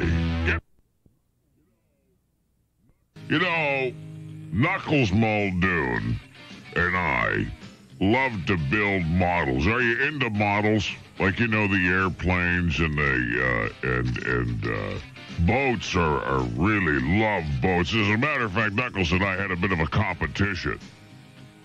You know, he was going to build a, a, model of the uh, of the Iroquois that's a ship. And I was going to do one of that big aircraft carrier they use in the uh, in the states. And of course, I chose I chose the hardest one, and whoever completed it first and had the best detail would win the contest. Kind of an in thing with us, you know. So we're, sitting around. Of course, he finishes his up because the Iroquois isn't as detailed as the one I was I was building. Right, aircraft carrier, big, huge sucker. They got all the little tiny little planes on it, all these little men and stuff. And it's tough. I, I had pieces all over the place. Uh, it was a mess, really. If you got to come down, I lost the instructions. I wasn't doing very well. So Knuckles comes over with his model and he's showing it off, right? And he looks at me, he says, Hey, champ, I see you're having a hard time getting your ship together. I, I, part? Says, I, I see you're having a hard time getting your ship together. Oh, but is he nuts? I couldn't believe it. I head baked him with the airplane glue. It's like he'd been on it for two days anyway. Uppercut, straight right, flurry. He's lying face down on the poop deck. I said, how's that, pal? Does that look like I had a hard time getting my ship together enough for you? Ever since then, I've been the champ.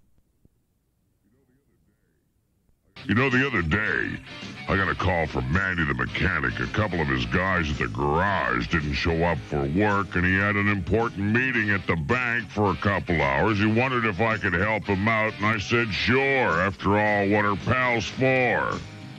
I get there, the place was going crazy. The phone was ringing, long lineup at the gas pump. Manny apologized for bothering me and told me he'd get back as soon as he could. Well, the amount of work to be done would have frazzled a lesser man, but you know the champ is unflappable and I operate at my best when the going gets tough. I, am filling a customer's car, right, with premium.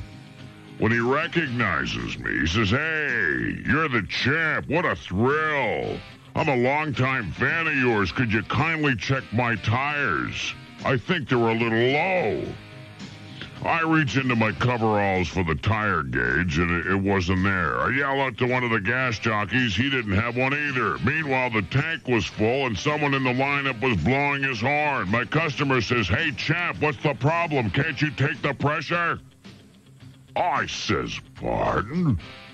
He says, Can't you take the pressure? Well, I. Yeah, what an idiot. I lose it. I stop. I head fake with a can of 10W30 motor oil and the grease ball goes for it. High octane heater, mid grade smoker, and a flurry to the chassis. He's lying across the hood of his car. I said, How's that, pal? Is that. Can't you take the pressure enough for you? Ever since then, I've been the champ. You know, when I first made my name in boxing, I was in New York where the major fight action was, I became a particular fan favorite in Brooklyn. My willingness to duke it out with anyone and never back up an inch endeared me to Brooklynites. A few weeks ago, I got a call from Flatbush Freddy, my greatest Brooklyn fan. He kept in touch over the years and is the president of the Champ Fan Club in America. Colorful character, speaks with the typical old time Brooklyn accent, you know, D's and those tings.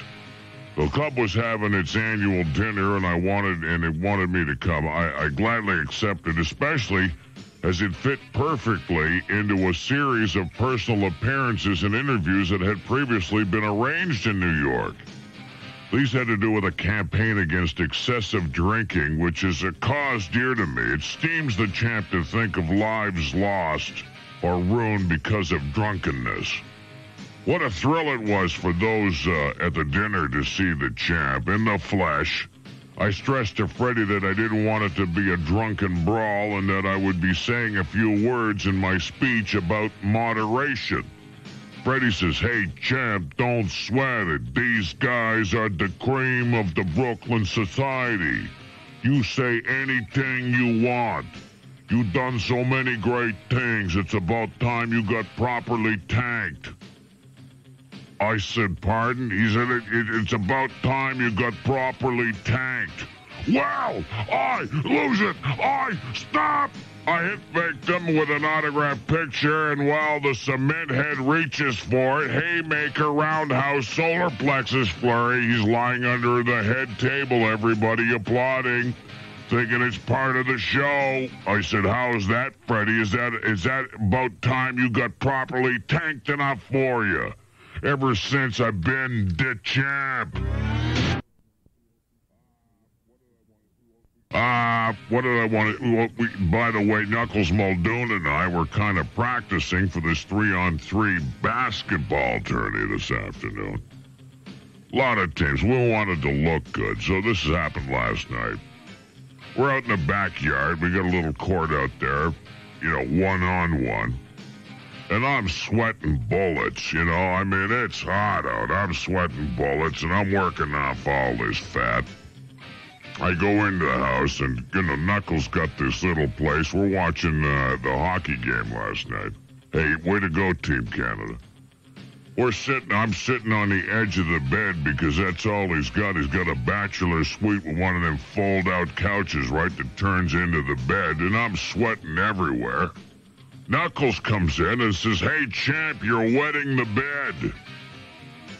I, I, you know, I, I used to have a problem with this when I was a kid, right? It made me feel quite insecure, and I think it's affected me later on in life. I said, Part, he said, You're wetting the bed. Wow! I loves it! I had, I could not snap! I ain't faking with a bedpan. The ultramaroon goes for it. I give him a smoker, heater, solar plexus, rope a dope, the whole kit and caboodle.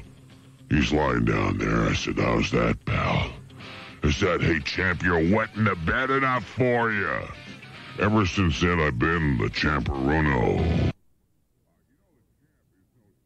Uh, you know, the champ is no spring chicken as far as the calendar is concerned. Nevertheless, I feel as young and vital as I did 20 years ago.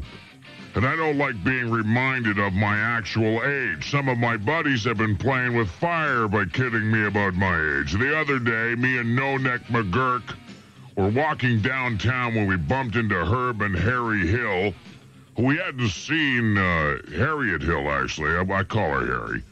Uh, you know, we hadn't seen these people for years. We were classmates in public school, and their childhood romance blossomed into a long and successful marriage. By a weird coincidence, Herb, Harriet, and I had exactly the same birthday. We used to call ourselves the Triplets.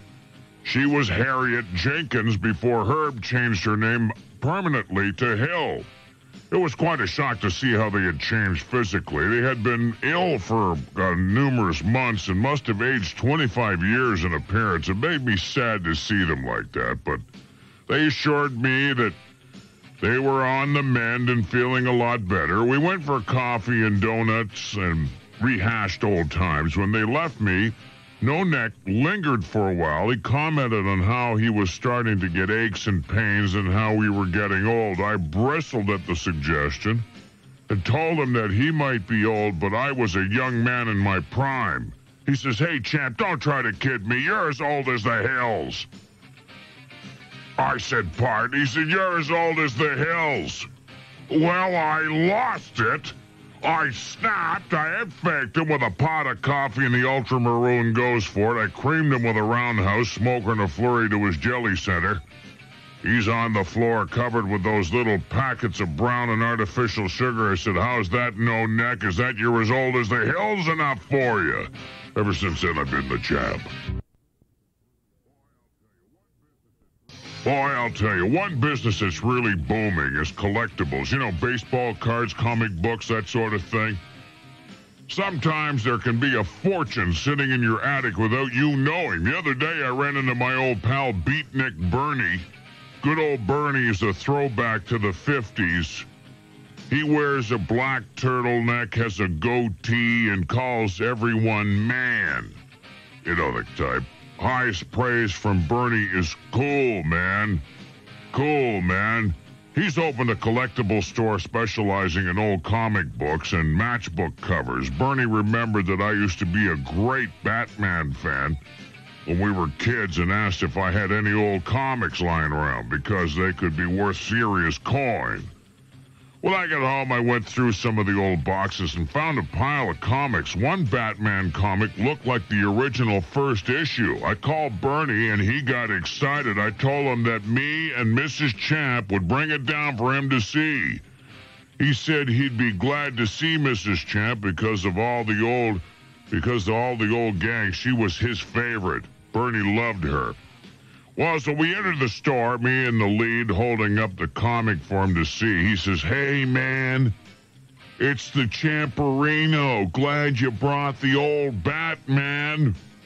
I said, Pardon? He says, I'm glad you brought the old Batman. Well, I lose it. I snapped.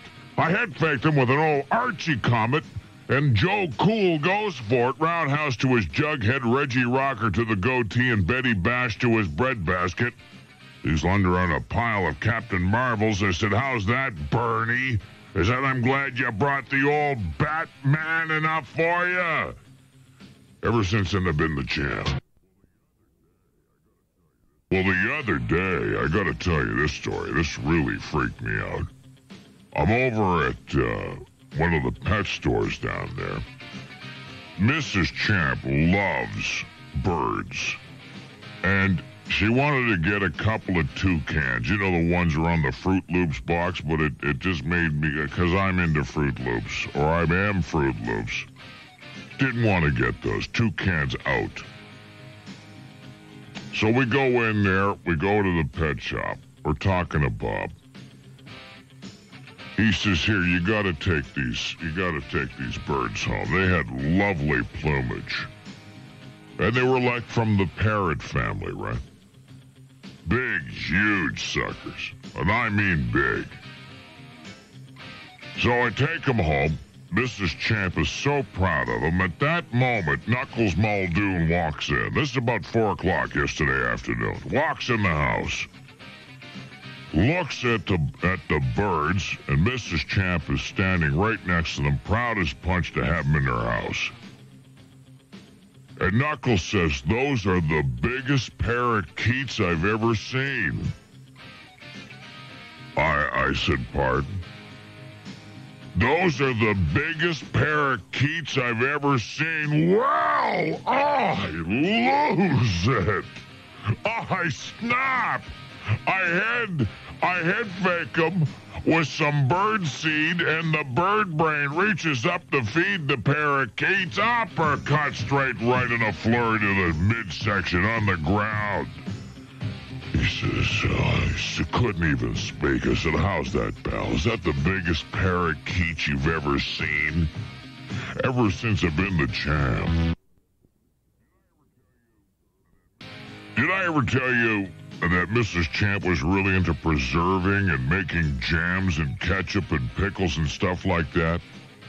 Well, one day, Knuckles Muldoon comes over, and Mrs. Champ takes me down, uh, uh, takes him down into the basement to show him all the different jars and bottles that she's preserved things in. They come in all kinds of shapes and sizes, from little small jam jars to huge giant drums of ketchup. Well, Knuckles comes upstairs, and I asked how he liked his tour of the preserves, and he said, Hey, Champ, I was really impressed. I especially liked it when Mrs. Champ showed me her big jugs. I said, Pardon? He said, I liked it when Mrs. Champ showed me her big jugs. Well, I snap a Leone. I lose a Leone. Baked him with a jam jar. He already seen a few of them. He still goes for it. What an idiot. Straight right roundhouse flurry. He's down. His head is buried in the ketchup jug. I said, how's that? Is that I like when Mrs. Champ showed me her big jugs enough for you? Ever since I've been the champ.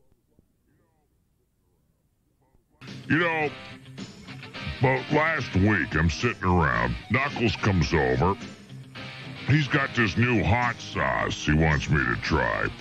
And I mean it's potent. It's just about the other side of gasoline. So I'm booting up the wings and he says, let me spray some of this on top of this. It's really hot. Remember that Tabasco thing we had last week? This is even hotter. So I'm sitting there and I've, I've got about two dozen wings in front of me. So he pours a couple of drops. I said, look, the champ can take it pour it on. So he pours about half the bottle, kind of kind of slipped and poured too much on. So I'm standing there. And I'm saying, hey, no problem. I can rip through these knuckles. That wasn't so bad. That didn't hurt, Knuckles. He said, it might not hurt now, but it'll hurt you in the ring tomorrow. I said, Martin. He said it won't hurt you now, but it might hurt you in the ring tomorrow. Well, I lose. I snap. Wow, I fake head him, or head fake him, whatever. I mean, I'm unconscious at this point. With the empty basket and the maroon goes for it, uppercut straight right, a flurry and a rope of dope. Right around the barbecue grill, I said, how's that, Bell? Is that it wasn't so bad, it might not hurt you now, but it'll hurt you tomorrow in the ring. Ever since then, I've been the champ. Hey, you know, a few weeks ago, our favorite tree died. It had to be cut down. It was the it was at the, the height of the house and, and grew lots of red berries. This was great for attracting birds.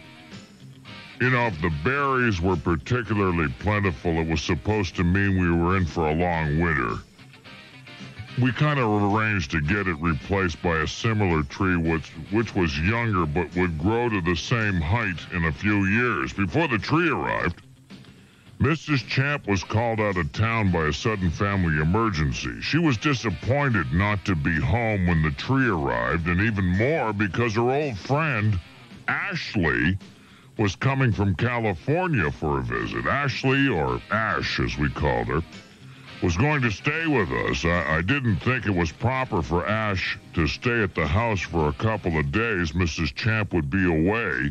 But Mrs. Champ thought I was being silly. She knew she could trust me, even though Ash was a good looking woman and had made a play for me before I got married. I was afraid tongues would wag about this.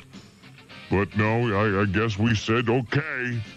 Mrs. Champ left, and Ash and the new tree arrived the next day. The tree looked gorgeous, and so did Ash. We turned a few heads as I, I sort of, uh, sort of drove her around town, you know, showing her things. Tried to be a good host. Some of my so-called buddies made a few uncalled remarks about me and Ash, and I, I set them straight pretty fast. Mrs. Champ came home and was delighted to see her old friend and also the new tree. The girls went out of the after out in the afternoon, and Knuckles comes over. He says, "Hey, Champ, you had a busy few days. I guess Mrs. Champ was happy to see her old pal. What does she think of your mounting ash?" I said, "Pardon." He says, "What do you? Th- what does she think of your mountain ash?" Well, I lose it, I snap, I head fake him with a bowl of chips and the flake goes for it. Heater, smoker, solar plexus flurry. He's lying out cold in front on the front porch. I said, How's that, Knuckles? Is that what does she think of your mountain ash enough for you? Ever since then, I've been a champ. No, me and Mrs. Champ were out at uh, Dr. John's last night, and I took her out. We've been renovating her house the other day. I thought, I thought I'd take her out for a break. Oh, sure, we've always put a board or, or a shelf up, but this time we decided to go all out and try our hand at real carpentry. I asked Knuckles Muldoon over to give us a hand lifting the heavy stuff because Mrs. Champ is so dainty and all. And you know, Mrs. Champ really does look cute with her overalls on, but I sure didn't want to see her get hurt on the job. So Knuckles and I started ripping out the old walls. And while Mrs. Champ tried to put up a partition wall in the living room, she was using two by fours between the roof and the floor, and had, had you know had just run out of them. We had run out of the two by fours when we were you know starting to put the the gyp rock or the sheet rock up. Knuckles looks over at me and says, "Hey, Champ, looks like Mrs. Champ needs another stud." I said, "Pardon?" He said, I, I see Mrs. Champ needs another stud. Well, I lose it. I snap a head faked him with my router, and the nail brain goes for it. Flurry, uppercut, straight right. I hammered him too with a kind of a roundhouse. I said, How's that? Does that look like Mrs. Champ needs another stud? Enough for you, Knuckles. Ever since then, I've been the champ. Last night, before we went to Dr. John's, I go over to this restaurant. Friend of mine owns it. You heard of him, No Neck McGurk. What an idiot. So we gone over there, and he's really proud. He wants the champ in there, and I'm signing autographs, you know. And he, he's got, I, I walk into the front of the restaurant. He's got a picture of me saying the champ's going to be here tonight. I knew, you know, he comes, he says, come on over for some free grub. You know, there's a there's some strings attached. I'm sitting in there. He says, I got to suggest the lamb. You'll love the lamb. The lamb is really unbelievable. So No Neck is personally serving me. He comes over. I'm looking at the rack of lamb. He says, Hey, champ, would you like a special, would you like the special lamb basting? I said, Bart. He said, would you like a special lamb basting? I lose it. I snap. I snap. I, I I had another autograph. I reached over to No Neck. He reaches up for it. Oh, look out. Mistake. Uppercut. Straight right flurry.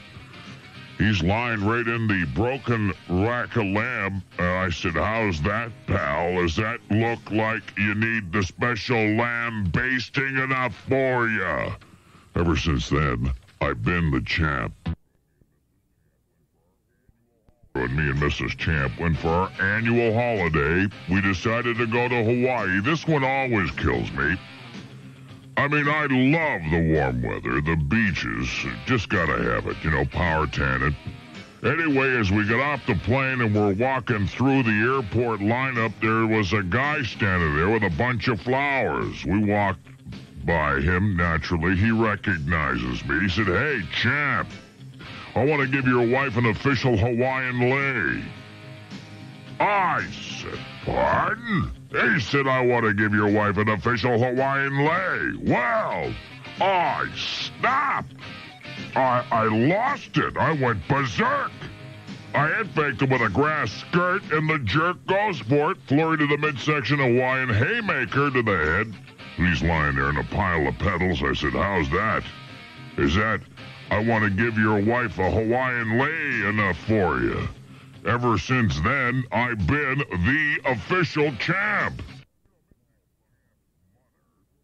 You know, Mrs. Champ's mother has a small farm out of town. Have I ever told you that? She got a few horses, cows, and chickens. The chimp loves to visit his grandma. It's a thrill for a city boy to be exposed to fresh air and farm animals. Uh, he was particularly fond of an old gray goose that was kept as a pet. He called it Mother Goose and used to run around the pasture chasing it. Unfortunately, it died and the chimp was heartbroken. The only thing to do was to get another one to take its place. My mother-in-law arranged with Farmer Jack, her neighbor down the road, to buy one. I volunteered to drive her to pick it up was going to be a wonderful surprise for the chimp. My mother-in-law went in to chat with Mrs. Jack while me and Farmer Jack chewed the fat.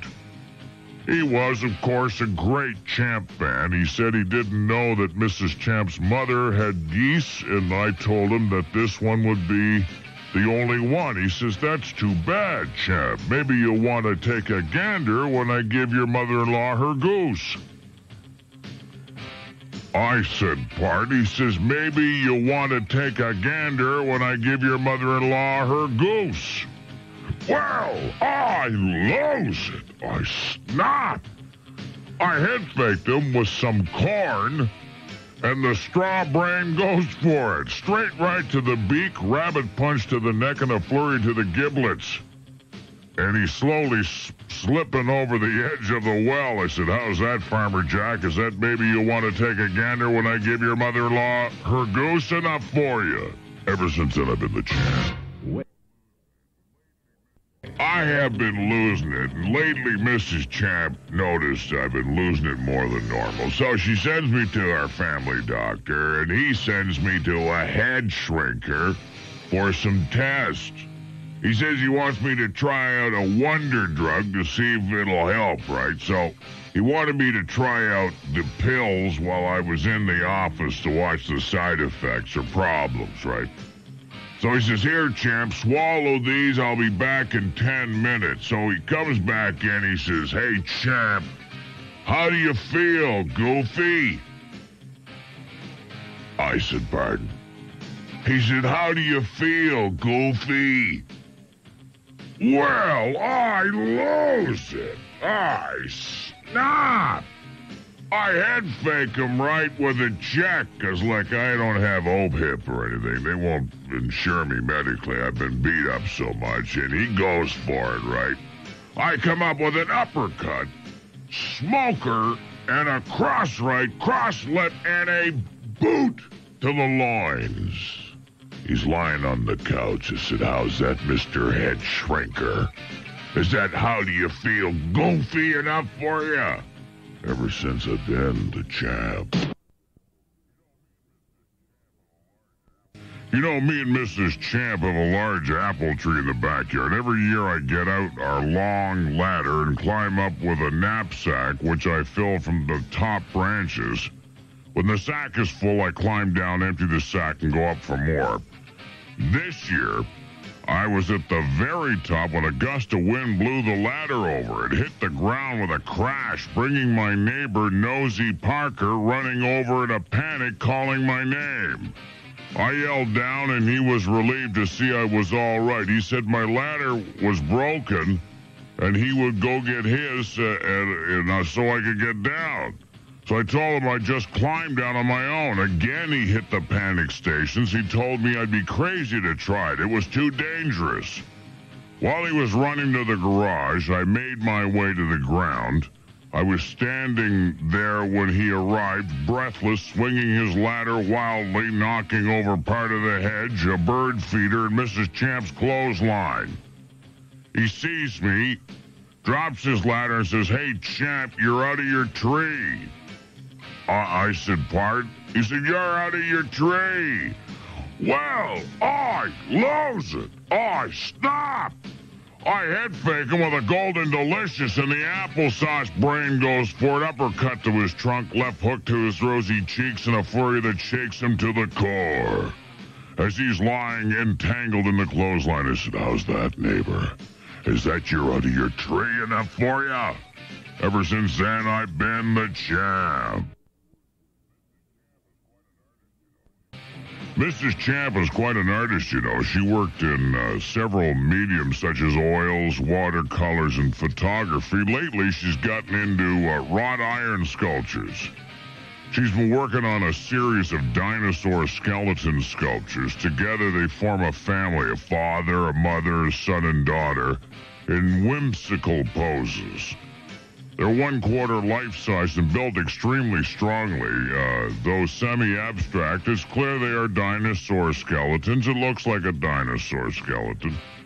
The work was commissioned by the City Parks Department for a, a, new children's playground. Not only will it give character to the site and expose the kids to great art, the pieces are intended to be climbed up on, over, and through. She's been working on it in the backyard. Oh, it's a big hit with the chimp and his pals. Yesterday, Art Maven, a reviewer for the community newspaper, dropped by. He's he heard about the sculpture and asked if he could take a look at it. So I, I took him around back where he saw a bunch of kids swarming all over it. Big smile came over his face. He says, Hey, champ, that looks like fun. Can I jump on Mrs. Champ's bones? I says, pardon? He says, can I jump on Mrs. Champ's bones? Huh, please? Well, I lose it. I snap. Holy smokes, I head fake him with Mrs. Champ's oxyacetylene torch and the flaming idiot goes for it. Haymaker to the cheekbone, karate chop to the shoulder bone, and a flurry to the rib cage. He's lying there on the edge of extinction. I said, how's that, pal? Is that, can I jump on Mrs. Champ's bones enough for you? Ever since then, I've been the champ. The champ loves animals. That reminds me of of what a professor of logic once told me. The champ loves animals, the champ loves himself, therefore the champ is an animal. It's true, but only in the ring. Outside the ring, y'all know I'm a pussycat, except when I misinterpret what someone says. Speaking of pussycats, there's a lady living down the street from me who keeps a house full of cats. It's okay for someone to have pets, but these cats yell and howl all night and keeps the neighborhood up, you know? So last week I took a walk to her house and discussed the noise problem with her over a cup of tea. She was sympathetic and promised to try to keep the racket down. But you know, when I left, I met Mrs. Champ, who was walking by, and we started back home, and one of our neighbors was out on the sidewalk and came over to us and he says, Hey, champ, didn't I see you coming out of the cat house? I said, Pardon? He says, Didn't I see you coming out of the cat house? Well, I was kind of blushing to say a thing like that in front of Mrs. Champ. I lose it. I snap. I head fake him with the right paw, and he went for it. I gave him a left cross to the whiskers, a roundhouse to the ear, and a flurry to the snout. As he lay in the grass meowing in pain, I looked down and said, How's that, pal? Is that didn't I see you coming out of the cat house enough for ya? Ever since I've been the champ. Buddy, it's me, the champ, and I feel wonderful today. Oh, look at that weather. Yesterday was a nice day, too. I went out to the champ celebrity golf tournament, right? And it was a there's a big do going on and everything. Well, as a matter of fact, through one of the games, somebody said, Hey, champ, take your best swing. And I said, I'm not going to waste it on a champ episode. You know what I'm saying? I'm just not going to waste that stuff. Anyway, we moved into the big hall there. I'm looking around, and, you know, I, I had the coach organize the sound system, right? I needed a public address system so I could talk to all my fans, and there were presentations and trophies, so there's no public address system. And the champ comes back. That's me. I come back into the hall. I'm looking around. I don't see anything. So this guy says to me, Hey, champ, we need a public address system. So I head out the door. I've only got 20 minutes. I go down to Bangkok's and rent a couple of bottoms and stuff, but I don't have the amplifier. I got nothing. I come back. He said, Hey, champ, did you go for a PA? I said, Pardon? He said, Did you go for a PA? I, well, you know, and this is in front of a whole bunch of people. I mean, what's he talking about? Going to the bathroom. I lose it. I snap. I head fake him with some toilet paper. I come around with a heater and a fluffer right to the head and an uppercut and a smoker. I said, How's that, pal? Is that did you go for a PA enough for you? ever since I've been the champ. Well, you know, ever since I've been the champ, I've been losing. What do you expect? I've taken more shots than Ben Johnson. Anyway, the other night, Mrs. Champ and me went to a special screening of Dick Tracy. It blew us away. Lots of action, lots of laughs. We had a great time. You know, all those great actors. I tell you, how I well, I like Madonna's performance, even though I'm not a fan of her music. She's you know got the uh, she she looks good, is what I'm trying to say. And every time she came on the screen, Mrs. Champ put her hands over my eyes. Anyway, I love the villains too. What a bunch of weirdos. Anyway, afterwards there was a party in the lobby. They were passing out canopies and caviar and so on and so on and so on. It was some kind of fizzy drink. I think it was Canadian champagne or something. One of the other guests, they're all dressed up in tuxedos. And, well, this guy recognizes me. He says, Hey, champ, didn't you just love it? Which was your favorite villain, Pruneface? I said, pardon? He said, which was your favorite villain, Pruneface? Well, I lose it. I snap. Talk about the guy calling the teapot black bum. Holy smoke, it, isn't that how it goes? Something like that. Anyway, this guy had more lines on his face than a bookie joint. I head fake him with some avocado and the diphead goes for it. Uppercut, left cross, and a flurry to the cummerbund. As he laid there covered in egg rolls and sweet and sour sauce, I say, how's that, pal? Was that which was your favorite villain prune face enough for you? Ever since I've been the champ.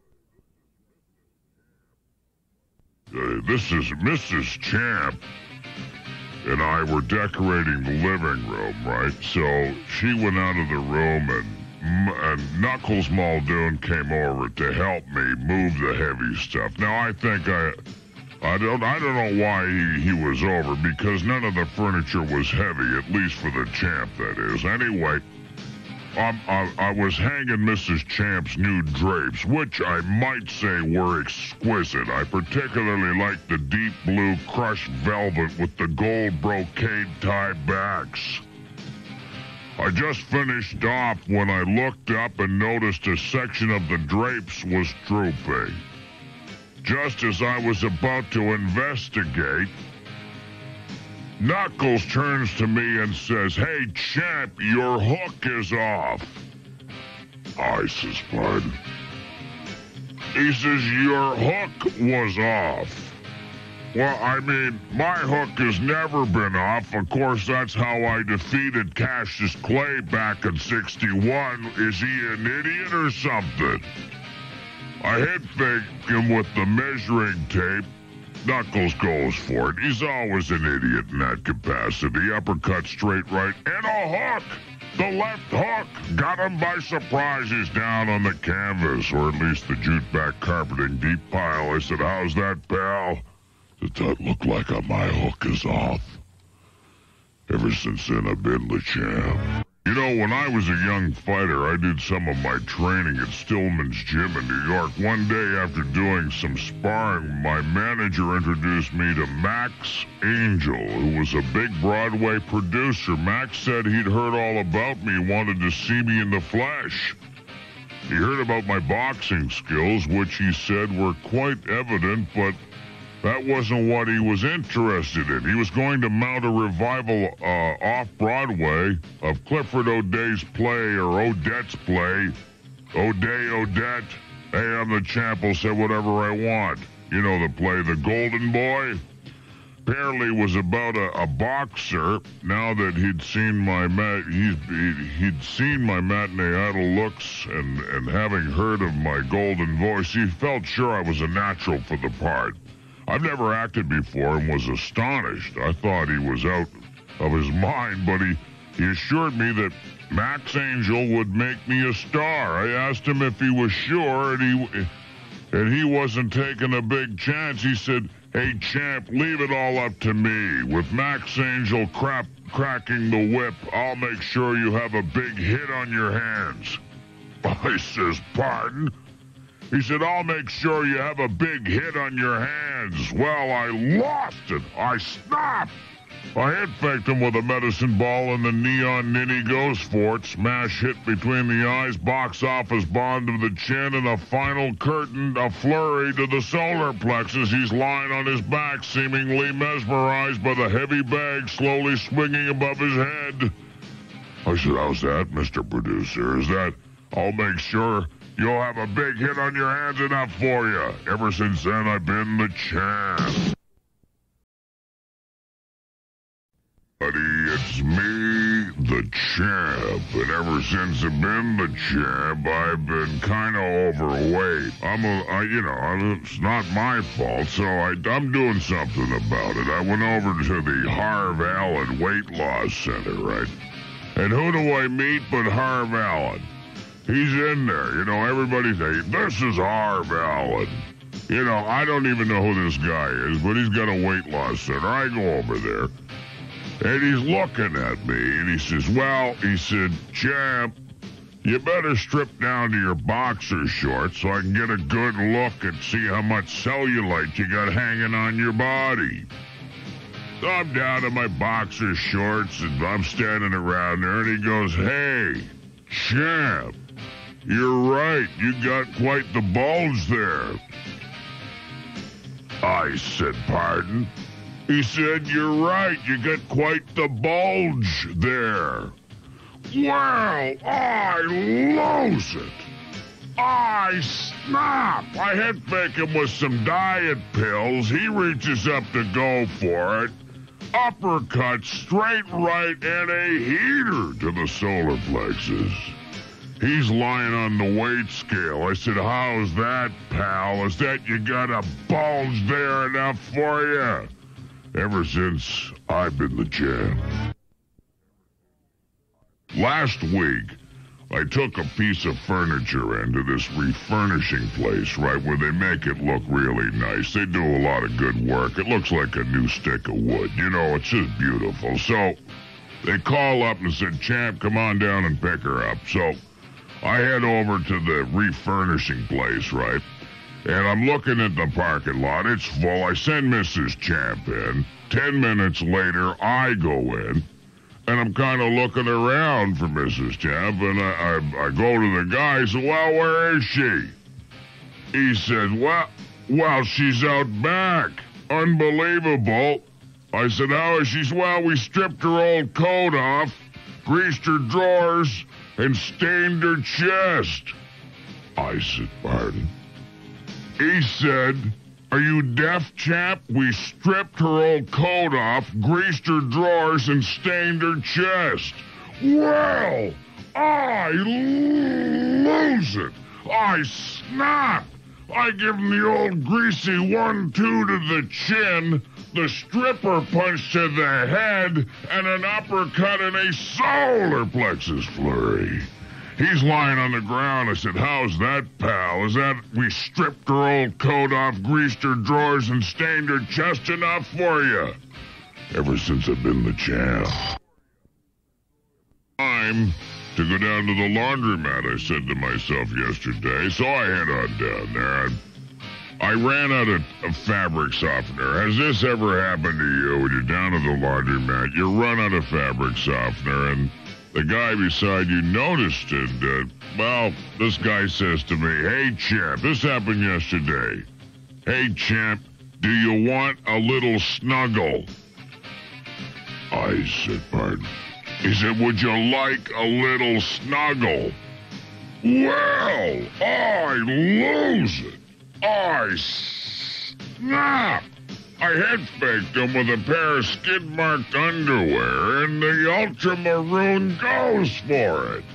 Uppercut, a heater, and a shot to the solar plexus. He's lying down in the dirty laundry. Where's Don Henley when you need him? I said, How's that, pal? How is that? Is that do you want a little snuggle enough for you? Ever since I've been the champ. I went I went camping, right? Decided to go camping. It was last weekend. I forgot to tell you about this, but I'm out enjoying nature. The birds are tweeting, and you know, it's just lovely to be next to the riverbank. You got the tent out there, you got the campfire going.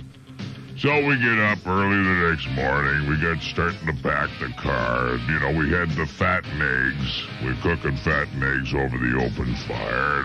Well, we put it out, you know, me and Mrs. Champ put the put the fire out, and it's it's kind of still smoking a little bit, you know. And the ranger comes by. He says, "Hey, you're the champ." I said, "That's right, I am the champ." He said, "Well," he said, "You know, you have you not watched Smokey the Bear on TV?" He said, "Look at that fire. It's smoking. I'm gonna have to kick your ash." I said, pardon. He said, I'm going to have to kick your ash. Wow, I lose it. I snap. I head fake with Smokey the Bear's picture. He comes up for it. A smoking ash kick to the crotch uppercut, and a heater to the temple. He's lying almost on the, fa- the campfire. I said, How's that, Ranger Smith? Guess you almost saw Yogi in that one, didn't you? Is that I'm gonna kick your ass enough for you? Ever since I've been the champ. Hi, everybody. It's me, the champ. And ever since I've been the champ, I have been losing it. I've been out of my mind. It's not my fault. I apologize. Well, I'm standing at the subway platform yesterday. And I'm wait. I mean, yeah, I take the subway all the time. I see, take take the subway. Why not? Leave your car at home, and it cuts down on pollution, right? and I'm having a cigar. I love to have cigars every now and then. I hear a bunch of noises. I'm puffing on my cigar. I'm at the platform. Two teenagers are having an argument. push comes to shove and a fight starts. So, you know, I'm the champ. I mean, I've broken up more fights and I've started more fights, so I'm a pro. I'm going in to see what's going on. Someone might get hurt. I'm puffing my cigar. I'm over there. Just when I reach the teenagers, TTC employee comes over and out of nowhere and says, Hey, champ, you gotta butt out. I said, Pardon. He said, You got to butt out. Well, I lose it. I snap.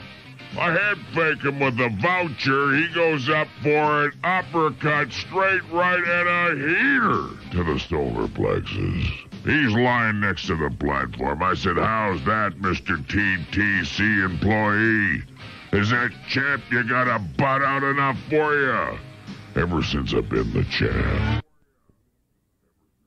Few of the guys at one of the local bars asked the champ to come out and play some football yesterday. So I head down there, right? I've got my Buffalo Bills pads on, I got my jock on, I got my helmet, I'm looking good, right? I look like Jim Kelly, right? So I show up, and they look at me and they said, Hey, champ, we're playing touch. I said, Pardon? We're playing touch. You're gonna be the tight end. I completely lose it. I snap. I flip out.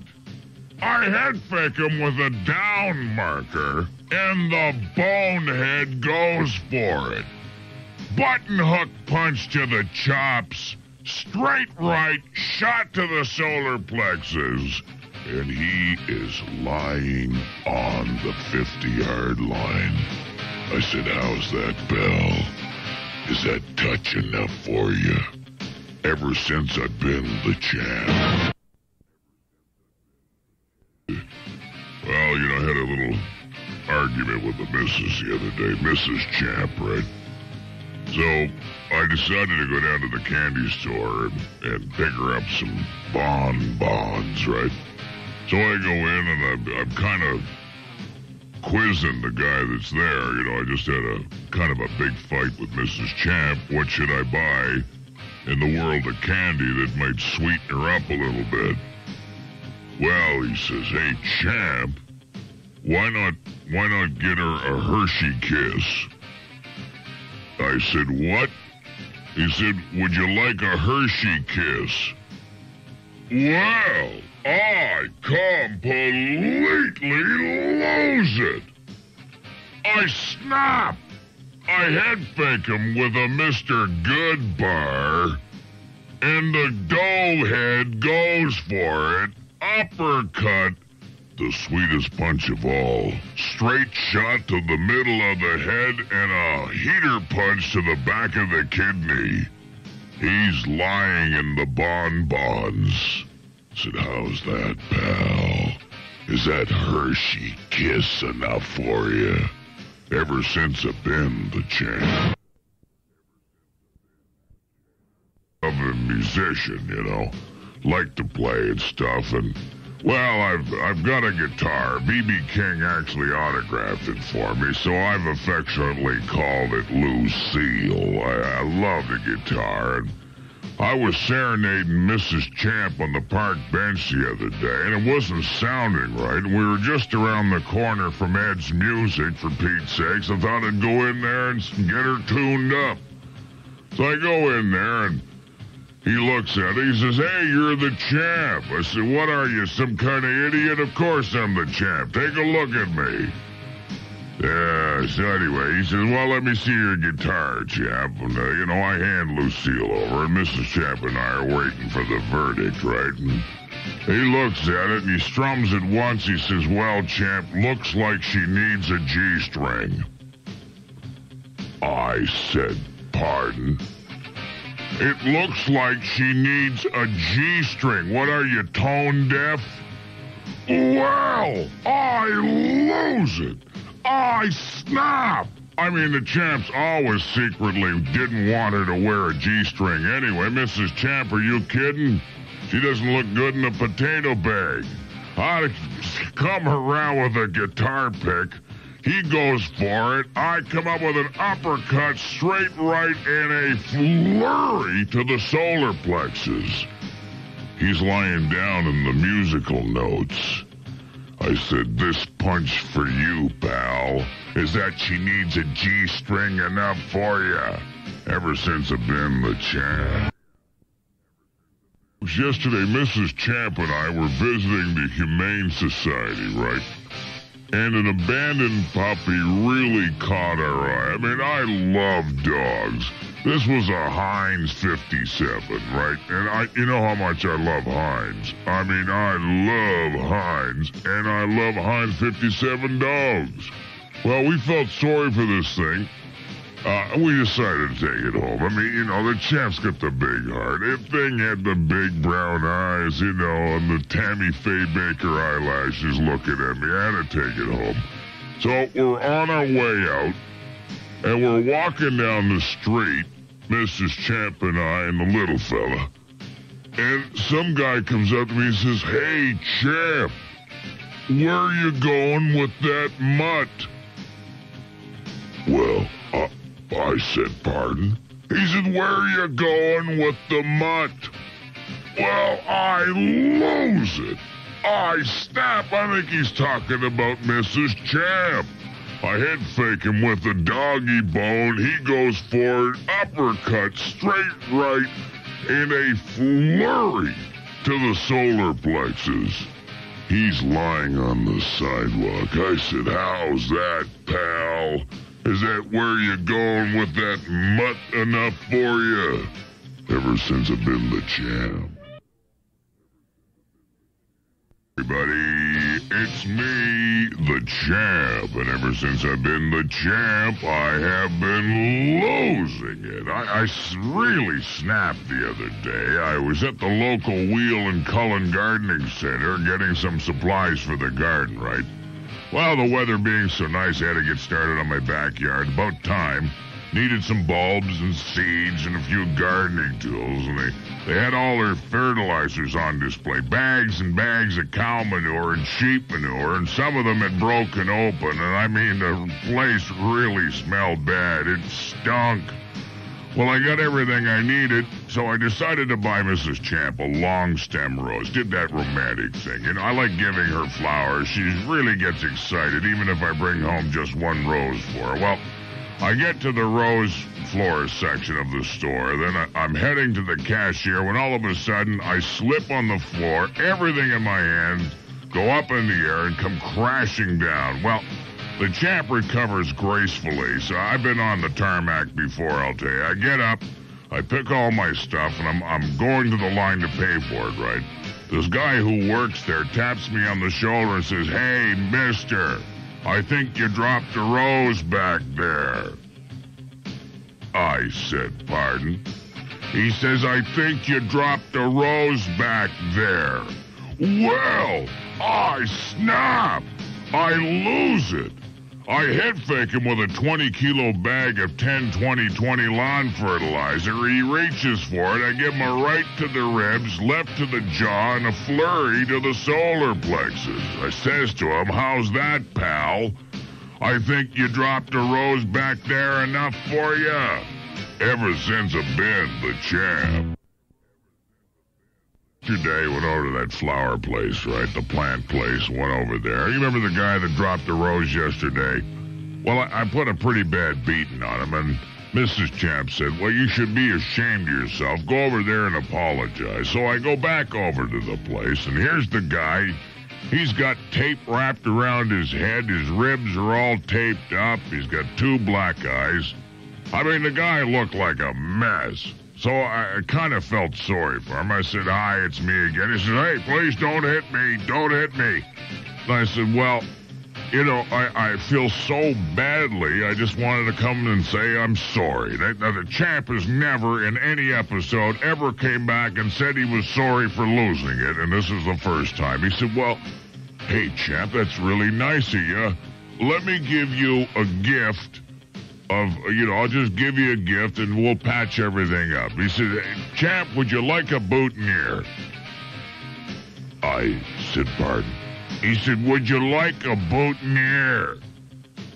Well, I lose it again. I snap again. I head fake him right with this MasterCard, and he reaches up, uppercut, straight right, a smoker, and another shot to the cracked ribs. He's lying right there on the ground. I said, How's that, Bell? Is that a boot in the air enough for you? Ever since I've been the champ. Everybody, it's me, the champ. And ever since I've been the champ, I've been out of my mind. Well, there's, of course I have been. I, I'm sorry. I, I just lose it. Uh, you know, things will happen to me, and I, I can't keep it together. I've been to psychiatrists, and they said there's nothing I can do. It's all my old fights in the ring, you know. I think, you know, Foreman can get back in the ring. There's no reason why the champ can't go against Foreman, that big, overweight, fat piece of of poop. Anyway, I, I'm sitting around. We're out fishing. Me and Mrs. Champ go out fishing. I, I love to fish. I mean, I, everything I do, I'm pretty good at, right? And I hate it when Mrs. Champ upstages me. That really upsets me. And she's flapping her jowls out there in the boat, telling me what to use, what kind of bait, how to use the spinner, how to do this. So, we're in there for a couple hours, and all of a sudden, Mrs. Champ catches a bass. So, she bring I bring it in with a net, right? And my buddy says to me, right in front of us, says, "Hey, hey, Champ, that's a nice largemouth Mrs. Champ has." I said, "Pardon." He said, "That's a nice large mouth Mrs. Champ has." Well, I I lose it. I snap. I head fake him with the Gwiggly Jiggly lure worm. He goes for it. I give him a hook, right and a left and an uppercut and a fish bait smoker to the temple. He's lying in the boat. Said, how's that? Is that, hey, champ, that's a nice largemouth Mrs. Champ has enough for you.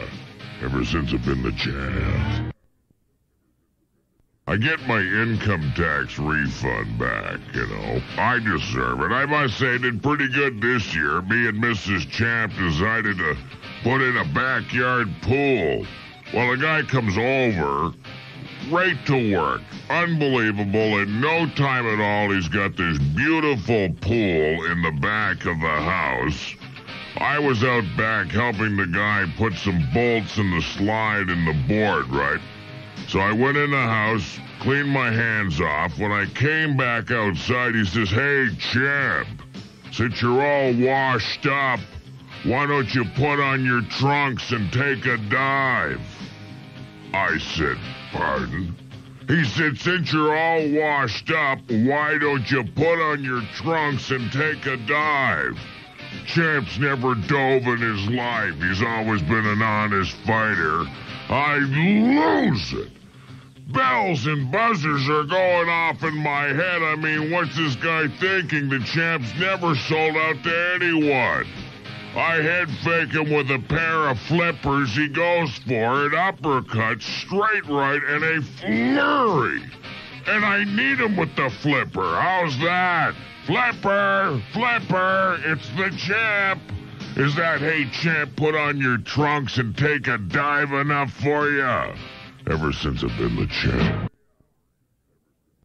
What a story I got for you here. I was out yesterday. Well, you know how hot it was. I went down to the waterfront, right? And they had the boats out there and stuff. I love going down to the waterfront just to cool off because it was a hot, stinky day yesterday. So, me and Mrs. Champ and my son, the Champ, I call him the chimp, right? He's just a little guy. Uh, so he takes off. We lose him. I mean, I start to get nervous. we were watching the boat races. Mrs. Champ starts yelling. The chimp my son had taken off somewhere, and she was worried. So, being the champ, I'm kind of obliged to look for the little guy. I asked about 50 people if they'd seen him, but nobody had. My last chance, right, was to ask one of those hot dog vendors, right? So I can never understand those guys. I had no choice. I had to go up and ask them. So I asked the vendor if he had seen my son, the chimp.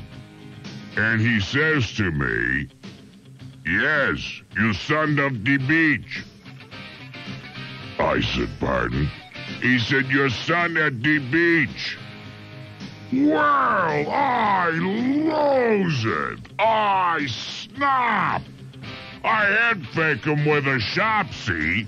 As if he hadn't had enough all day, he reaches up to go for it. I give him the mustard punch, ketchup uppercut, and a solar plexus mayonnaise flurry.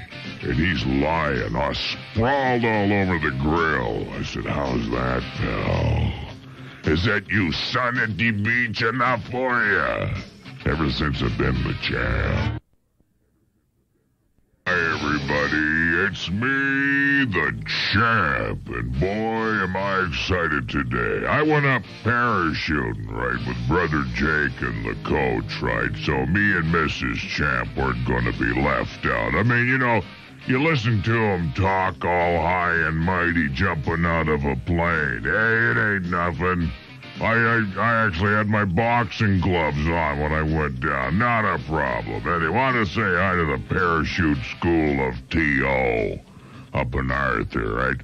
So we're, we're getting directions, right? And no kidding, the instructor looked just like Richard Dreyfuss. It's unbelievable.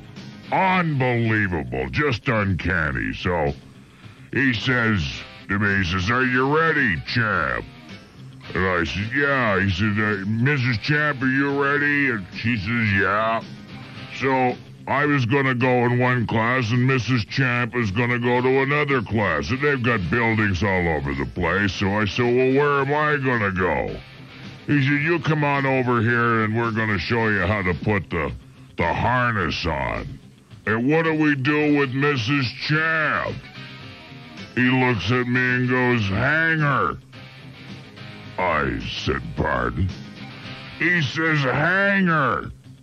Well, I lose it. I snap. I head fake him right with the parachute. He reaches up to get it. I cold cock him in the center of his forehead. Uppercut in a straight right. Here's old Jimbo Alogo lying on the ground. I said, How's that, pal? Is that hanger enough for you? Ever since I've been the champ. Day, I was looking at my old football cards. I used to collect them, right? Lots of fun I had with those cards. Probably worth a lot of money now. And you know that the champ keeps the good stuff. Well, I was looking at them and my neighbor drops in. I asked the guy if he would join me, and he said, Yeah. He says, You see, no one says to no, no to the champ, except my wife. She says no all the time, Mrs. Champ, right? But that's another story. Anyway, my neighbor is getting pretty excited, and the guy says, Hey, champ, can I see your dick butkus? I, I said, Pardon? He said, Can I see your dick Butkus? Well, I lose it. I snap. I couldn't believe my ears. I had my suspicion about the guy, but I didn't think, well, you know, I snap. I fake him outright with Bo Jackson, who definitely does not know boxing. And he goes for it. A smoker between the eyes, an uppercut, a flurry to the solar plexus. He's lying on the ground. I said, How's that, pal? Is that, can I see your dick butkus enough for you? Ever since I've been the champ. Mike, my best buddy Jake, and I went to the Skydome to watch the Argos practice. You know, I don't know too much about the game of football. Boxing's my life. So I asked the coach what the players were doing. He says, They are practicing on the tackling, dummy. I said, what? Pardon? He said, they're practicing on the tackling, dummy. Well, I lose. I snap. I head fake him with a bottle of Gatorade. All those guys drink that stuff. And the ultramaroon goes for it. I send him a smoker to the face, a roundhouse, a flurry to the solar plexus, and he's down right on the 10 yard line. I said, How's that, pal? Is that they are practicing on the tackling dummy enough for you? Ever since I've been the greatest, ever since I've been number one, ever since I have been the champ. So my pal decides to go running with me, and we're getting ready to go. You know, the champ's got his own line of champwear, right? soon soon to be available in stores everywhere. I mean, you got the champ shorts, champ tees, champ hats, and the champ sneakers unbelievable, and they're the high top, right? So the laces are brand new shoes. I'm trying to put the laces on, and the guy looks over to me, my pal, we're running. He says, "Hey, champ, can I lace you?" Well, I, I said, "Pardon." He says, "Can I lace you?" Well, I lose it. I snap. I head fake him with a jock strap. Apparently his was dirty. Reaches up. I come across. Uppercut. Straight right. Heater. He's on the ground. I looked at him. I said, Are you stupid? Is that can I lace you enough for you? Ever since I've been the champ. On my 42 foot Chris Craft last week, getting her all ready to take out on Lake Ontario. You know, the old girl still needs some finishing touches like repairing some holes and replacing some wiring before she'll be seaworthy. And I'm sitting with Mrs. Champ in the little galley that I've got having a cup of coffee and looking over some navigational maps of the Trent system. Then I hear this guy calling outside the boat. I go and it's the guy who says he's from the insurance company. And it's this guy who says he's going to give it a routine check, right?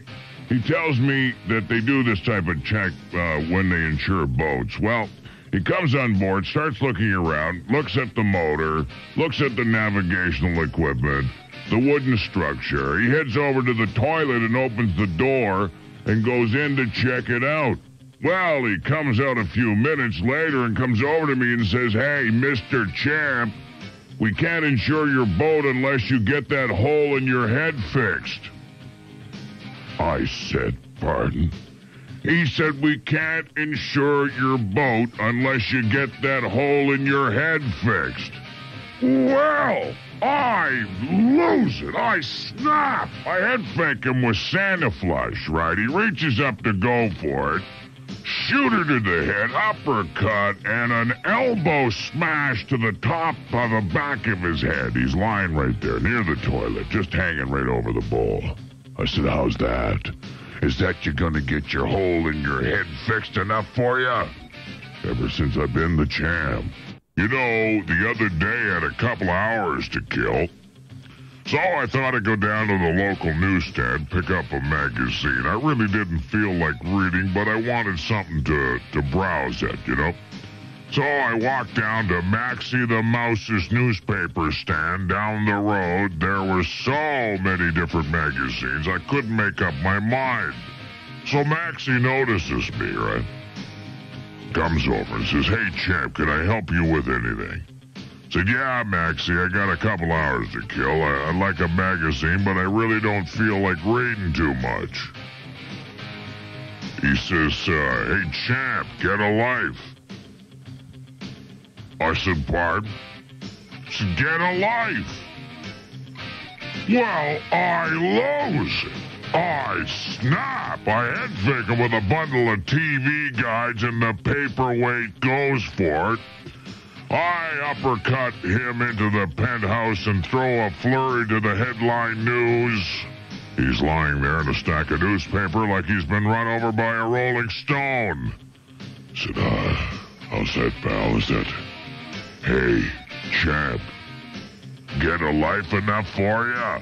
Ever since then, I've been the champ.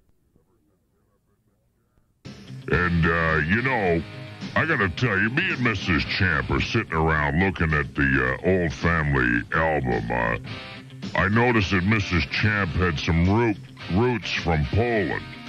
Uh, so Mrs. Champ wants to display how patriotic we are by putting up a Canadian flag out in the front yard. So I get no neck. McGurk, you know, he come over here and put a, a flagpole and a flag, but lately there's been a lot of flags and, and poles stolen in the area, so I get no neck to buy a lock. So No Neck buys an elaborate lock and puts it on. No Neck calls over to Mrs. Champ and says, Hey, how do you like this pole lock?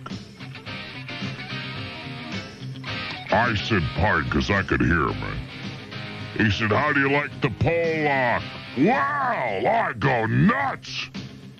I hit him with an atlas, and the meathead goes for an uppercut straight right up flurry. He's lying there on the ground. I said, How's that, pal? Is that how do you like the Pollock enough for you? Ever since then, I've been the champ. Six months ago, me and Mrs. Champ had a built-in vacuum system installed in the house. No more lugging a heavy machine up and down the stairs. Now we only have a, a lightweight length of hose to plug into the wall at various outlets. Beauty. Recently, we noticed a weakening of the suction and uh, went into the place where we bought it. The serviceman asked when was the last time we emptied the canister.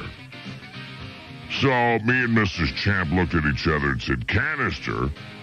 What canister? He told us there's a, a receptacle in the garage where all the stuff we vacuum went.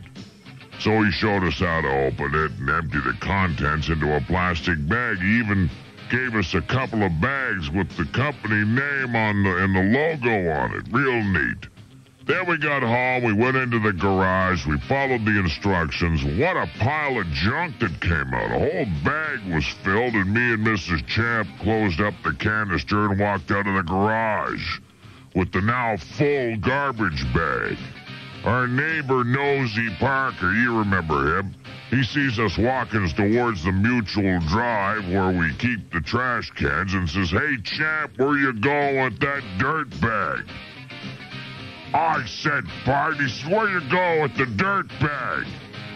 Well, I lose it. I snap. I head fake him by opening the top up, and the dust ball reaches over to close it before the contents blow all over the neighborhood. Straight right, left hook, and a solar plexus flurry. He's lying face down in the result of six months vacuuming. I said, How's that, Nosy? Is that where you're going with that dirt bag enough for you? Ever since I've been the champ. One of the greatest influences of my life was Sister Mary of the Sisters of the Immaculate Housekeepers. She was one of my teachers in primary school, and she instilled a love of learning in me that still burns brightly. She also taught me right from wrong, giving me a, a morale code to live by that's stood me in good stead all my life. Or stead. Well, I don't know. You say steed or stead, I'll say what I want. I'm the champ. You know, I'm always quoting Sister Mary because no matter what the circumstance, I can remember something she said that would be appropriate. I usually uh, preface my comment with something like, as Sister Mary might say. Well, the other day, No Neck McGirt was over and we were discussing a particularly thorny moral dilemma he was having. As usual, I was able to draw on an apt thought from Sister Mary's teachings that clarified the situation and led to the proper course of action. So No Neck looks at me and says, Hey, champ, it's amazing how you're always speaking such fantastic nonsense. I says, Pardon? He said, It's amazing how you're always speaking such fantastic nonsense. Well, I lose it. I snap. I head fake him with my rosary, and the bead brain goes for it right cross, left cross, in a flurry. He's on the floor, praying I'll pull myself together. I said, How's that, no neck?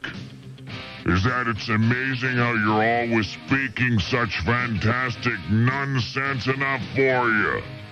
Ever since then, I've been the Oh, when I was young, I spent a year in the Coast Guard. What a great life for a young man. Lots of travel, fresh air, sense of accomplishment. I was proud of the service, and especially proud when we got the new ship and captain. Captain Jones was the first woman to have a command in the Guard, and we were her first crew. Before launching, we got to meet her, and she was a very impressive individual. Even the old salts were impressed. I was uh, talking to my pal, One Punch Koloski, about the new captain and ship. I invited him to attend the launching and meet the new captain. I told him he'd even have a chance to tour the ship before we sailed. We'd been shipmates for a few months in the Merchant Marine, and he was very interested in new ships. He had the old-fashioned view about women not belonging on a boat, let alone as captains. He says to me, Hey, chap, I'd like to see the new captain and see the Coast Guard cutter. I said, Pardon? He said, I'd like to see the new captain and see the Coast Guard cutter. Wow, I snap, I lose it. Oh man, I don't mean to, uh, uh you know, to uh, lose it. I, I, I, I, I head fake him with my duffel bag, and the canvas brain goes Fort Roundhouse to the bridge of the hose, boot to the aft, and flurry to the engine room. He's lying looking as if he's seasick. I said, How's that one punch? Is that why I'd like to see the captain and see the Coast Guard cutter it up for you? Ever since then, I've been the champ. I've always been a people person, you know that. Even though I was quite shy when I was young, I still had a warmth that allowed me to connect with others. I'm very proud of my uh, reputation for having a warm and generous spirit. The fight game used to be filled with high-spirited individuals like the champ. Some of my earliest influence were the old-time Jewish fighters like Toronto's own Sammy Luftspring. Top-notch Americans like Benny Leonard and Slapsy Maxie Rosenbloom. Mrs. Champ got, got a got a kick out of these guys, too. One of them, I think it was uh, Sammy, introduced us to the glorious taste of gefilte, gefilte fish. It's just... Sorry, the champ's losing it. It's chopped up white fish and pickerel, molded into balls of long, long slabs of sort, sort of sweet, and it's beautiful. Served cold, and it's delicious, especially with horseradish.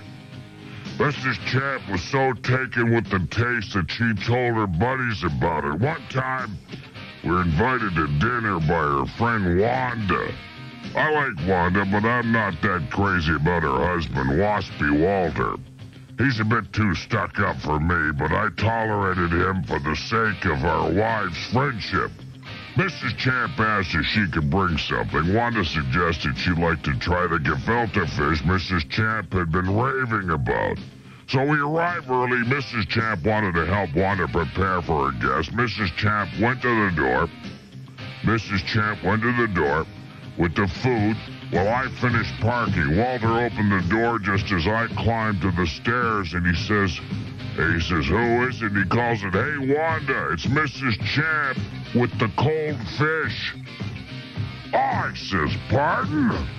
As I told Wanda that it's Mrs. Champ with the cold fish. Well, I lose it, I snap. I fake him was horse, horseradish, and the old fish face reaches up, catches a roundhouse straight right to the solar plexus.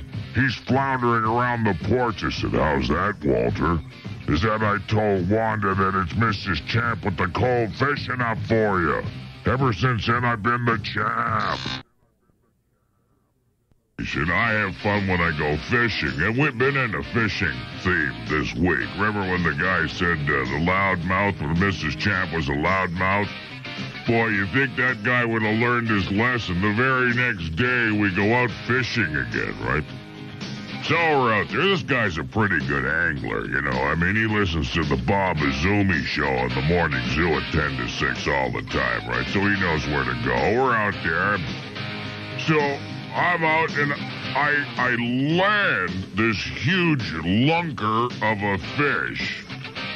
We decide to go back to the marina where the marina owner walks up to me and says, Hey, champ, that's a huge fish you caught there. Looks like the catch of the day. If you like, chap, I've, I've got a little room around back where you can go mounted. I said, pardon. What did, what did you say? He said, if you like, there's a large room around back where you can go mounted. Well, I lose it. I snap. I head him with that squiggly jiggly lure again. I'll tell you, these people are stupid. They go for it every time. Uppercut.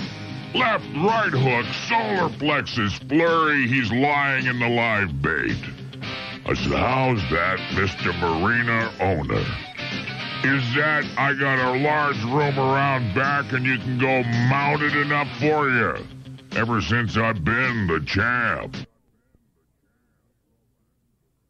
No, I gotta tell you about last summer. Mrs. Champ and me took our dream vacation, a cruise to the Greek islands. What a beautiful area of the world. Blue skies, even bluer seas, friendly people. Naturally, wherever we went, people recognized the Champ. Third day of the cruise, we pull into one of the small islands. I think it was Patmos or something. It had a monastery at the top of the mountain. Some of us arranged for a guided tour. You know, we're, we're kind of adventurers, right?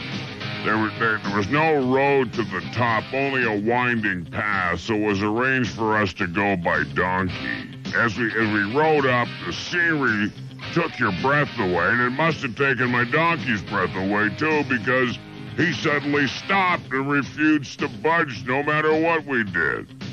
Finally, the guide walked down, saw uh, what was happening and said, Hey, champ, hold on tight. I'm going to kick your ass.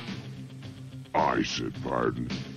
He said, Hang on. I'm going to kick your ass. Well, I lose it. I snap. I head fake him with a bottle of Ouzo. And you should have seen his eyes light up for that. I come across with a smoker, a heater, and a straight shot to the solar plexus. He's lying in a pile of donkey dung. I said, How's that, pal? Is that I'm going to kick your ass enough for you? Ever since I've been the champ. I'm feeling kind of loony today because, well, I went out to my favorite wings place. You know, I love, I love wings. I just love it. So, uh, me and my pal uh, Michael Whitten, we went down to this wing place. We're sitting around. And uh, don't you love the atmosphere? They can go through a theme night. One night they got a, one of them pinata things up there, and they're they're got Mexican hats, and you're going, and it's Greek night, and it's Italian night. So we're over there, and I forget the, the theme was uh, electrician night. Apparently everybody was wired. So we're over there sitting around, and I have about five platefuls, right? Guy comes over and says, Hey, champ, you want another plate? I said, Yeah. He says, Hey, you're a real wing nut. I said, Pardon? He said, You're a real wing nut. Well, I lose it. I snap! I head fake him with the hot sauce, uppercut, straight right, and a smoker to the solar plexus. He's lying right down on the table. I said, How's that, pal? Is that your real wing nut enough for you? Ever since I've been the champ.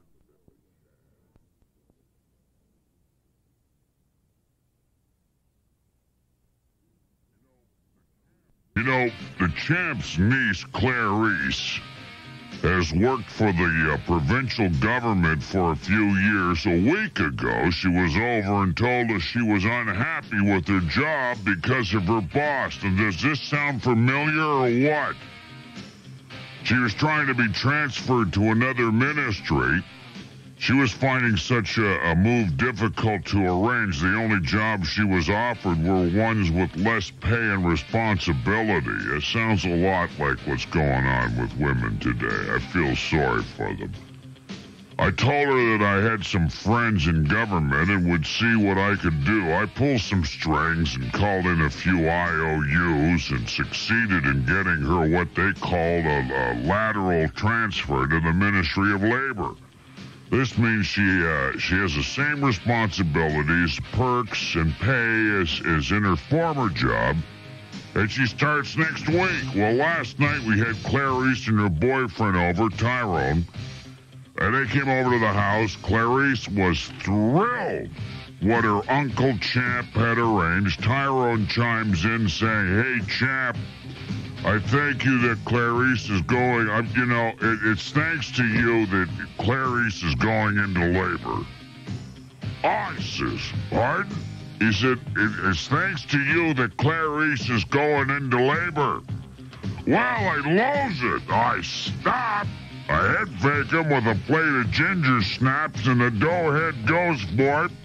Snapping gas to the nose, hook to the mouth, a flurry to the solar plexus. He's under the coffee table, bits of cookie dribbling out of the side of his mouth. I said, How's that, Tyrone? Is that it's thanks to you that Clarice is going into labor enough for you? Ever since then, I've been the champ. Thank you. You know, it's an interesting thing what happened to me at the supermarket the other day. I, I thought I'd like to share it with you. Mrs. Champ and I are doing our weekly trip to the market, you see. We'll walk along the row upon row of frozen foods, vegetables, baked goods, and so on. Takes us a while to get through the store because Mrs. Champ's a very careful shopper. Anyway, we're finally done. We went to the cashier to pay for our groceries. Mrs. Champ paid the cashier. She takes care of the grocery money and put the change into her purse. We're halfway out the store when a bag boy notices Mrs. Champ had left a dollar and change on the counter. The bag boy calls out to me, Hey, Champ, your wife's loony. I said, Pardon? He said, Your wife's loony. Well, I L O S E it, lose it. I snap. I head faked the bag boy with a bag of cheese doodles, and the meathead goes for it. Rope a dope him around the cream of wheat uppercuts roundhouses, finishing with a flurry to the midsection. He's laying there dazed and confused in aisle four. I said to him, hey, pal, how's that? Is that, hey, champ, your wife's loony enough for you? Ever since I've been the champ. You know, sexual harassment is no, is not a recent phenomenon. It's been around for centuries, if not forever. You know, when me and Mrs. Champ were young, she had a part-time job at uh, Phil's escort agency she wasn't one of the escorts. She was the telephone receptionist and secretary. I wasn't comfortable with this, but we needed the money, and I knew I could trust her. I also thought that Phil would know better than to mess with the champ's woman. Well, I was wrong. Apparently, Phil was giving Mrs. Champ a hard time trying to get her to become one of the escorts and even get romantically involved with him. I knew nothing about this until one day Mrs. Champ blurted the story out. I was gonna, I, I didn't know what I was gonna do to him, but Mrs. Champ was able to stop me. She did get me to start a complaint proceeding on her behalf to the Ministry of Labor. At the hearing, Phil showed up with his lawyer. Mrs. Champ shyly told her story. I summed up the situation forcefully. I got so emotional that a lot of what I said was uh, unintelligible, believe it or not. I could barely get out the words when I finished. Bill's lawyer, lawyer got up and said he listened patiently to what had been said and he couldn't see what the fuss was about. What's all the fuss, he says. He says, after listening to Mrs. Champ and particularly to the champ ranting, I have to ask myself what harassment. I, I said, pardon? He said, I have to ask myself what harassment. Well, I lose it, I stop. I hit fake with a pad of legal-sized paper and the mouthy mouthpiece goes for it. Left hook to the pinstripe straight right to the habeas corpus and flurry to the legal briefs as he's lying under a blanket of papers. I said, How's that, Mr. Counselor? He said, I have to ask myself what harassment enough for you. Ever since then, I've been the champ. Six four. Hey, you know, a few years ago, I had a different kind of holiday. I went on an archaeological dig in Turkey, spending 10 hours a day under a blazing sun on your hands and knees, scraping carefully at the soil. May not be your idea of, fun uh, at the time, but I've always been a, a history nut. Love it. Uh, the first morning I came across something uh, working slowly, I uncovered a small, pretty glass bottle. It looked quite old. I figured I made an important discovery after carefully wrapping it in some cotton batting and making the spot or marking the spots where I found it. I proudly carried it to the leader of the dig, Professor Osman Ataturk of the University of Istanbul. So I laid I laid my my treasure on his table and waited excitedly. He he took a short glance at it and said they'd found several similar bottles of superior quality and they didn't really need mine. Well, my disappointment must have been obvious. He he said not to, to let it bother me. He told me I'd done a good and careful job and he was sure I'd eventually find something of value. He said the bottle was quite old and and if I liked, I could keep it as a souvenir. Well, I was still kind of crestfallen and started out of the door without the small bottle. He calls out, Hey, champ, you're vile. I said, Bart. He says, Hey, ch- you're vile. Wow, Leone time, snap the Leone. I head fake him with a piece of pottery bearing the likeness of a goddess uh, what was her name? Astarte. And that's what I did to my car this morning. I Astarte to my car, and the turkey goes for it. I took a Turkish delight in giving him a roundhouse rabbit punch in a flurry to the Middle East. As he's lying against the smashed up display table covered in a shower of broken glass and pottery shards, I said, How's that, Mr. Professor? Is that your vile enough for you?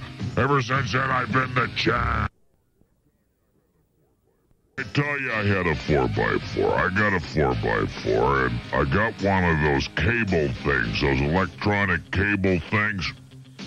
So that if you get caught in a bog or something, you just hook it up to a tree, press the button, and out you come. It's unbelievable.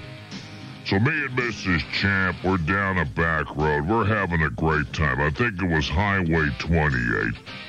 The leaves are changing for fall.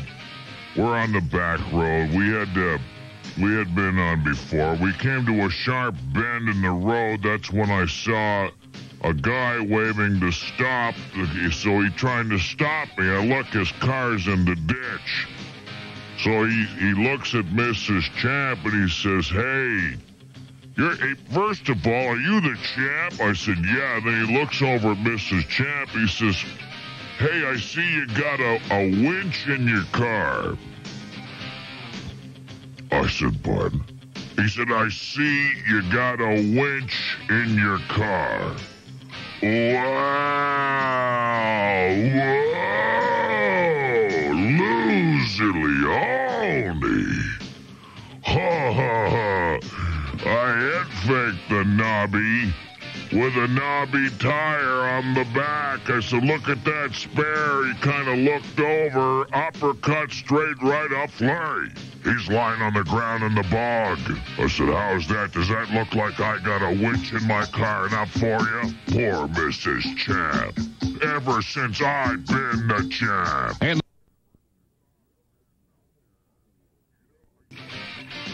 You know, I'm a, I'm a world traveler. You know that famous around the world. I remember the time I was dining with Ronald Reagan and Margaret Thatcher in London, England. We were watching a band from Toronto called Laughing Sinners, and uh, we were at this big palladium. It was fun. I overheard one waiter ask another who the old guy was with Maggie and the champ. Well, being well known has some drawbacks. When I travel, people are always staring at me and coming up to me and shaking my hand and chatting. Of course, the champ has a heart as big as all outdoors. I, I won't ignore my loyal fans. Sometimes my fame can work to my advantage. On, on, on the same trip to London, I got into a bit of an embarrassing situation. I'd just been on a shopping spree and had to rush back to the hotel as I was about to leave the last store. I found that I had no more money in my pocket to take a cab. I had lots of cash in the hotel safe, but it didn't help at that moment. The, the store manager, who had been waiting on me personally, saw my distress, distress, and I asked and asked what was wrong.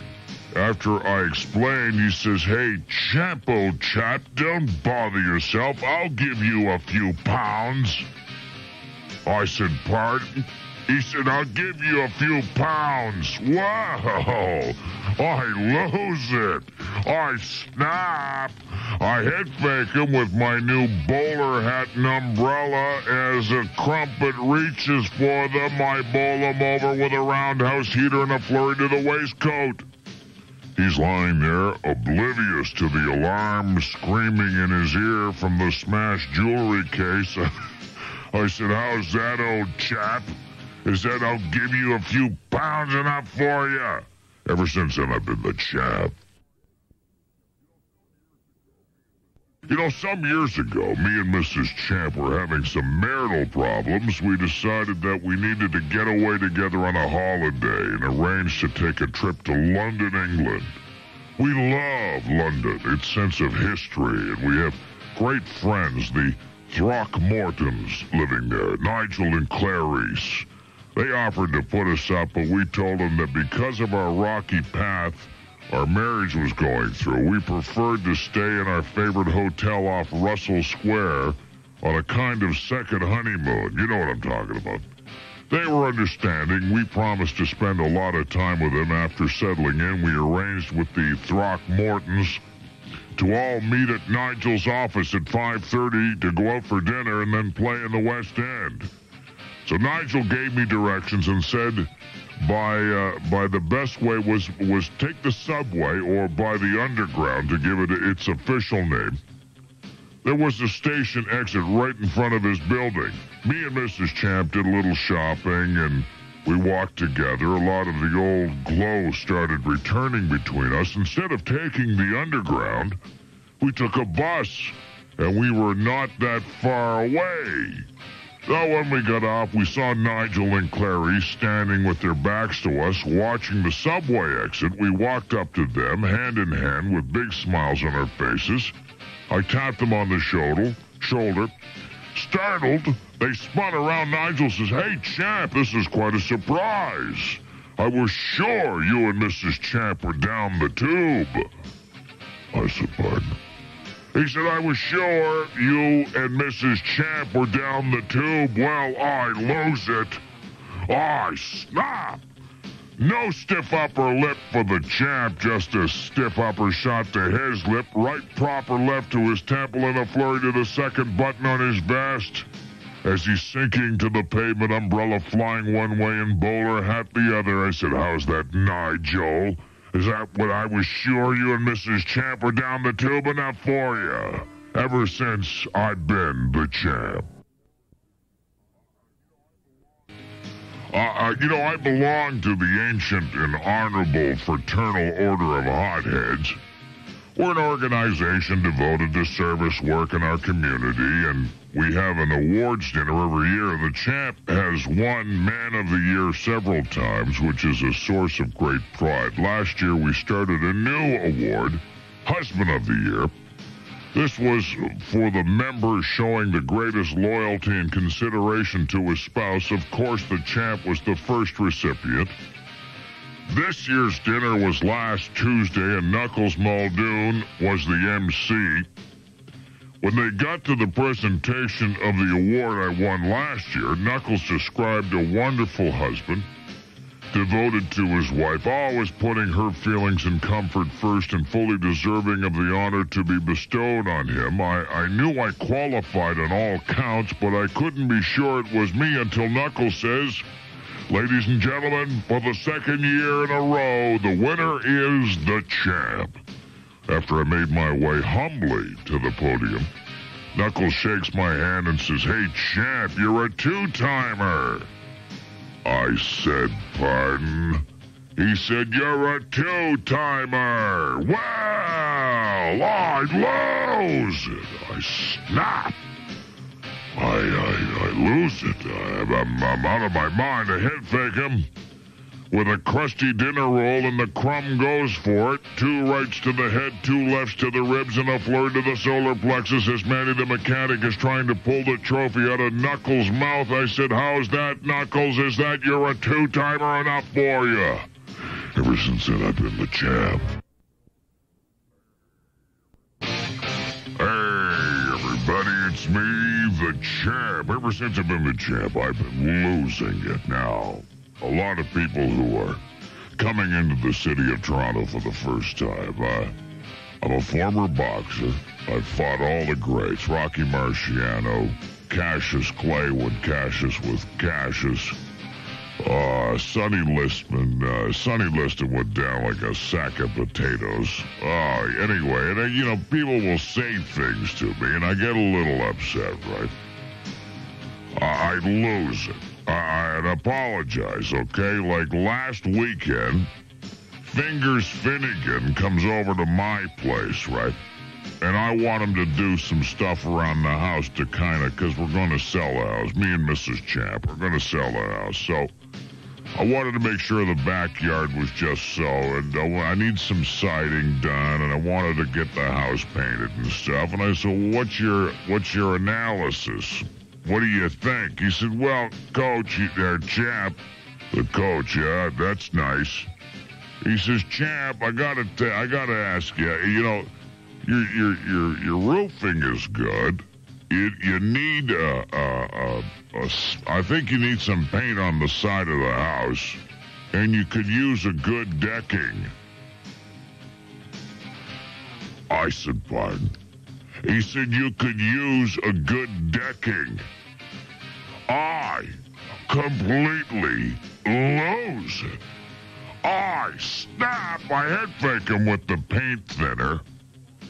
He reaches up for it, obviously a little close to the fumes. Uppercut, straight right, rope a dope, flurry, roundhouse. He's down on the old platform out in the old back entrance. I said, How's that, pal? Does that look like you could use a good decking enough for you? Ever since then, I've been the champ. You know, every year or so, there's a campaign to get rid of toxic substances you have lying around. The government lets you bring these materials to a central depot for safe destruction. It's a lot better than putting them down the regular garbage or pouring them down the drain. The last campaign, the neighborhood organized itself so that as much of this stuff was collected as possible and taken to the depot. It was a Saturday morning, and some of us were canvassing the area. Me and my neighbor Nosy Parker were working together, which was quite a switch. We stopped in front of old Mrs. Jenkins' house. Nosy remembered Miss Jenkins had an old batch of rat poison in her garage she'd gotten years ago. He says, Hey, champ, she probably doesn't know that we're all giving old toxic items to the government for destruction. Why don't you ask her if she'll let you give her old arsenic? I said, Part. He says, Why don't you ask her if she'll let you give her old arsenic? Well, I lose and I snap. I head fake him with an old can of paint and the brush brain goes for it. Shellac to the ear, paste to the mouth, and a flurry to the solar plexus. He's lying in a pool of PCBs. I said, How's that, pal? Is that why don't you ask her she'll let you give her old arsenic enough for you? Ever since then, I've been the champ.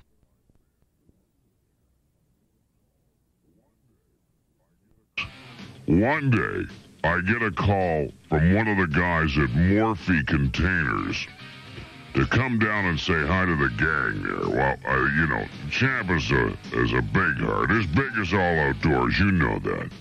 I like to meet many fans, so I run down to Brantford to see this big plant. I, I, they, they make corrugated cardboard, right? I'm walking between some machines. Somebody calls up, Hey, Champ, do you want a box? I said, Pardon? Do you want a box? Well, I lose it. I snap. I mean, this guy, what's he thinking? Head fake with a can of ink, and as the printer head reaches to go for it, I give him a straight shot to the head uppercut, a flurry to the midsection. He's lying on the ground with some scrap on him. I said, How's that? How's that, pal? Is that do you want a box enough for you? Ever since then, I've been uh, the champ, the one and only. You know, last summer I spent a weekend at the summer home of uh, Cyrus Sloop on the Georgian Bay. Cyrus, or Cy, as he insists I call him, is a big advertiser at the station and was considered quite a coup to get the invitation. What a place! At least 20 rooms. There must have been 10 boats uh, all the way to 60 foot cruisers. His pride and joy was a cigar shaped speedboat, or I guess a cigarette boat they call them. Uh, this thing would do 100 while it's still tied up at the dock.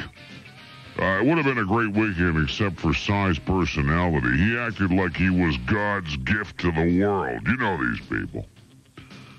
He demanded absolute obedience from those around him, and if he was the, it, it, it, he's the lord of the manor, right? The champ kisses no one's foot. But I bit my tongue and acted the perfect guest without portraying myself before him, or you know what I mean. He invited me for a ride in his speedboat. He told me to sit down in front and be prepared for the ride of my life. He warned me that the power trim had been acting up. This meant that if if if we weren't careful, the nose of the boat would rise too much and we could flip over. So I was to follow his instructions completely, and, and if the nose rose too high, I was to flatten myself out on it until he got things under control. Well, what a ride. We're zipping around.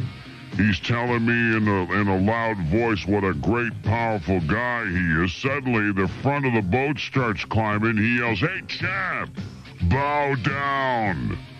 I says, he says, bow down. Well, I lose it. I snap before I can head fake him. We're flying through the air, and I'm swimming towards him, grasping the life vest that had come off. He's going down for the third time. I said, how's that, Mr. Tycoon? Is that bow down enough for you? Ever since I've been the champ, but I rescued his butt, pulled it onto the boat, went home. Lovely. Uh, every now and then, you know, a bunch of us have a boys' night out. We'd like to, we're going out tonight, actually, to the uh, Big Bop on, uh, I think it's Queen and Bathurst first floor, brother Jake's going to be there. It's uh, giving away T-shirts and stuff. Should be fun. I, I'm not working. I'm just going to hang in the club. Big Bop uh, tonight. Uh, every now and then, I gotta tell you, when we go out, we go, we go to someone's house or play cards and chew the fat, right? Last Friday, went to Manny the mechanic's place. Manny's wife, Annie, outdid herself in providing sandwiches and snacks, and we were having a great time. Partway through the evening, No Neck McGurk pulls out a pair of dice and suggests we play a little crap. Wow, we thought it would be a good change of pace from the usual poker and blackjack. I grabbed for the dice and accidentally knocked one of them off the table.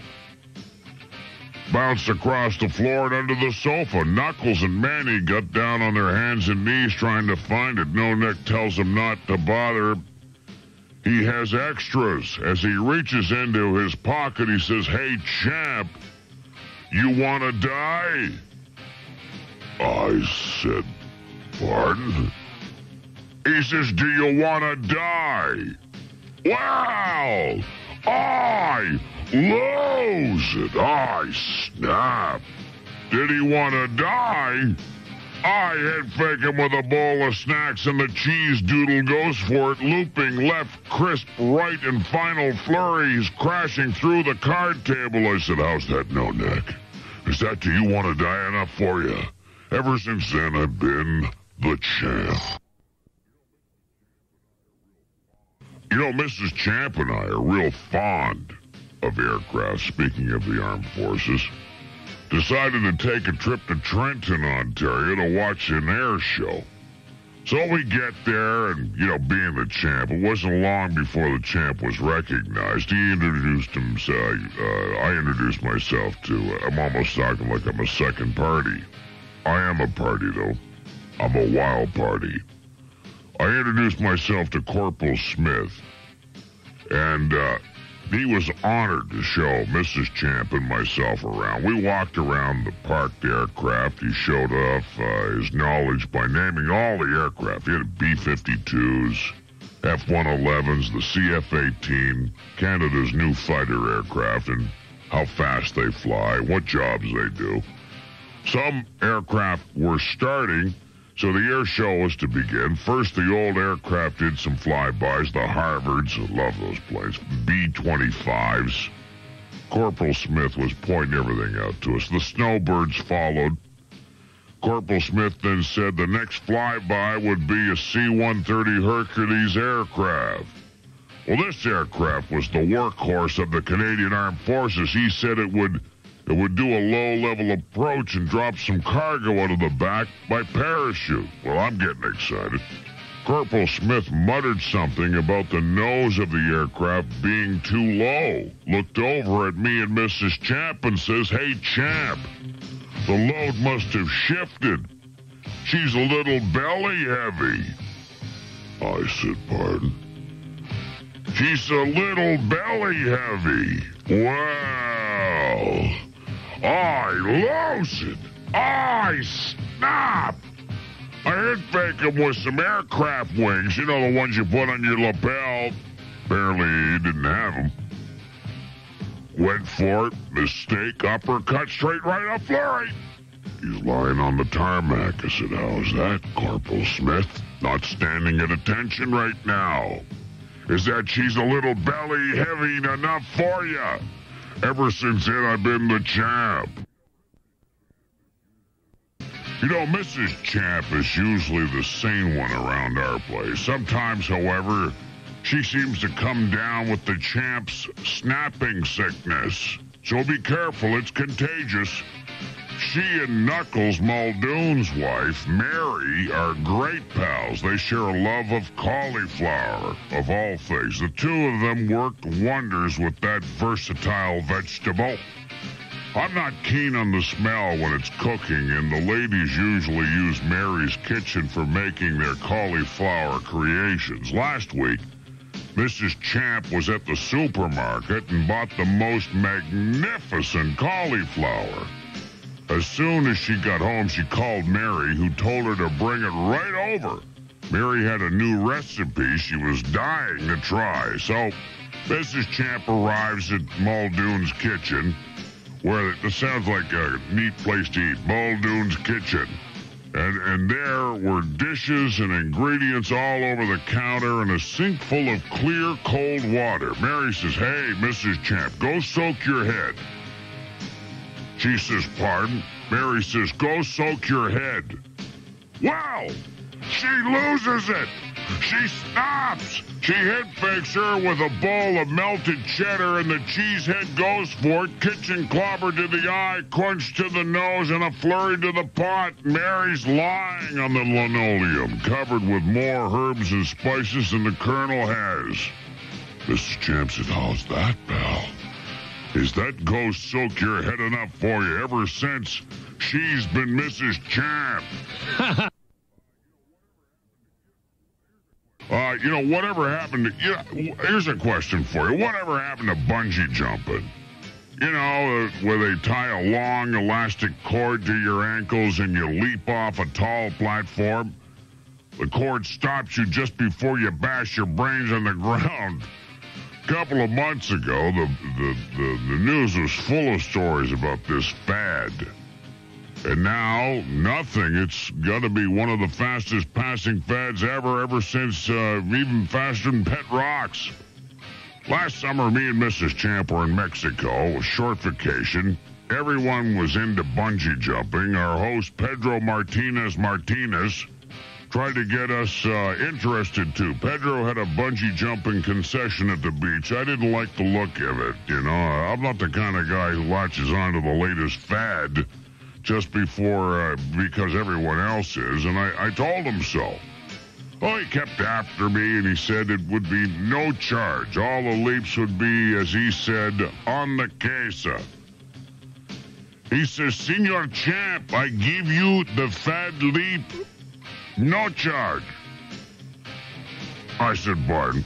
He said, I give you the fad leap. Well, I lose it. I snap. I head fake him with a margarita and the cucaracha goes for it. Sangria punch to his fat lip.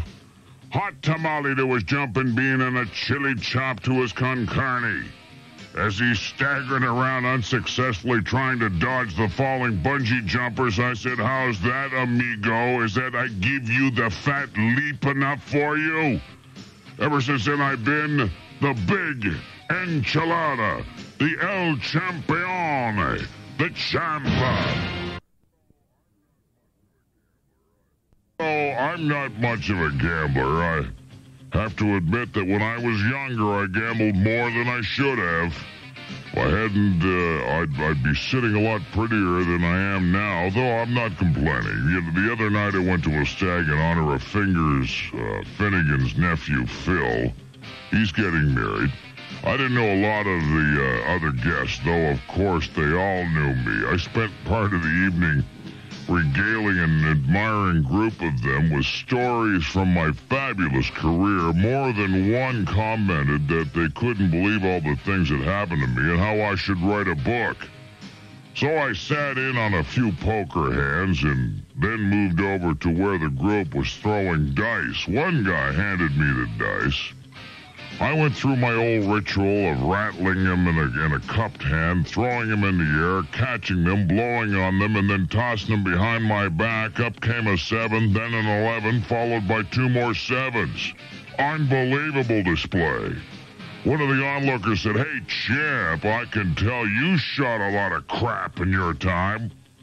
I said, pardon. He said, I, I, uh, uh, Champ, uh, you, you shot a lot of crap in your time. Wow! Too late!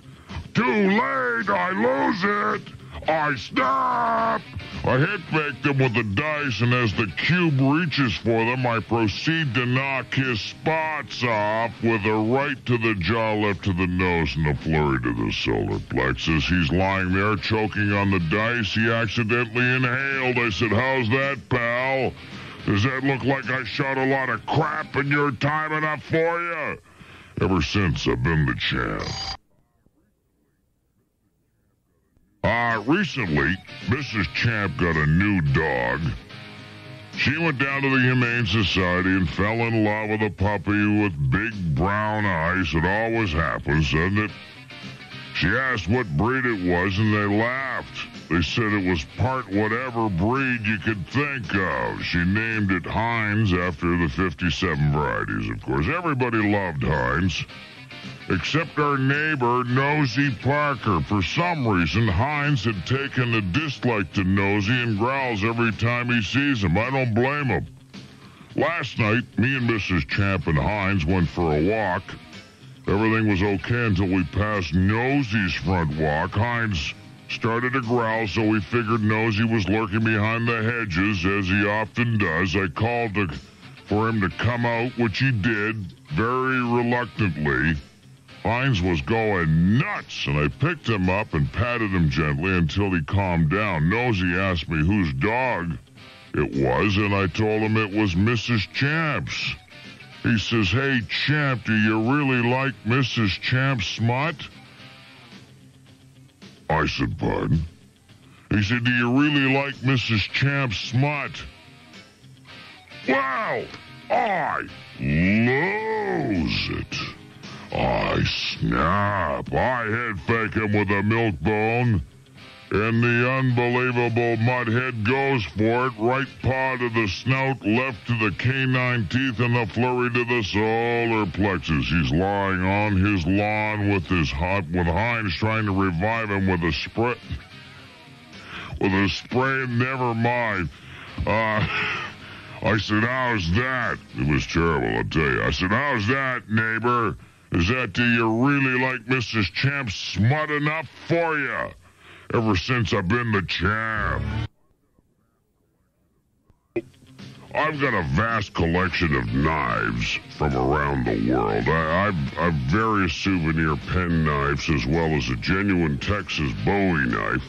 Scottish dirks, uh, I've got a Sikh Kirpan ceremonial knife, and so on. Many have been presents from admirers. I, I've dealt with Shiv's Schubert of Shiv's Knife Store for years. When he comes across an interesting one, he calls me first. I've done him a number of favors over the years, and he said he would reciprocate me someday. Yesterday he called. Got a special shipment of Turkish daggers that he wanted to show me. I rushed down. He shows me some real beauties. I bought one. He said I'd been such a good friend that he wanted to give me something special from Malaysia that he had out and back in his storeroom. He says to me, I swear to God, he says, Hey, champ, come with me. I want to give you a knife in the back. I says, pardon. He says, I want to give you a knife in the back. Well, I lose it. I stop. I head fake him with a tooled leather scabbard, and the tool goes for it, cutting left, sharp right, cross and pointed flurry. I'm looking daggers at this crumpled form. I said, How's that, Shivs? Is that I want to give you a knife in the back of enough for you? Ever since I've been the champ. You know, Mrs. Champ and I recently went to Hollywood on a vacation. Mrs. Champ really loves to go stargazing, seeing all the movie stars with with the hope she'd uh, she'd meet somebody big, you know. So I, I'm on the plane. I must have ate something on the plane that really made me sick. It didn't agree with me. So uh, I suggested Mrs. Champ you know, to go out on her own because I didn't want my illness to ruin her vacation. So while I spent the day in the hotel room, Mrs. Champ went window shopping on Rodeo Drive. So she comes back later, thrilled. She met Julia Roberts. She uh, she saw Donald Sutherland, Sean Penn, Seeing, you know, I, I was still under the weather, she insists on calling a doctor. The highbrow Beverly Hills doc shows up in the room, chip on his shoulder, attitude to match. He's an openly annoyed that uh, we interrupted his polo match. So I wanted to cold cock the guy right there, cold cock the doc right there, but, you know, just trying to make everything go smoothly. Doc turns around to me, says, Hey, champ, I'm going to give you a quick shot, and then you'll be out seeing stars in no time. I says? He says, I, I'm going to give you a quick shot, then you'll be out seeing stars. I snap, I lose it. I head fake him with an air sickness bag, and the hyper, hy, hypocritical oath goes for it. Healer, smoker, stiff upper lip. There it is, on the floor. I said, how's that, pal? Is that... I'll give you a quick shot, and you'll be out seeing stars enough for you? Ever since I've been the champ.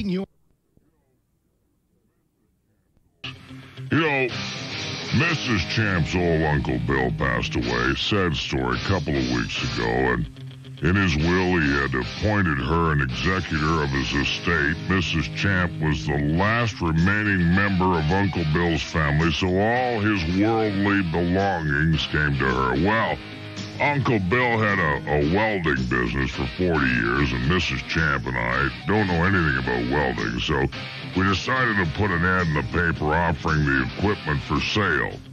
The ad read, welding equipment for sale, all types of acetylene and oxygen hoses, tanks, tips, and gauges. Direct inquiries to Mrs. Champ. A few days went by and I'd forgotten all about it, the ad in the paper. I was in the living room hanging pictures when the doorbell rang. I, I answered the door and there's a guy standing there I'd never met before. He says to me, Does Mrs. Champ have acetylene tips? I said, pardon. He said, Does Mrs. Champ have acetylene dips? Well, I lose it. I snap.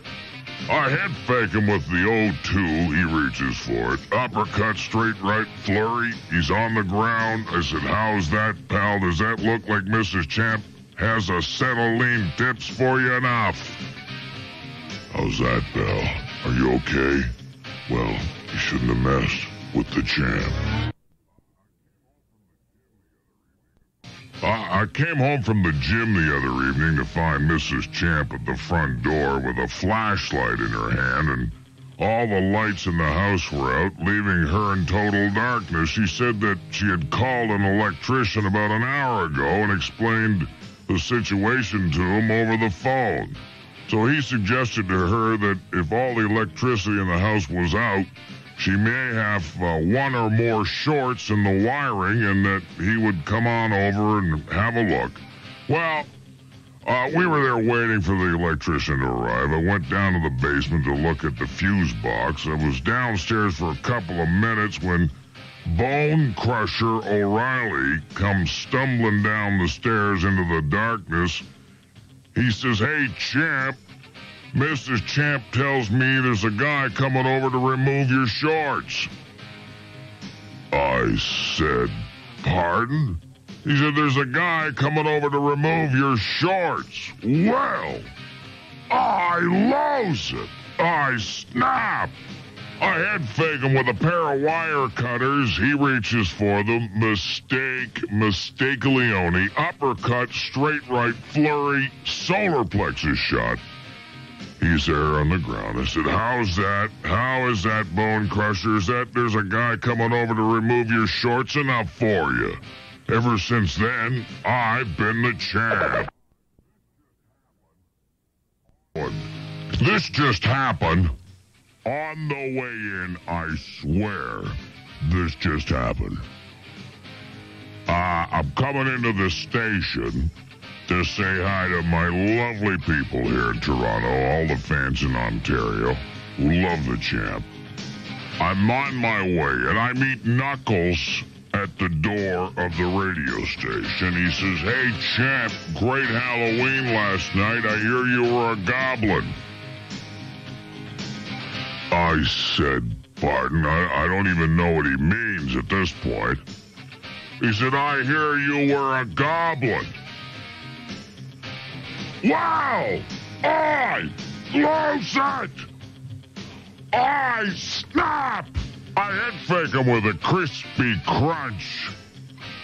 And he went for it. He gobbled my right hand straight uppercut in a flurry to the solar plexus. I said, How's that, Knuckles, you idiot? Does that look like I was a goblin last night? Ever since I've been the champ. Halloween the day after, I. Uh, this happened again last night. I was at a party. Knuckles had a little Halloween costume party after we were done trick or treating all over Willowdale and North York. Ah, we had fun. We went over to the, the party, and, uh, well, Knuckles does it again. You know, he'll say something to me that really upsets me. Upsets me. He came over with a tray, and it had a bunch of cold cuts and stuff on it. And he says, Hey, champ, would you like a cocktail, wiener? I said, Pardon? He said, Would you like a cocktail, wiener? Uh oh. Here it comes. You know, you think this guy would learn, right? I head fake him with a martini glass. The olive still in it. He goes up for it. Reaches way, way up. Uppercut. Straight right roundhouse flurry. Ah, uh, he's down. He's on the he's on the ground. On that brand new jute pack rug he got. Right on his back. I said, How's that? You idiot. Does that does that look like I want a cocktail wiener enough for you? Ever since then, I've been the champ.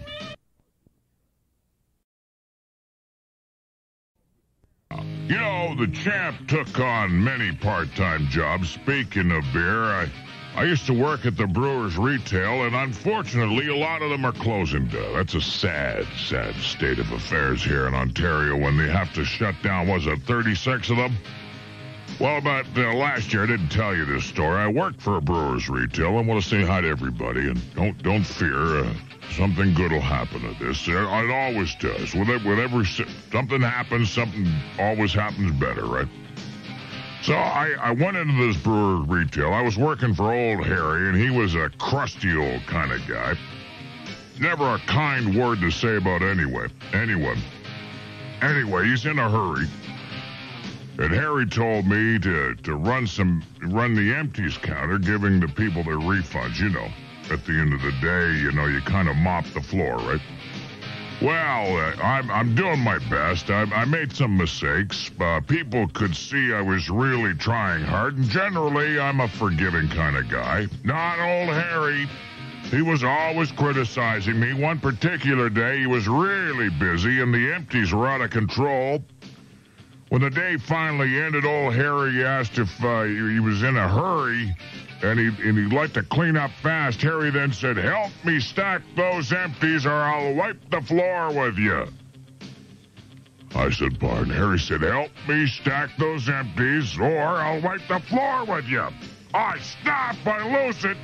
I head faked him with, a, with an old beer can and the long net Bud goes for an uppercut straight flurry and a heater.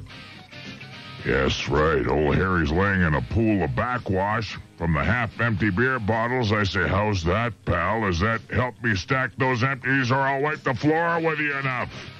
For you. Something like that. Ever since I've been the champ. You know, this is incredible. I, I gotta tell you about this. I, I was looking, uh, looking at computers. You know, computers are an interesting facet of everyday life here in the Toronto area. A lot of people are into them. They're the way of the future.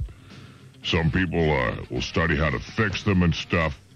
Well, it's incredible. I, am getting into computers, but I'm having some difficulty. I, I call up my buddy Jim from Computer Whiz Consulting, and I tell Jim I, I can't get the system to come up. Jim drops by and has a look at the computer, and while standing there watching me unsuccessfully try to load the operating system into the computer, Jim says he blurts out, Hey, champ, if you can't get it up, I'll boot it for you. I said, Pardon? He's, he said, what? Can't you hear well, champ? I said, I said, if you can't get it up, I'll boot it for you. Well, well, mistake. Oh, man, did you make a big mistake.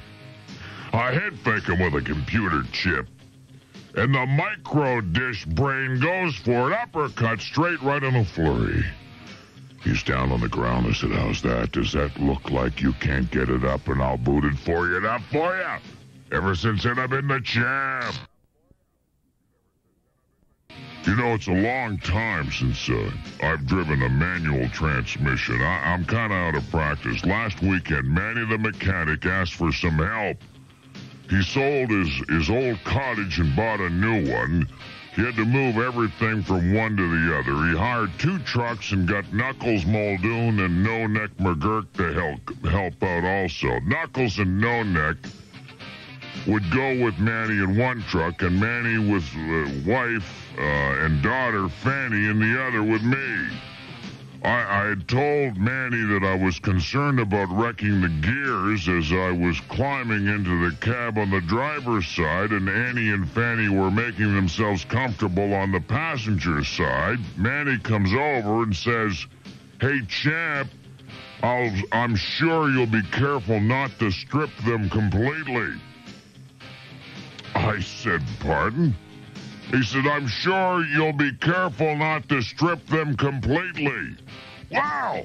I lose and I snap. I head fake him with a road atlas and the oil head goes for it, driving right to the nose, piston shot to the jaw, and a flurry to the drive shaft. He's flying across the driveway in reverse. I said, How's that, Manny? Is that I'm sure you'll be careful not to strip them completely enough for you? Ever since I've been the champ. Getting You know, the champ has been losing it an awful lot recently. Uh, problems I had with my car haven't helped. Uh, I called my old buddy, uh, Manny the mechanic, to, to take me, take a look at my car. Uh, old Bessie, I call her. I mean, uh, she's, uh, it's driving me crazy. Uh, the dash is rattling, right? So I go in to see Manny. Manny could see that I was kind of frustrated at my wits' end. Manny told me to try and calm down. While he looked at the car, he offered me some of his lunch, hoping that the food would calm me down. After a few minutes, Manny returned. Manny said, Hey, champ, I found out what's wrong with your dash. Before Manny could tell me, I apologized for being so frazzled, and I and I apologized for losing it recently. Manny said, "It's okay, champ. You just have a few screws loose." I, I said, "Pardon?" He said, "It's okay, champ. You just have a few screws loose." Well, I never. I snap, I lose it, I fake him with a banana, and the grease monkey goes for it.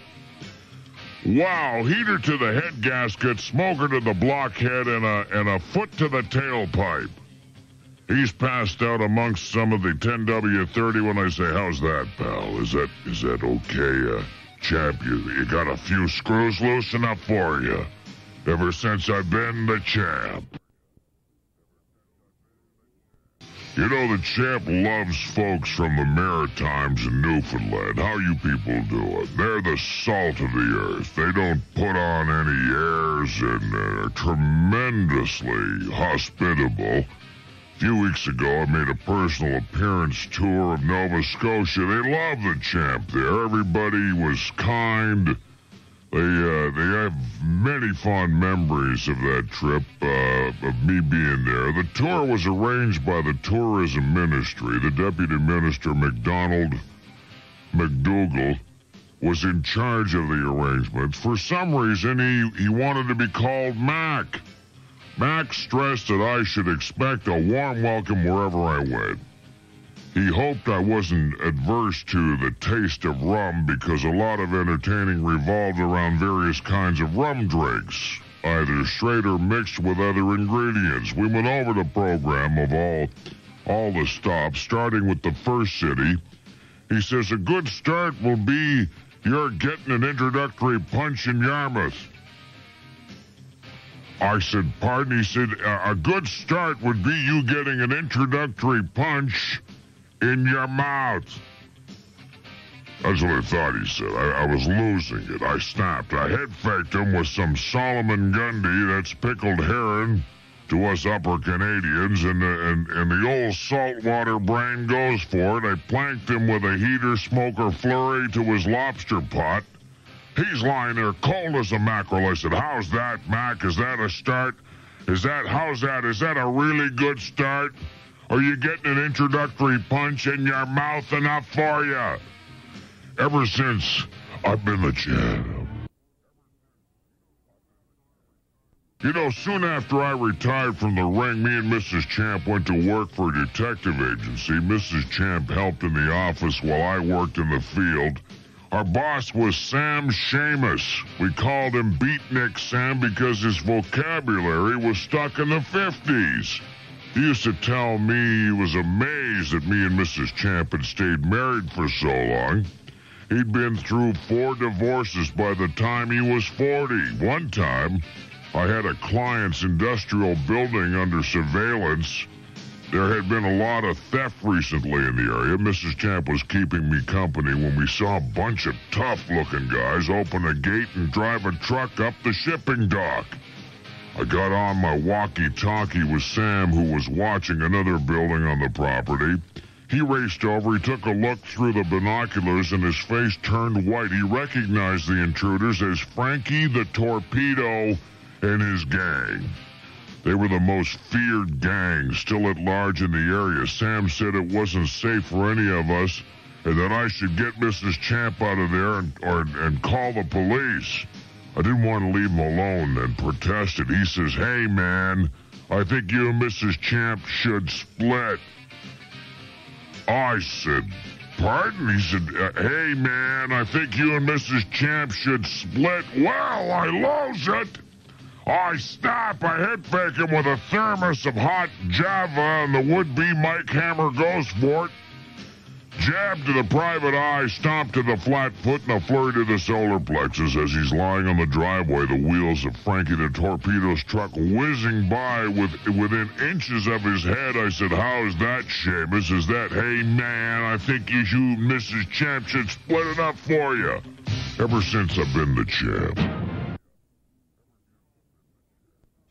You know, I'm down in the tropics speaking about the Caribbean. I can tell you about this story. I was uh, enjoying the beautiful Bermuda sunshine with Mrs. Champ one one uh, one week. We're off there and we're power tanning.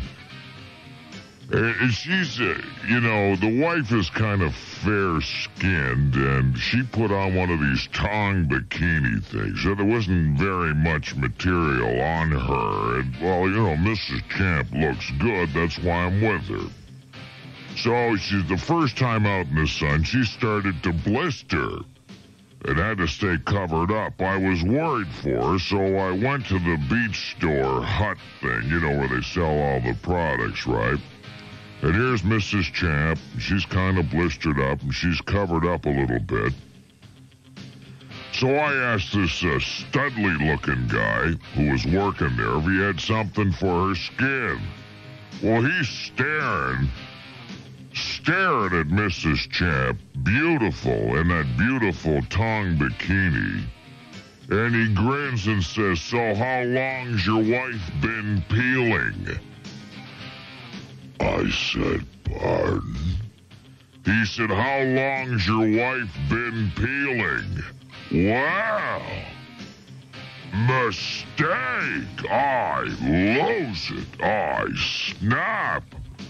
I head fake him uh, with a bottle of 30 sunscreen. He reaches for it. Wow, here comes one for you, Mr. Studley, sir. Uppercut straight right in a flurry. He's lying there in the cabana, kind of seeing stars. I said, How's that, pal? Is that how long's your wife been peeling enough for you? Ever since then, I've been the champ. I was young. I was full of vim, vigor, and idealism, some of it misguided, I gotta say. I was going to save the world. I knew some members of an organization devoted to bringing democracy to Latin American countries ruled by dictators. I was taken to a meeting with a famous revolutionary, Fidel Didi, he was a charismatic figure with his bushy beard, military fatigues, and piercing black eyes. He talked to me into accompanying him back to his country to fight against the oppressive regime. I was so caught up that I enlisted Knuckles Muldoon, No Neck McGurk, and even Manny the Mechanic. As I said, we were young and idealistic. We underwent secret training in the mountain jungle. Just by my being there, buoyed the spirits of the comrades. One day I slipped into the nearest town and was spotted by a well known American reporter. He recognized me. They do everywhere I go anyway. Bought me a drink at a, a nearby cantina. He was there to cover the brewing revolution and asked me what I was doing in such a dangerous backwater. I told him off the record what was happening. He was astonished. He said, Hey, champ, you and your pals are revolting. I said, Pardon? He said, You and your pals are revolting. I lose it. I snap.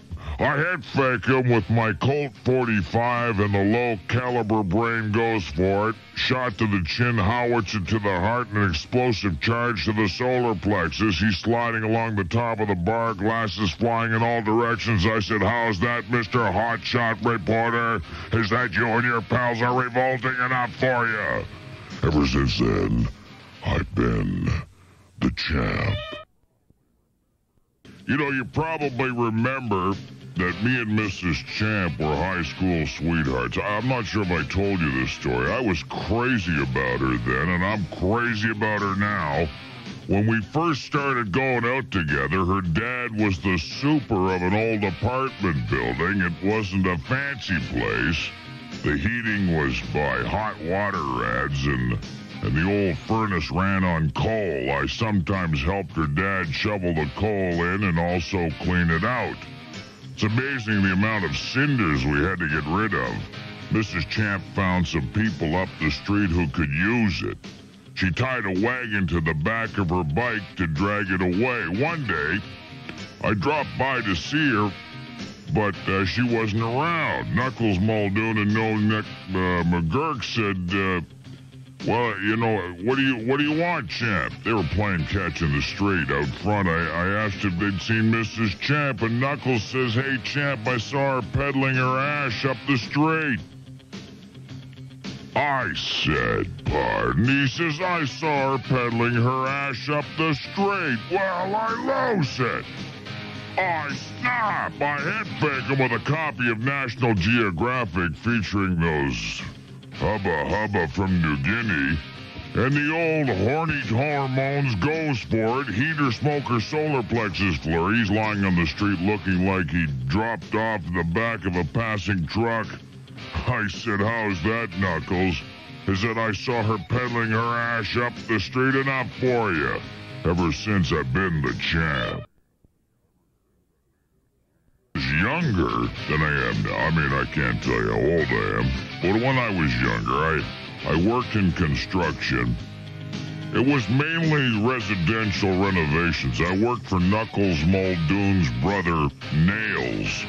That's his name, Nails. Usually Nails was a good guy to work with. He knew all the trades and how to teach them, showing patience and encouraging his employees. What a what a great guy. What a great teacher. One time, me, Knuckles, and Nails were working on an extensive uh, home renovation job. The inside of the house was gutted, and we were putting up new walls.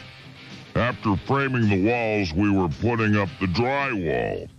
I hadn't had a lot of, I'd never worked with this stuff before. I hadn't had a lot of experience doing it, but according to Nails, I was doing fine under his and Knuckles' supervision. The two brothers had to leave the site for an hour, and Nails told me to carry on by myself. I felt pretty good about how I was doing. In fact, I was starting to figure that I was an expert. I asked Nails if he if he was sure I could be left on on my own, figuring he'd tell me how how great I was. Nails says, "Hey champ, I've seen how you work with the drywall. I trust I trust you to screw it up proper." I I said, pardon? He says, I trust you to screw it up proper. Well, I lose it. I snap. The blood is draining from Knuckles' face. He's pale as a ghost. He knows what's coming. I head fake nails with a ball peen hammer, and the hammerhead goes for it. I nail him with a roundhouse uppercut and a solar plexus flurry. He's lying there entangled in drywall tape. I said, How's that, Nails? He said, I trust you to screw it up proper enough for you. Ever since I've been the champ. Day. Mrs. Champ and me and the chimp decided it was time to do the family picture thing. So we heard of this local guy in town who had just opened up a studio as a, and a world class professional photographer. So I, I call him up the day before to take an appointment. You know, and he says, sure, drop in tomorrow at 10 or so, and my assistants will be ready for you. Well, the next day I it comes in, I gets into my, my monkey suit, you know, and we head down to the place. Outside it, there's a Metro police car with its lights flashing, so I get out and head for the officer to ask him what's going on. Just then, the photographer and his assistant comes out and he says to me, I'm really sorry, champ, but my assistant can't take your pictures because last night someone stole all the camera.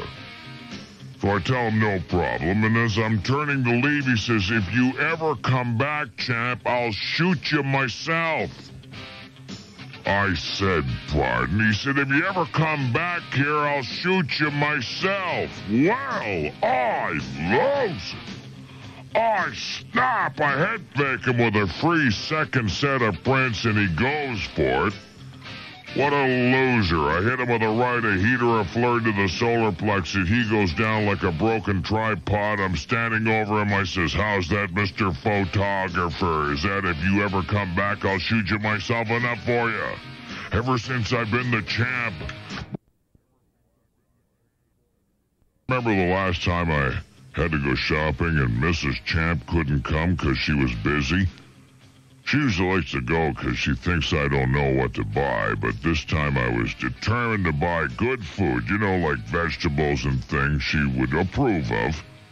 So I'm walking through the produce section. I see this sign that says Jumbo Head Lettuce 99 cents each. Well, I thought that was a pretty good deal, so I, I hit over and start looking the lettuce over. Just as I grab the biggest one on the pile, the guy beside me looks over and says, Hey, champ, that's a pretty big head you got there.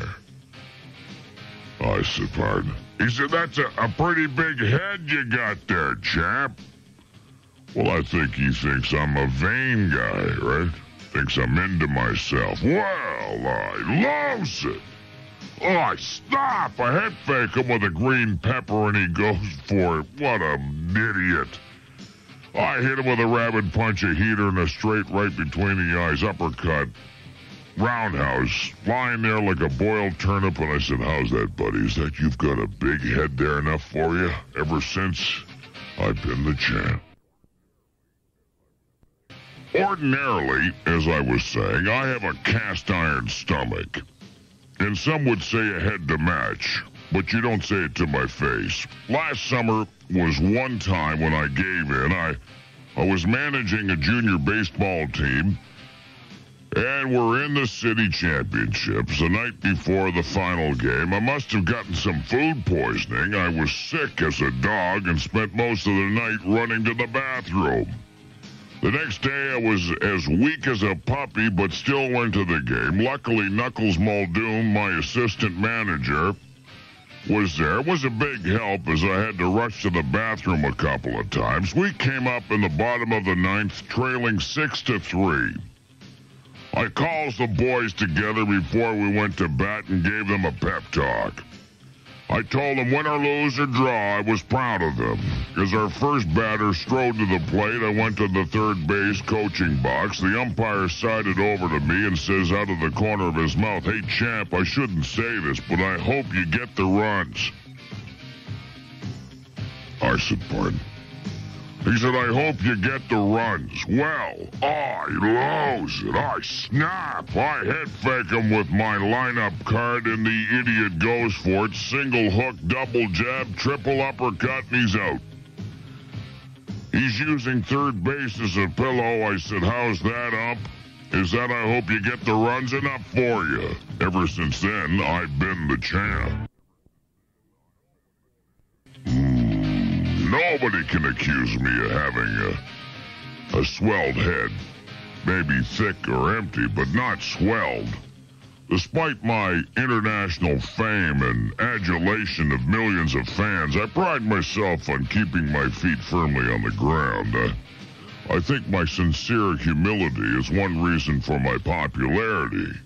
It burns me when I hear that someone thinks I've grown too big for my britches. Last winter, I made a series of quick personal appearances uh, in central Ontario. People came from miles around to get the champ's autograph. Incidentally, I don't charge my fans for one, uh, unlike uh, other athletes. I was in Collingwood when a snowstorm hit.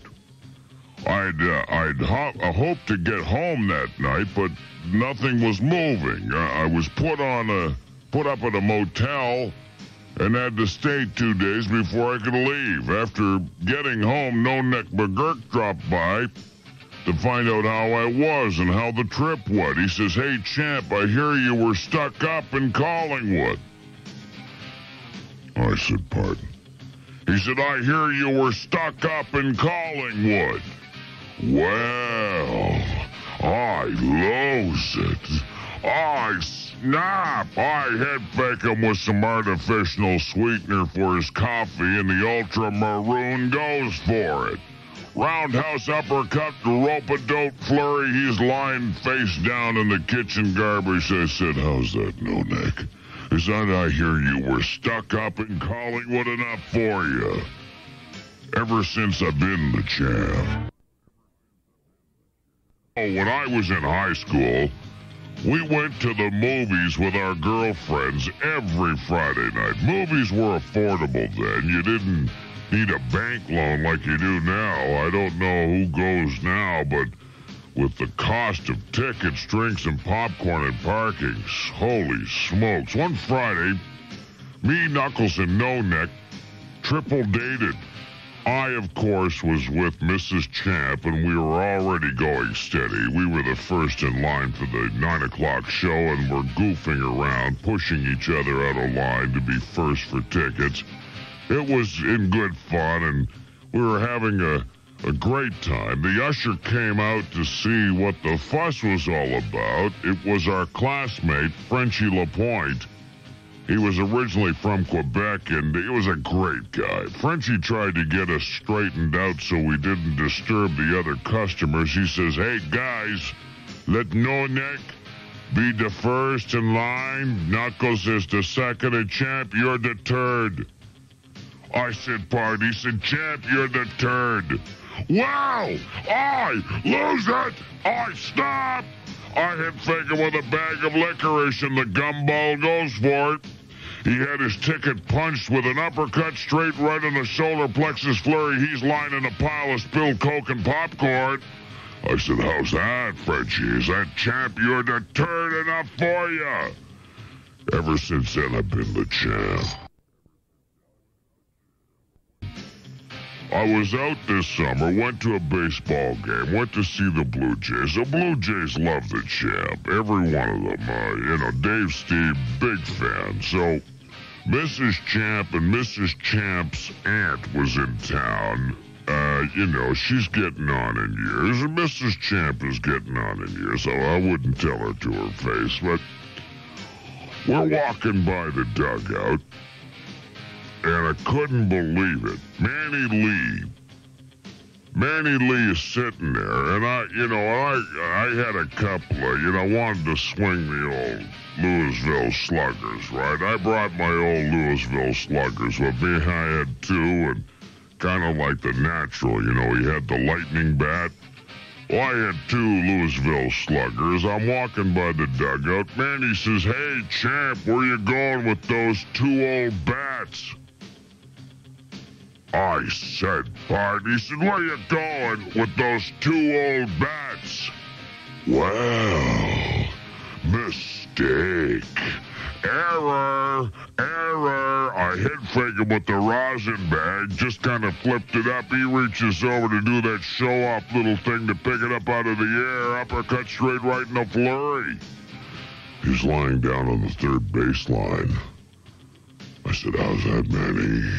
I said, where, where am I going with those two old bats enough for you? Ever since I've been the champ. Want to say hi to everybody at Tool and Die Company called Kaput. Well, there's an episode right there. Hi, you guys. How's it going? Every year, and of course, anybody that knows the charity going to the CN Tower all the way up to the top of the United Way. United Way is what, what we're all about, and we did it this year. It's a charity event. It, it involves a race right to the top of the CN Tower. It's some climb, I'll tell you. But being the splendid physical specimen, I always look forward to participating. Last year, I I got Knuckles to come in and race with me. He fancies himself an athlete and he enjoys a challenge like this. He spent a solid month in training and was feeling pretty good about himself. So we're waiting in line. He started saying that he was going to be the king of the tower. He was going to take the stairs two at a time from the bottom all the way to the top. He says, Hey, champ, this is the year I'm going to beat you up. I said, Pardon. He said, This is the year I'm going to beat you up. In your dreams, Knuckles, I lose it. I snap. Head faking with my old stair climbing sneakers as the idiot recoils, rabbit punch, kidney shot, solar plexus flurry. He's bouncing down the stairs in the direction of Sky Dome.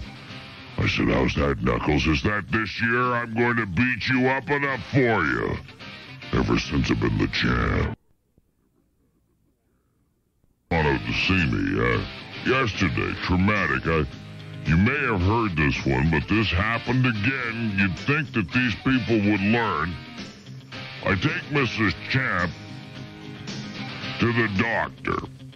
Now, she's been getting a heart palpitation, a little flutter, started to worry about it, so we're just going to get you checked up. So we bring her in.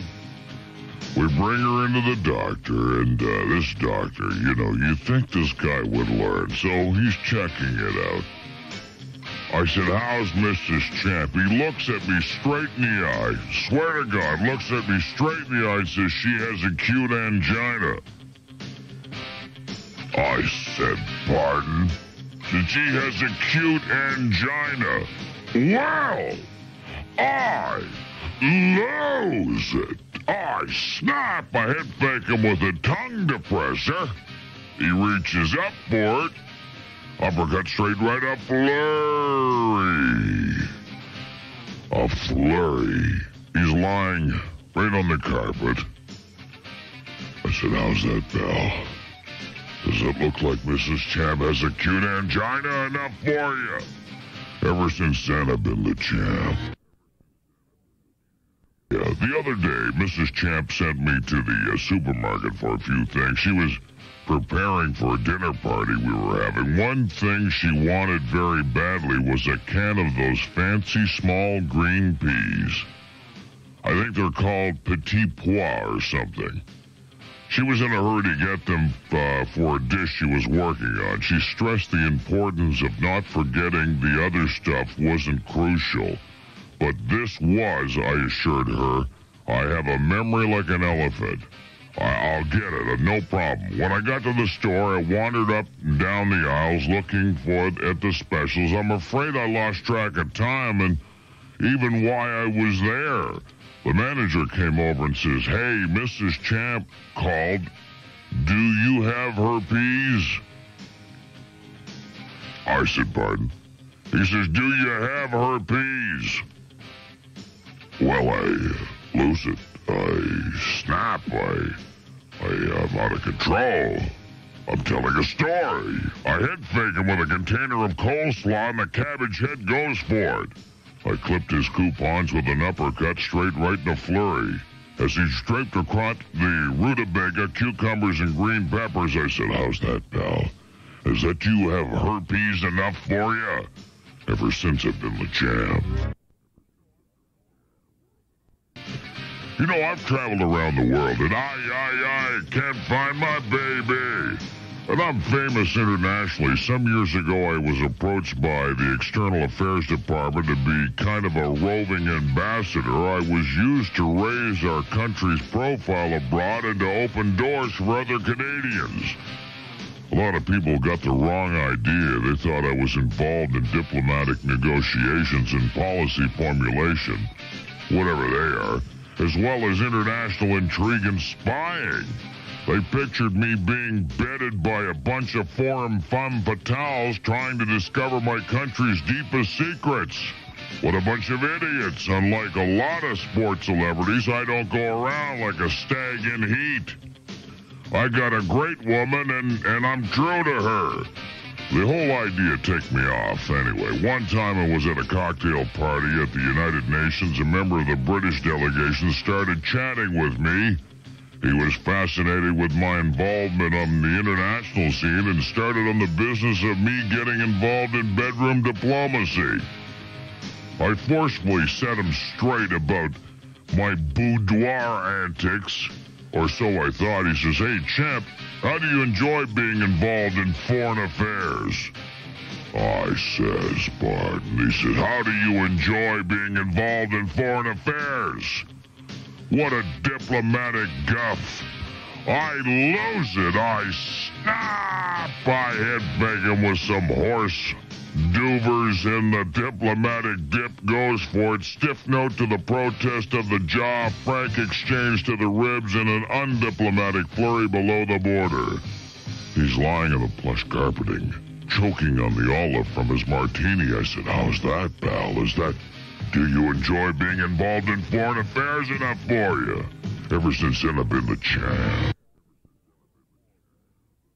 Champ just loves the snow. You know that. Me and Mrs. Champ were out making snow angels. This was, you know, we had five or six inches up north. We're sitting around, we're making snow angels. Who shows up but Knuckles Muldoon? With his new sit-down snow removal device. We tossed a few snowballs at his melon, flustered but still in control. And he said the champ came over. You know, he's coming over. He says, Hey, champ, get out of my way or I'll have to plow you. I says, pardon. I mean, he's on his brand new tractor. He's coming our way. Get out of the way, champ, or I'll have to plow you. Wow! Wow! Error! Error! I head fake him with the warranty on his Bolens tractor. He reaches up for it while it's still in drive uppercut. Straight right flurry, snow shovel to the head. He's on the ground. Tractor still going up the driveway. How's that? Is that, hey, champion of the road or I'll have to plow you up for you. Ever since I've been the champ. Uh, what's going on? You know, I was, uh, downtown at a business meeting. You know, the champ is an avid businessman with uh, many investments, many responsibilities. After one of the meetings broke for lunch, uh, I was out in the lobby wondering what I should do. Being low on cash, I had no particular place to go. One of the other businessmen, No Limit Kalachi, there's a good name, No Limit Kalachi, came up and asked me if I wanted to go to lunch with him. Well, the little embarrassment, I explained to him that I was broke at the moment. He said, hey, that's okay, champ. I'll take you out. I said, Barney. He said, I'll take you out. I lose it. I snap. I couldn't believe it. I hit fake him with a Wang computer keyboard and the knobhead goes for it. Uppercut straight right and a flurry. He's lying on the ground. I said, How's that, pal? Is that okay, champ? I'll take you out enough for you. Ever since I've been the champ. You know, I'm always game for new gastronomic adventures. Manny the mechanic noticed a newly opened restaurant called Potato Potato. they serve various kinds of food, but what makes them unusual is all you can eat potato bar. They've got all sorts of potato dishes. You can get potato pudding, baked, mash, every kind you can think of, and some you've never even heard of. Last night, me and Mrs. Champ, Manny and his wife Annie, went to check it out. I, I, I, love potatoes, and it was great. I must have gone up for more at least five times and still didn't try them all. Manny was going to go up for, uh, for a refill. He says, Hey, champ, how about I get you scalped? I said, Bud. He said, How about I get you scalped? Well, I lose it. I snap. I just had a haircut. I head fake him with some sour cream and chives, and Mr. Potato Head goes for it. Double jab to the eyes, smash to the nose, and a flurry to the solar plexus. As he slumped face down in a bowl of potato pudding, I said, How's that, Manny? Is that how about I get you scalped enough for you? Ever since I've been the champ. You know, Mrs. Champ is quite an athlete in her own right. When she was a teenager, she was quite a fastball pitcher. Ladies' fastball was quite popular at the time, and it still is now. She started to draw attention from some of North America's top teams. She had a very good fast pitch, but what made her outstanding was a terrific curve. She could make the ball do more tricks than you'll see on Yonge Street on a Saturday night. One day, she was pitching and putting on quite a show when Hammerin' Hank Houlihan sat down beside me. He was the star of the top men's fastball team and had a lifetime batting average of 438. He watched Mrs. Champ intently. I asked him what he thought and how he'd do against her, especially against her murderous curve. He says, Hey, Champ, she's good for a girl. Her fastball's not bad. I'd sure like to try and handle her curves. I says, pardon? He said, I'd sure like to try and handle her curves. Well, I lose. I snap a head fake him with some peanuts, and the nutcase goes for it. I hammer him with a straight right left hook and a solar plexus flurry. He's lying in the mud under the bleachers. I said, How's that, pal? He said, I'd sure like to try and handle her curves enough for you. Ever since I've been the champ. Things have really changed in the world of men's jewelry from the time I was a young man. At that time, a guy was considered a sissy boy if he wore anything more than a watch and one ring was okay to wear like a small cross around your neck if you were Catholic. Now guys go around with a ring on every finger, 10 pounds of gold around the neck, and a diamond in the earlobe. I still can't get used to it. Last week, a new jewelry store opened in the mall. I was there last night. The owner, Carl von Gelt, recognized me and rushed over for an autograph. We chatted about men's fashions, especially in jewelry. He wanted to load me up with the latest in ornamentation. He showed me a beautiful and very expensive loose diamond. He wanted to mount it on a proper setting to go in my ear. He says, Hey, champ, I'd love to pierce you and make your earring. I says, Pardon? He said, I'd love to pierce you and make your ear ring. Well, I lose it. I stop. I hit fake him with a new Rolex and the timeless idiot goes for it straight left right hook flurry. He's across the display case, his ears ringing louder than the bells of Notre Dame. I said, How's that, pal? He said, I'd love to pierce you and make your ear ring enough for you. Ever since I've been the champ. You know, Mrs. Champ and I always try our darndest to help our son, the chimp, do the best he can at school. So for his birthday, we got a we got the chimp a computer. We didn't have a lot of money to spend, you know, uh, with things being so tight nowadays.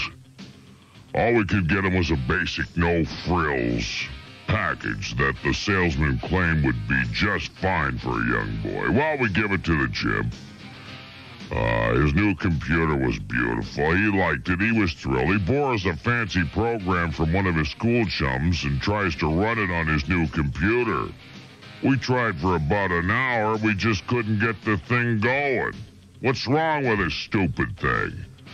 So the chimp and I take the thing back to the store where, where the missus and I bought it. We explain the problem to some nerdy looking sales clerk and show him the program we tried to run. He takes one look at the thing and smirks as if we were a bunch of dolts and asks me, Who sold you this system? I told him I, I bought it here. I can't remember the name of the guy. He says, Well, it doesn't matter. You're really short of memory, and I think you need a hard drive. I says, I beg your pardon. He said, It doesn't matter. You're really short of memory, and I think you need a hard drive. Well, I lose it. I stop. I head fake him with a copy of dBase, and the pencil neck geek goes for it. Mistake! Mega bash to the motherboard, roundhouse in a flurry to the solar plexus. The whiz kid is lying there with his head inside a broken video monitor, and I say to him, How's that? Does that look like I'm really short of memory and I think I need a hard drive enough for me? Ever since I've been the champ. Want to say hi to the Scarborough Works Department this morning. Few of the guys on the way in from Kitchener drive all the way to Scarborough. Can you dig it? We are talking about waterworks and stuff last night. And, uh, excellent. The twins. The twins were rocking at Dr. John's. You know, my pal Knuckles Muldoon really got into gardening this year. He was very proud of how beautiful his uh, yard was. He was particularly proud of his rose bush that he had worked on diligently and produced prize winning blooms. A few weeks ago, we were throwing a football around and I went for a long pass. I crashed into the rose bush, causing some minor damage to me, but major damage to it. It was destroyed Poor Knuckles was distraught, and I felt awful to see my dear pal close to tears. I apologized, and Knuckles, ever the gentleman, said it was his fault. He shouldn't have let us play in the in the backyard. Also, his pass was too long. I said I should have watched where I was going, and I wanted to make it up to him. I told him to get a replacement, the best that money could buy, and that that I would pay for it. He said he couldn't let me do it. But I insisted, as he felt it was the least I, could, you know, the, the least I could do. After arguing back and forth, Knuckles says, "If you insist, champ, I'm going to plant one on you." I said, "Pardon?" He said, "I'm going to plant one on you." Wow! I lose it. I snap. I head faked him with a garden spade, and the flower brain goes for it. Float like a butterfly, sting like a bee, heater smoker, and a flurry. As he's lying on his bed of thorns, I said, How's that, Knuckles, you idiot? He said, I'm going to plant one on you enough for you. Ever since I've been the champ. You know, as you know, the champ is famous as an all-around athlete, not just as a fighter. In fact, I've been asked to go on the seniors golf tour. Can you believe it? It would be fun to pal around with Arnie, Jack, Lee, and the rest of the boys. However, I feel it's more important to be here with my family and look after my other responsibilities at Q107.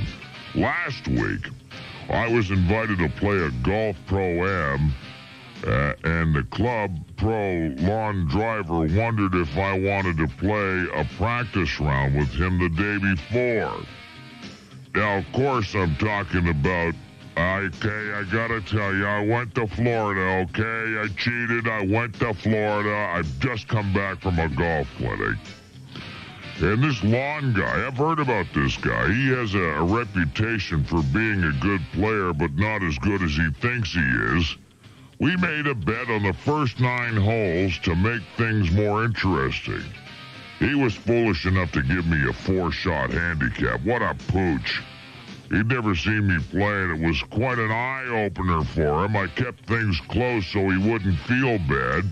As we stood on the 10th tee figuring out what he owed me, he challenged me to go double or nothing on the rest of the round. He says, Hey, champ, what happened before was a fluke. I'm re- I'm really going to burn you on the backside.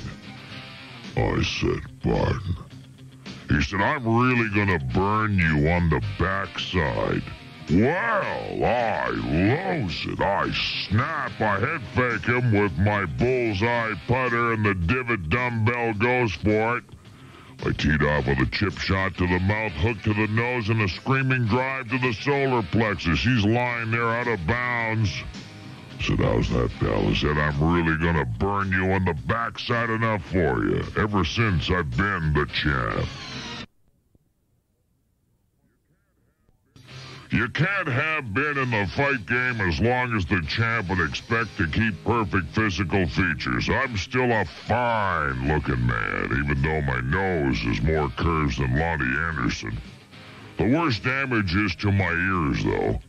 I don't dare go near the produce section of the supermarket ever since that old lady mistook them for cauliflowers and tried to put them in her shopping cart. I gotta tell you, that really smarts. My ears are very sensitive to anything touching them. I should really see a doctor about them. The other day, the coach asked if we uh, could have a private conversation. We went into my office and closed the door. He said he had a few personal problems and had to talk to someone he could trust to give him good advice. Keep things confidential, you know what I mean. So he says, Hey, champ, You've been great with me over the years, and I'm glad you're going to let me bend your ear. I says, pardon? Said, I'm glad you're going to let me bend your ear. Well, I lose it. I snap. I head fake him with an HB pencil, and the lead head goes for it. Left hook to the right ear, straight right under the heart, a flirt to the solar plexus as he's lying across my desk. Oblivious to the pounding of Brother Jake on my locked door, I said, How's that, coach? I said, I'm glad you're going to let me bend your ear enough for you. Ever since I've been the champ. You know, when I travel as a tourist to a new city, I usually take a guided tour to get the lay of the land.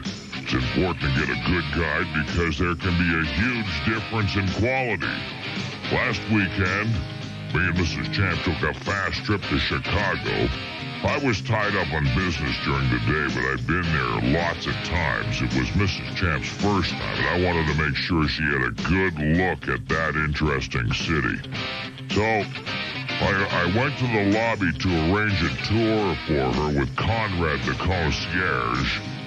He said he had a number of good private guides he could provide for Mrs. Champ. I told him I wanted the best for her, and he says, Hey, Champ, I'll give Mrs. Champ one of my real hot shots. I said, pardon? He said, I'll give Mrs. Champ one of my real hot shots. What? Oh, oh, stop! I fake him with my Platinum Plus charge card and the Windy City windbag goes for an Uppercut to his front desk, roundhouse to his lobby, and a flurry to his mezzanine. As he's being dragged around by the revolving front door, I said, How's that, Conrad? I said, I'll give Mrs. Champ one of my real hot shots enough for you. Ever since I've been the champ.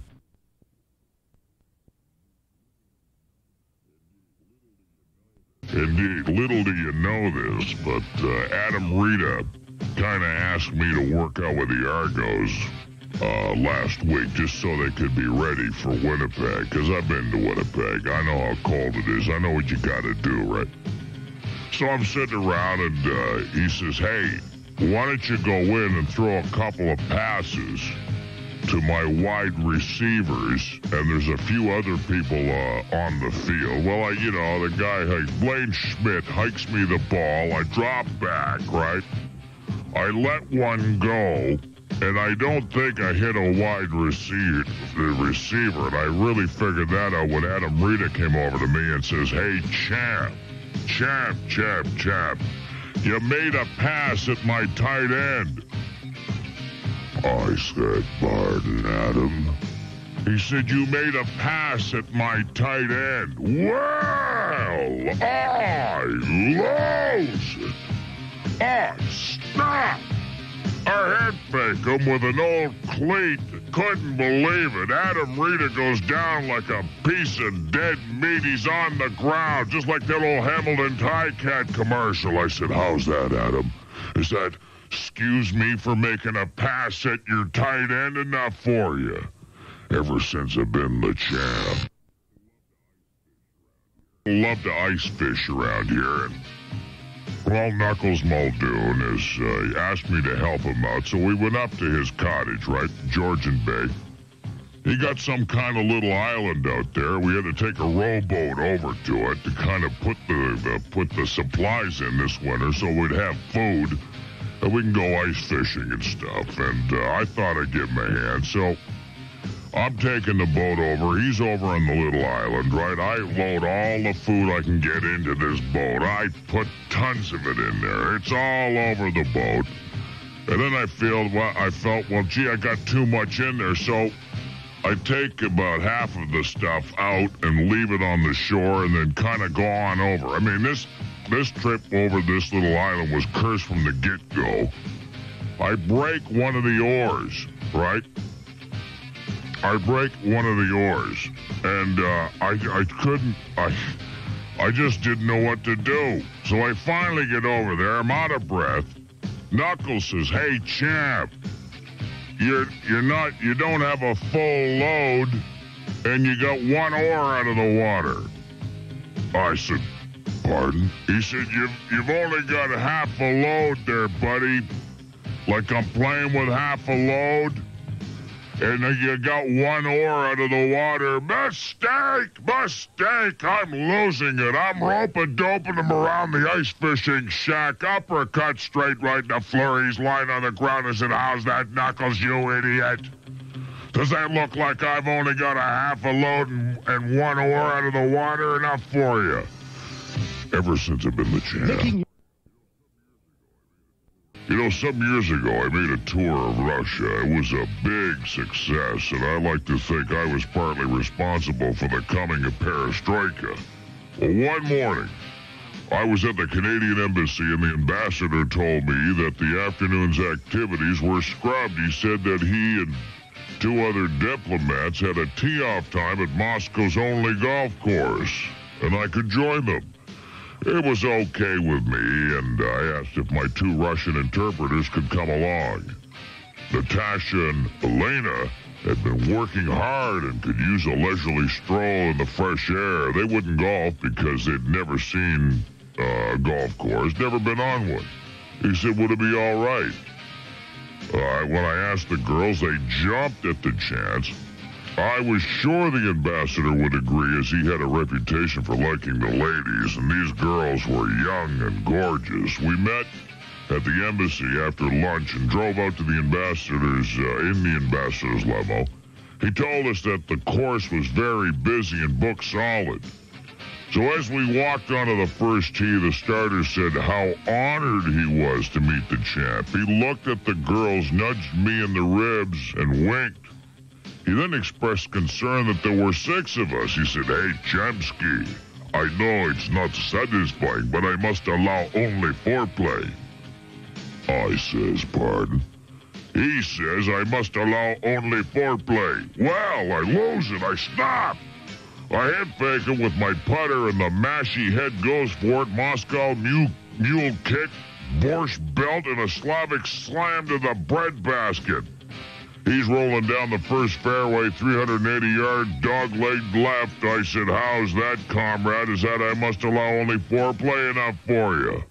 Ever since I've been the champ.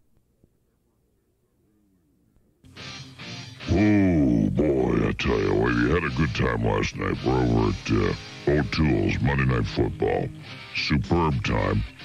I'm in the kitchen, right? I'm having a fun time. I'm in the kitchen.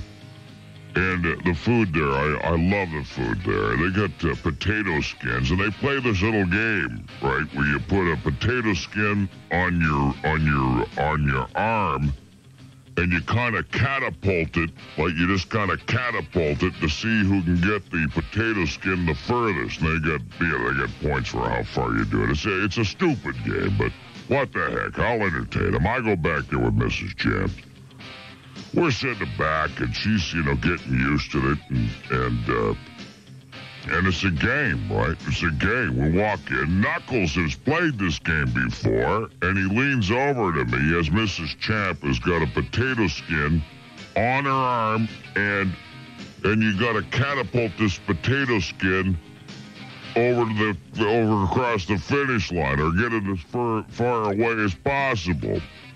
Knuckles says to me, Hey, Champ, I see Mrs. Champ is into skin flicks. I said, Pardon? And before he could say, It's the name of the game, Champ, I lose it. I snap, I'm out of my mind. What does this doughhead think he's going to do now? Oh, man. I hit him with a curly fry. He reaches up for it, uppercut straight right in a flurry. Line right there, right there in the deep fryer. I said, how's that, Knuckles, you idiot? Does that look like Mrs. Champ is into skin flicks enough for you? Ever since I've been the champ. I've got an international reputation as a golfer, and you know that. This often means that when I travel, I'm invited to play. I was in Hong Kong a few years ago. The governor had me uh, as a special guest of the colony's most prestigious country club. He wanted to see for himself if I could hit the ball as far as legend had it. I was given the top caddy at the club. Uh, how long? Who was uh, thrilled to be caddying for the champ. That was his name. How long? Uh, he was terrific, a terrific caddy, but a little hard to understand. For the first few holes, it was like I was giving a clinic. Word had gotten around, and there had must have been a gallery of 5,000 spectators. I pulled out my complete bag of tri- tricks, uh, hitting all shots spectacularly well. Too much applause. Uh, the fifth hole was a 200-yard par three, slightly elevated tee. The green looked to be the size of a postage stamp, surrounded by deep bunkers. I pulled out my trusty five iron and let her fly. I was distracted as I swung by a baby crying out and pushed my shot towards the right sand trap. It hit a rake lying there and ricocheted onto the green and into the cup for a hole in one. The crowd went crazy. And Howlong was jumping up and down. He says, Hey, honorable chap, you ace hole. I said, Pardon? He said, Honorable chap, you ace hole. Well, I lose it. I must have had wax in my ears. I head fake him with my five iron, and the divot brain goes for it. Chow mein chop to the mouth, hook to the honey garlic ribs, and a flurry to the pineapple chicken. As he's lying propped up against the ball washer, I said, How's that, pal? Is that, hey, champ, you ace hole enough for you? Ever since I've been the champ. Since I've been the champ, me and Mrs. Champ have been big football fans, and every year we go to the Argos game, and of course yesterday was the big parade. The Red Q, the fire engine of love, with Jane Brown, Shirley McQueen, and Debbie Dixon, crashed the parade yesterday and did really well thanks to all the fans saying hi to our lovely ladies. It was a special time. Uh, the champ was there. I didn't get on the fire engine, but, well, me and the chimp and Mrs. Champ went on down. When we stopped for one of those hot dog vendors, Mrs. Champ is crazy about. You know, not the hot dog vendor. She loves the hot dogs. Actually, she loves those big, huge Bavarian sausages, and so do I. They're excellent. So we ordered up to and asked the vendor, Rudy, to put everything on. Believe me, I whispered to him in private, money is no object. Load her up. I was enjoying mine with that hot mustard bringing water to my eyes when Mrs. Champ went back for more toppings. Hey, says Rudy, Mrs. Champ seems to like a little more on. Hey, Champ? I says, pardon. He says, Mrs. Champ seems to like a little more on, eh, Champ? Well, I lose it. I, I, I snap. I bake him with a Dijon mustard bottle and the sauerkraut goes for it, roundhouse to the buns, floor to the solar plexus and an uppercut to the gas tank. He's laying there like some twisted pretzel, all covered in fried onions. I said, how's that, pal? Said, hey, champ, it seems you like a little more on enough for you. Ever since I've been the champ. You know, last time I was, uh, I was, uh, up in Barrie, we played a softball game. And I remember Jane Brown was pitching to, uh, to Jake Edwards, who was catching for the Mighty Q. Jane was all wound up, delivered a smoker right down the pipe. It was uh, just a blur. I didn't even get a chance to swing. Strike one, the ump says. Next pitch by Jane was a slider, one which was caught at the edge of the plate. I swung and missed. Strike two. Mrs. Champ and the boys were cheering me on with encouragement. Well, the next pitch was a heater down the middle. I swung with all my might and missed. Strike three. I was out and lost. I couldn't believe it. Oh, man. Anyway, we, that wasn't what counted. We did raise a lot of money for a charity, and we knew the kids would be happy that uh, that's all that really mattered. In the locker room after the game, John Gallagher from Q107 came up to me and said, Hey, champ, when I tell all our listeners that the Mighty Q won and you lost, I want to get one thing straight for the record. Is it true in the bottom of the ninth with the bases loaded, you had no balls when you struck out? I said, Part. He said, Is it true you had no balls when you struck out? Error! Error! Error! I lose it! I snap! Wow! Uppercut, straight right, and a heater! He's out, strike three! I said, how's that, Mr. Gallagher? Is that, is that I hear you had no balls enough for you ever since I've been the champ? You know, I had a summer job in high school working in the railway yards. This just came to me. I, I did things like checking and repairing tracks and switches and separating and connecting rail cars. Other people work for CP and CN. They know all about that.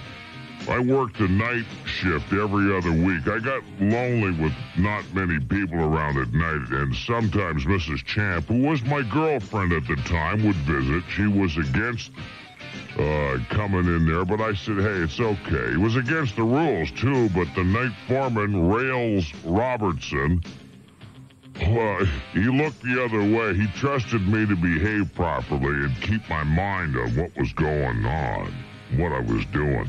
Besides, he often had female companionship of his own and would disappear for an hour, leaving me in charge. Well, one night, Rails did his usual disappearing act after instructing me on my duties. There was going to be a fair amount of activity connecting a number of all uh, rail cars on various sidings with trains coming in to pick them up. Mrs. Champ went, went with me as she was curious to see how it was done. After joining up a number of trains, Mrs. Champ had to leave.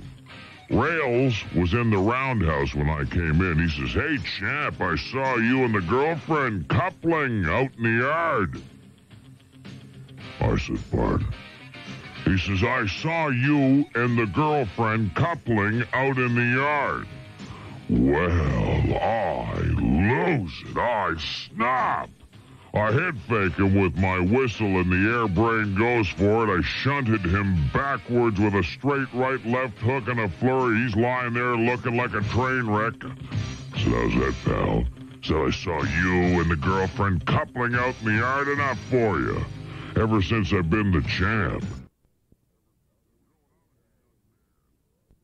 You know, when I was a young man, I worked for a while as a sailor. I was engaged at the time to Mrs. Champ and missed her terribly when we were apart. There were lots of temptations to be unfaithful when we hit port, but I never gave in. I know it sounds old-fashioned nowadays, but we didn't sleep around, you know. Not only that, but we never even slept together until our wedding night. It meant something to save yourself for you're intended. I got a lot of razzing from some of the crew, but I remained true to my principles and never did anything to sully the sanctity of our love. I had long talks about this with Big Ben Bronson, the second mate. He listened sympathetically. He'd been married four times, but blamed the breakups on being at sea so much. He even stood up to the first mate, his boss, when he accused me of being Mr. Goody Two Shoes. One time, Ben reminisced about the wedding night of his first marriage. Like me, he had saved himself and was always grateful he had. He says, Hey, champ, believe me, you'll have wonderful memories of sleeping with the first mate. I said, pardon. He says, you'll have wonderful memories of sleeping with the first mate. Wow! I lose it. I snap. a head fake with the corkscrew of my Swiss Army knife, and the twisted sister goes for tidal wave wallop, bowline bash, and ten fathoms flurry. He's on the floor, floor, on the floor. He's on the floor, rolling from one wall to the other. With the swaying of the ship, I said, How's that, Big Ben? Is that you'll have wonderful memories of sleeping with the first mate enough for you uh, ever since I've been the champ.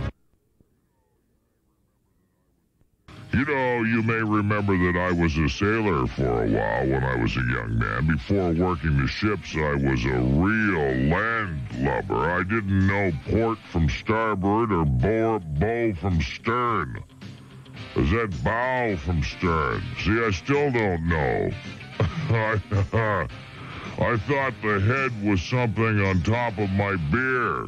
Some of the sailors ridiculed me for using the wrong terms, and they were always correcting me. Since I was the junior crew member, I got the worst jobs, and the other guys took advantage. One time, they had me doing chores all over the boat during a violent storm for 24 hours straight without a break.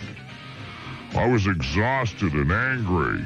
I went into the kitchen, or galley as they kept reminding me to, to call it, for a quick bite before grabbing some shut-eye.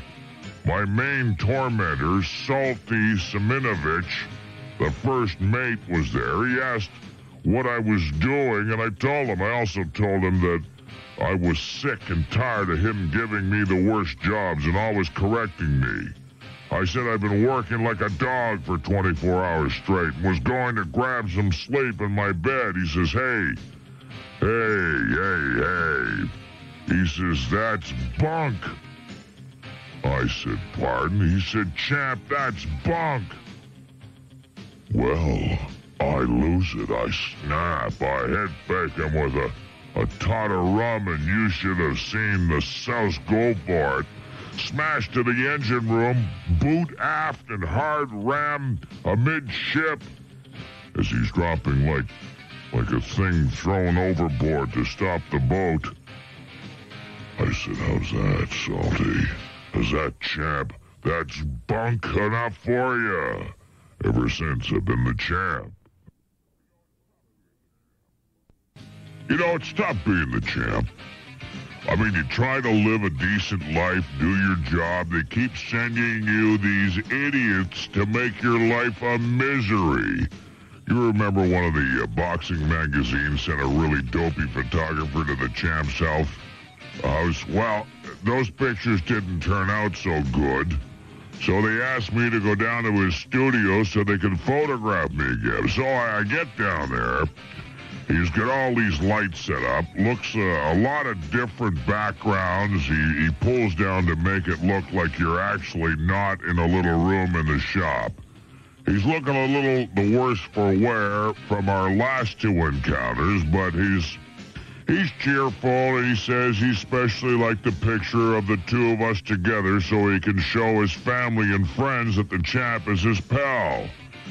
Well, I feel kind of sorry for, for snapping on him before, so I says, okay, I get a shot you and me. So I asked him how he's going to take a picture when he's standing with me in front of the camera. Well, by now he's gotten really excited and he's putting some little gadget onto his camera. He says, It's an exposure self timer, chap. I says, Pardon? He says it's an exposure self timer.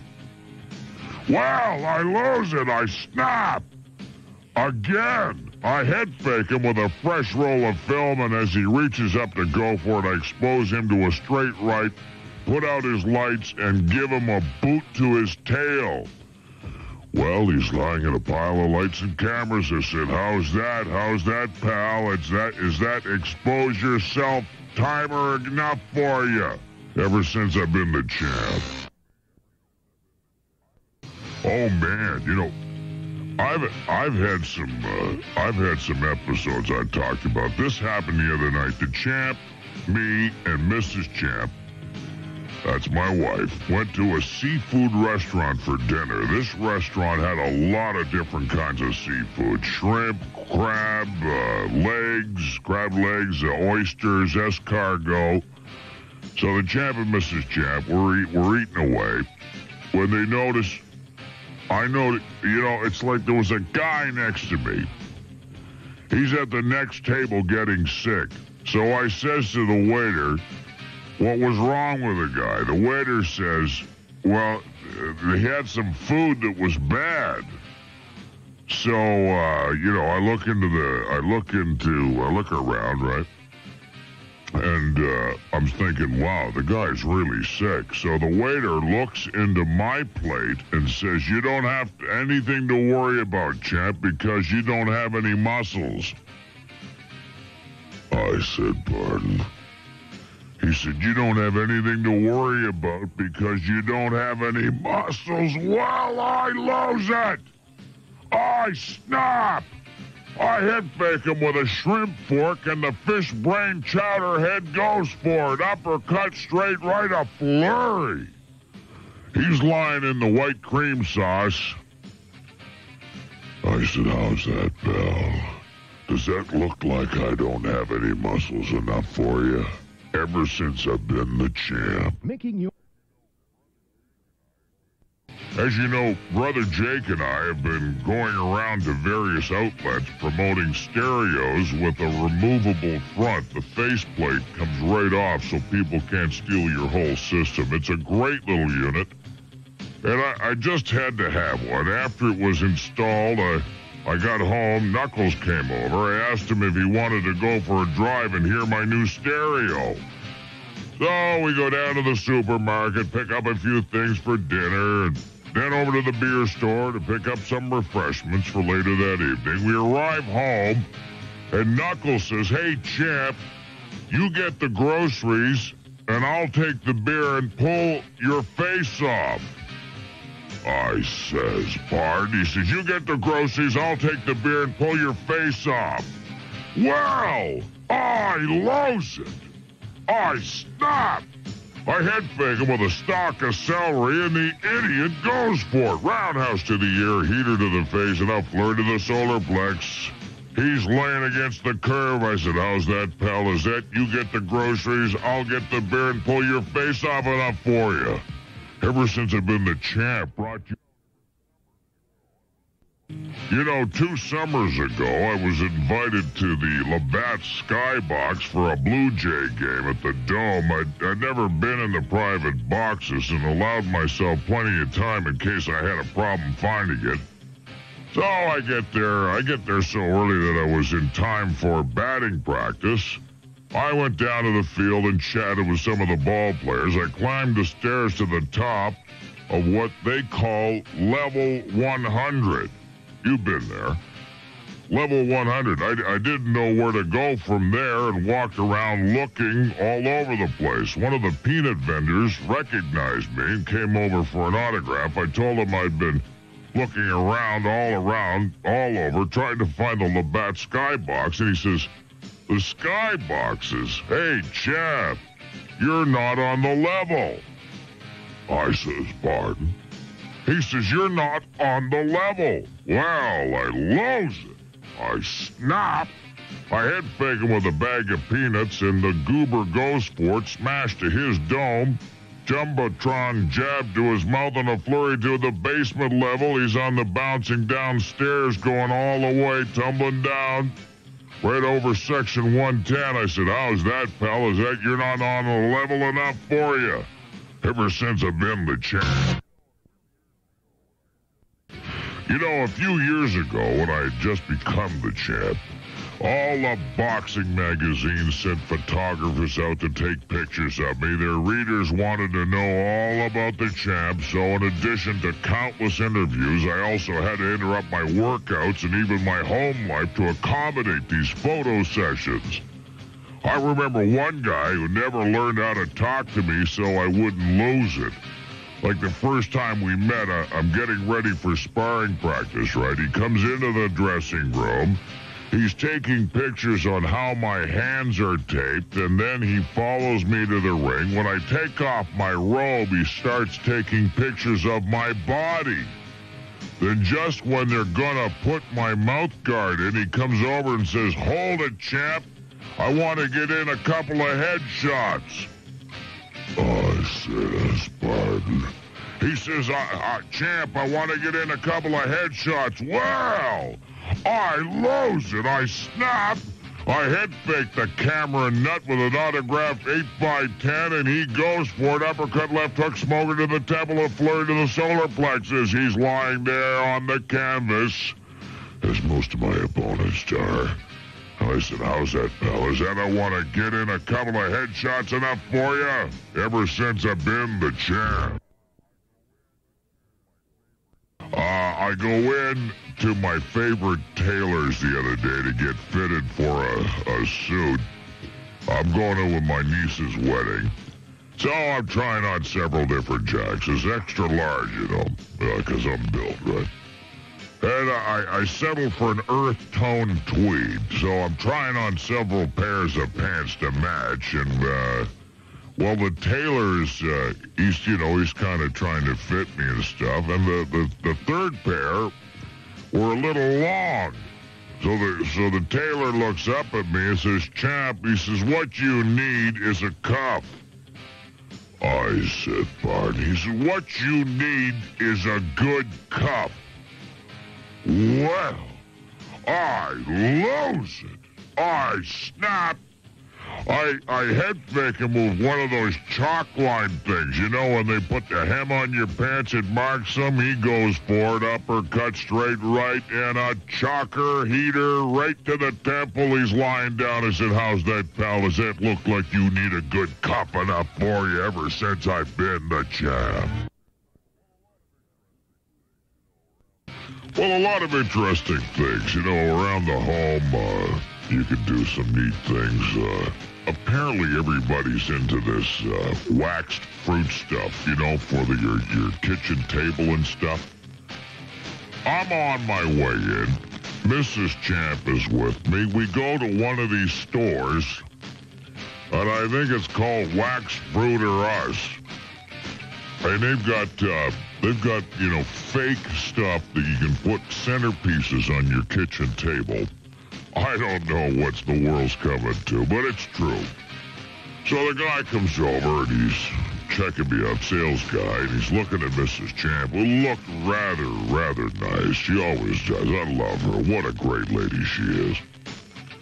So he's, he keeps on looking at her, and, and uh, he says, well, he says, uh, Champ, maybe a little wax fruit for yourselves. And I said, well, uh, he said, uh, yeah, a lot of interesting things, and he's he's looking at me and he's looking at Mrs. Champ. Well, I said, well, what else is new? He said, rubber melons. I said, what? He said, well, you know, you got the waxed apples and the waxed bananas and rubber melons. Oh, I snap. I, I lose it. I couldn't believe it. Uh, I had thinking with my American Express. He reaches up for it, uppercut, straight right flurry. He's lying down there, the new centerpiece of the store. I said, how's that, pal? Is that rubber melons enough for you? Ever since I've been the champ. Remember last time when I lost it in the ring with that uh, photographer? Well, Next week, the boxing magazine sent him over to my house to take pictures of me and, and my family at home. The fans just love to see this sort of stuff, you know, because it proves to them that I'm as uh, real a human being as possible, not just an undisputed master of the sport of boxing. Anyway, he comes over one summer day. He's uh, taking pictures of me washing my car, having lunch in the backyard with uh, Mrs. Champ, playing catch with the chimp. And he says he'd like to know more about my hobbies, my, uh, you know, instead of my boxing career. So I take him down to the basement where the champ has a big collection of cameras, lenses, tripods, light and stuff, photography being just one of the many hobbies I've dabbled in over the years. So he says to me uh, he'd like to get a shot of me posing, uh, you know, with my champ's robe beside my boxing trophies. So we get into the den. I I go get my robe while he sets up his camera equipment. When I come back into the den, he looks like he's all set up, but I don't see any lights. I put on the robe and I ask him how he wants me to pose. I also ask him how he's going to take the how's he going to take the picture when it's pretty dark in the den. He says, "Well, chap, I forgot my floodlights in the car, so can you give me a flash?" I said, "Pardon?" He said, "Champ, can you give me a flash?" I couldn't believe my ears. I lose it. I snapped. I hit Bingham with an exposure meter, and the lightweight went for it. I came around with a right, a couple of shots to the body, a flurry to the solar plexus. He's lying. He's lying there on the jute back carpeting. I said, how's that, Mr. Photographer? Is that champ? Can you give me a flash enough for you? Ever since I've been the champ.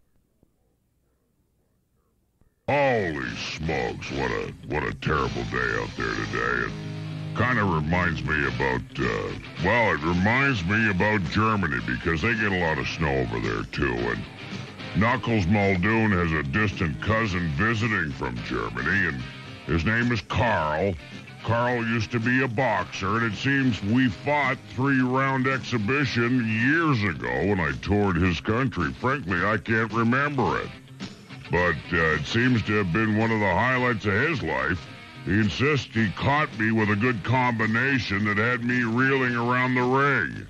Well, you know, I used to clown around during these exhibitions, giving the local crowd and my opponent a thrill, but I, I was never really hurt because because of this incident, Carl still regrets that he quit the ring too soon. So the other day, me, Knuckles, and Carl went to the liquor store. Mrs. Knuckles was having a party for Carl, and he wanted and he wanted to bring something special as a gift. So as we walked up and down uh, the aisles, Carl carried on about what a punishing puncher he was and how he could have been a champion. Finally, he stops in front of the French sparkling wine section and says, hey, "You gotta, you gotta, you gotta catch this guy, right?" He says, "Hey, cousin Knuckles, I think I would like to give the champagne." Uh, I says, "Pardon?" He says, "I told Knuckles that I would like to give the champagne." Well, I lose it. I snap I blow my cork a head faking with some Henkell Trocken and then the bubble head goes for it. 60 proof pop to the nose, extra dry hook to the throat, and a vintage flurry to the solar plexus. He's lying in the middle of the puddle of Mumm's Reserve. I said, How's that, pal? Is that I would like to give the champagne enough for you? Ever since I've been the champ. Knuckles Muldoon, the other day, calls me up to see if I'm available for a game of flag football. This is before the snow came. We were going to call it the Snow Bowl. It was a couple of Sundays ago. And of course, I'm an ex star player at high school. Uh, so I oblige. I tell Knuckles uh, I may be a little late because I got to go to church services. That's top priority in the champ's book. So upon arriving at the game that's in progress, uh, I noticed the colored ribbons attached to each player's shorts. You know, you rip them off to signify signify a tackle. It's called, you know, it's flag football. So I asked Knuckles, uh, what team uh, am I on? Knuckles says, uh, you're yellow, champ. I said, uh, pardon? He said, you're yellow. Well, I lose it. I snap. I head fake him with my own J5V football, and the idiot goes for it. I rope a dope him around the bleachers, uppercut straight right flurry. He's lying on the ground. I said, How's that, pal? Does that look like I'm yellow enough for you, you idiot? Ever since I've been the champ. You know, I want to ask you guys out there, where do you where, where do you get a decent haircut in this city? I used to go to Harry's Haircut for Men all the time until Harry closed up and retired south, and then Mrs. Champ noticed I was getting a little long around the edges. So I asked my pal Knuckles if he knew of a good place. I don't know why I asked Knuckles because his head he has his head polished once a month. You know what I mean? So, anyways, he tells me about this guy who cuts his brother's hair. Well, I go down there. It turns out this guy, well, he's uh, he's a hairstylist, small, skinny guy, real jumpy. Uh, I think his name, I don't know what his name was. Uh, anyway, I tell the guy uh, that the missus, that's Mrs. Champ, says I, I should have some off the sides in the back. So I'm sitting in this chair. We're making small talk. He's cutting and he says, Does your wife like it on top? I says, uh, Pardon? Says, Does your wife like it on top? Wow! I snap. I lose it. I head fake him with a photo of a guy with a plastic haircut, and, and the clipping head goes for it. Short right uppercut, final blow dry flurry to the solar plexus, and he's down. He's lying in a puddle of Breck shampoo. I asked him, I said, how's that? Does, does, is that, does your wife like it on top enough for you? Ever since I've been the champ.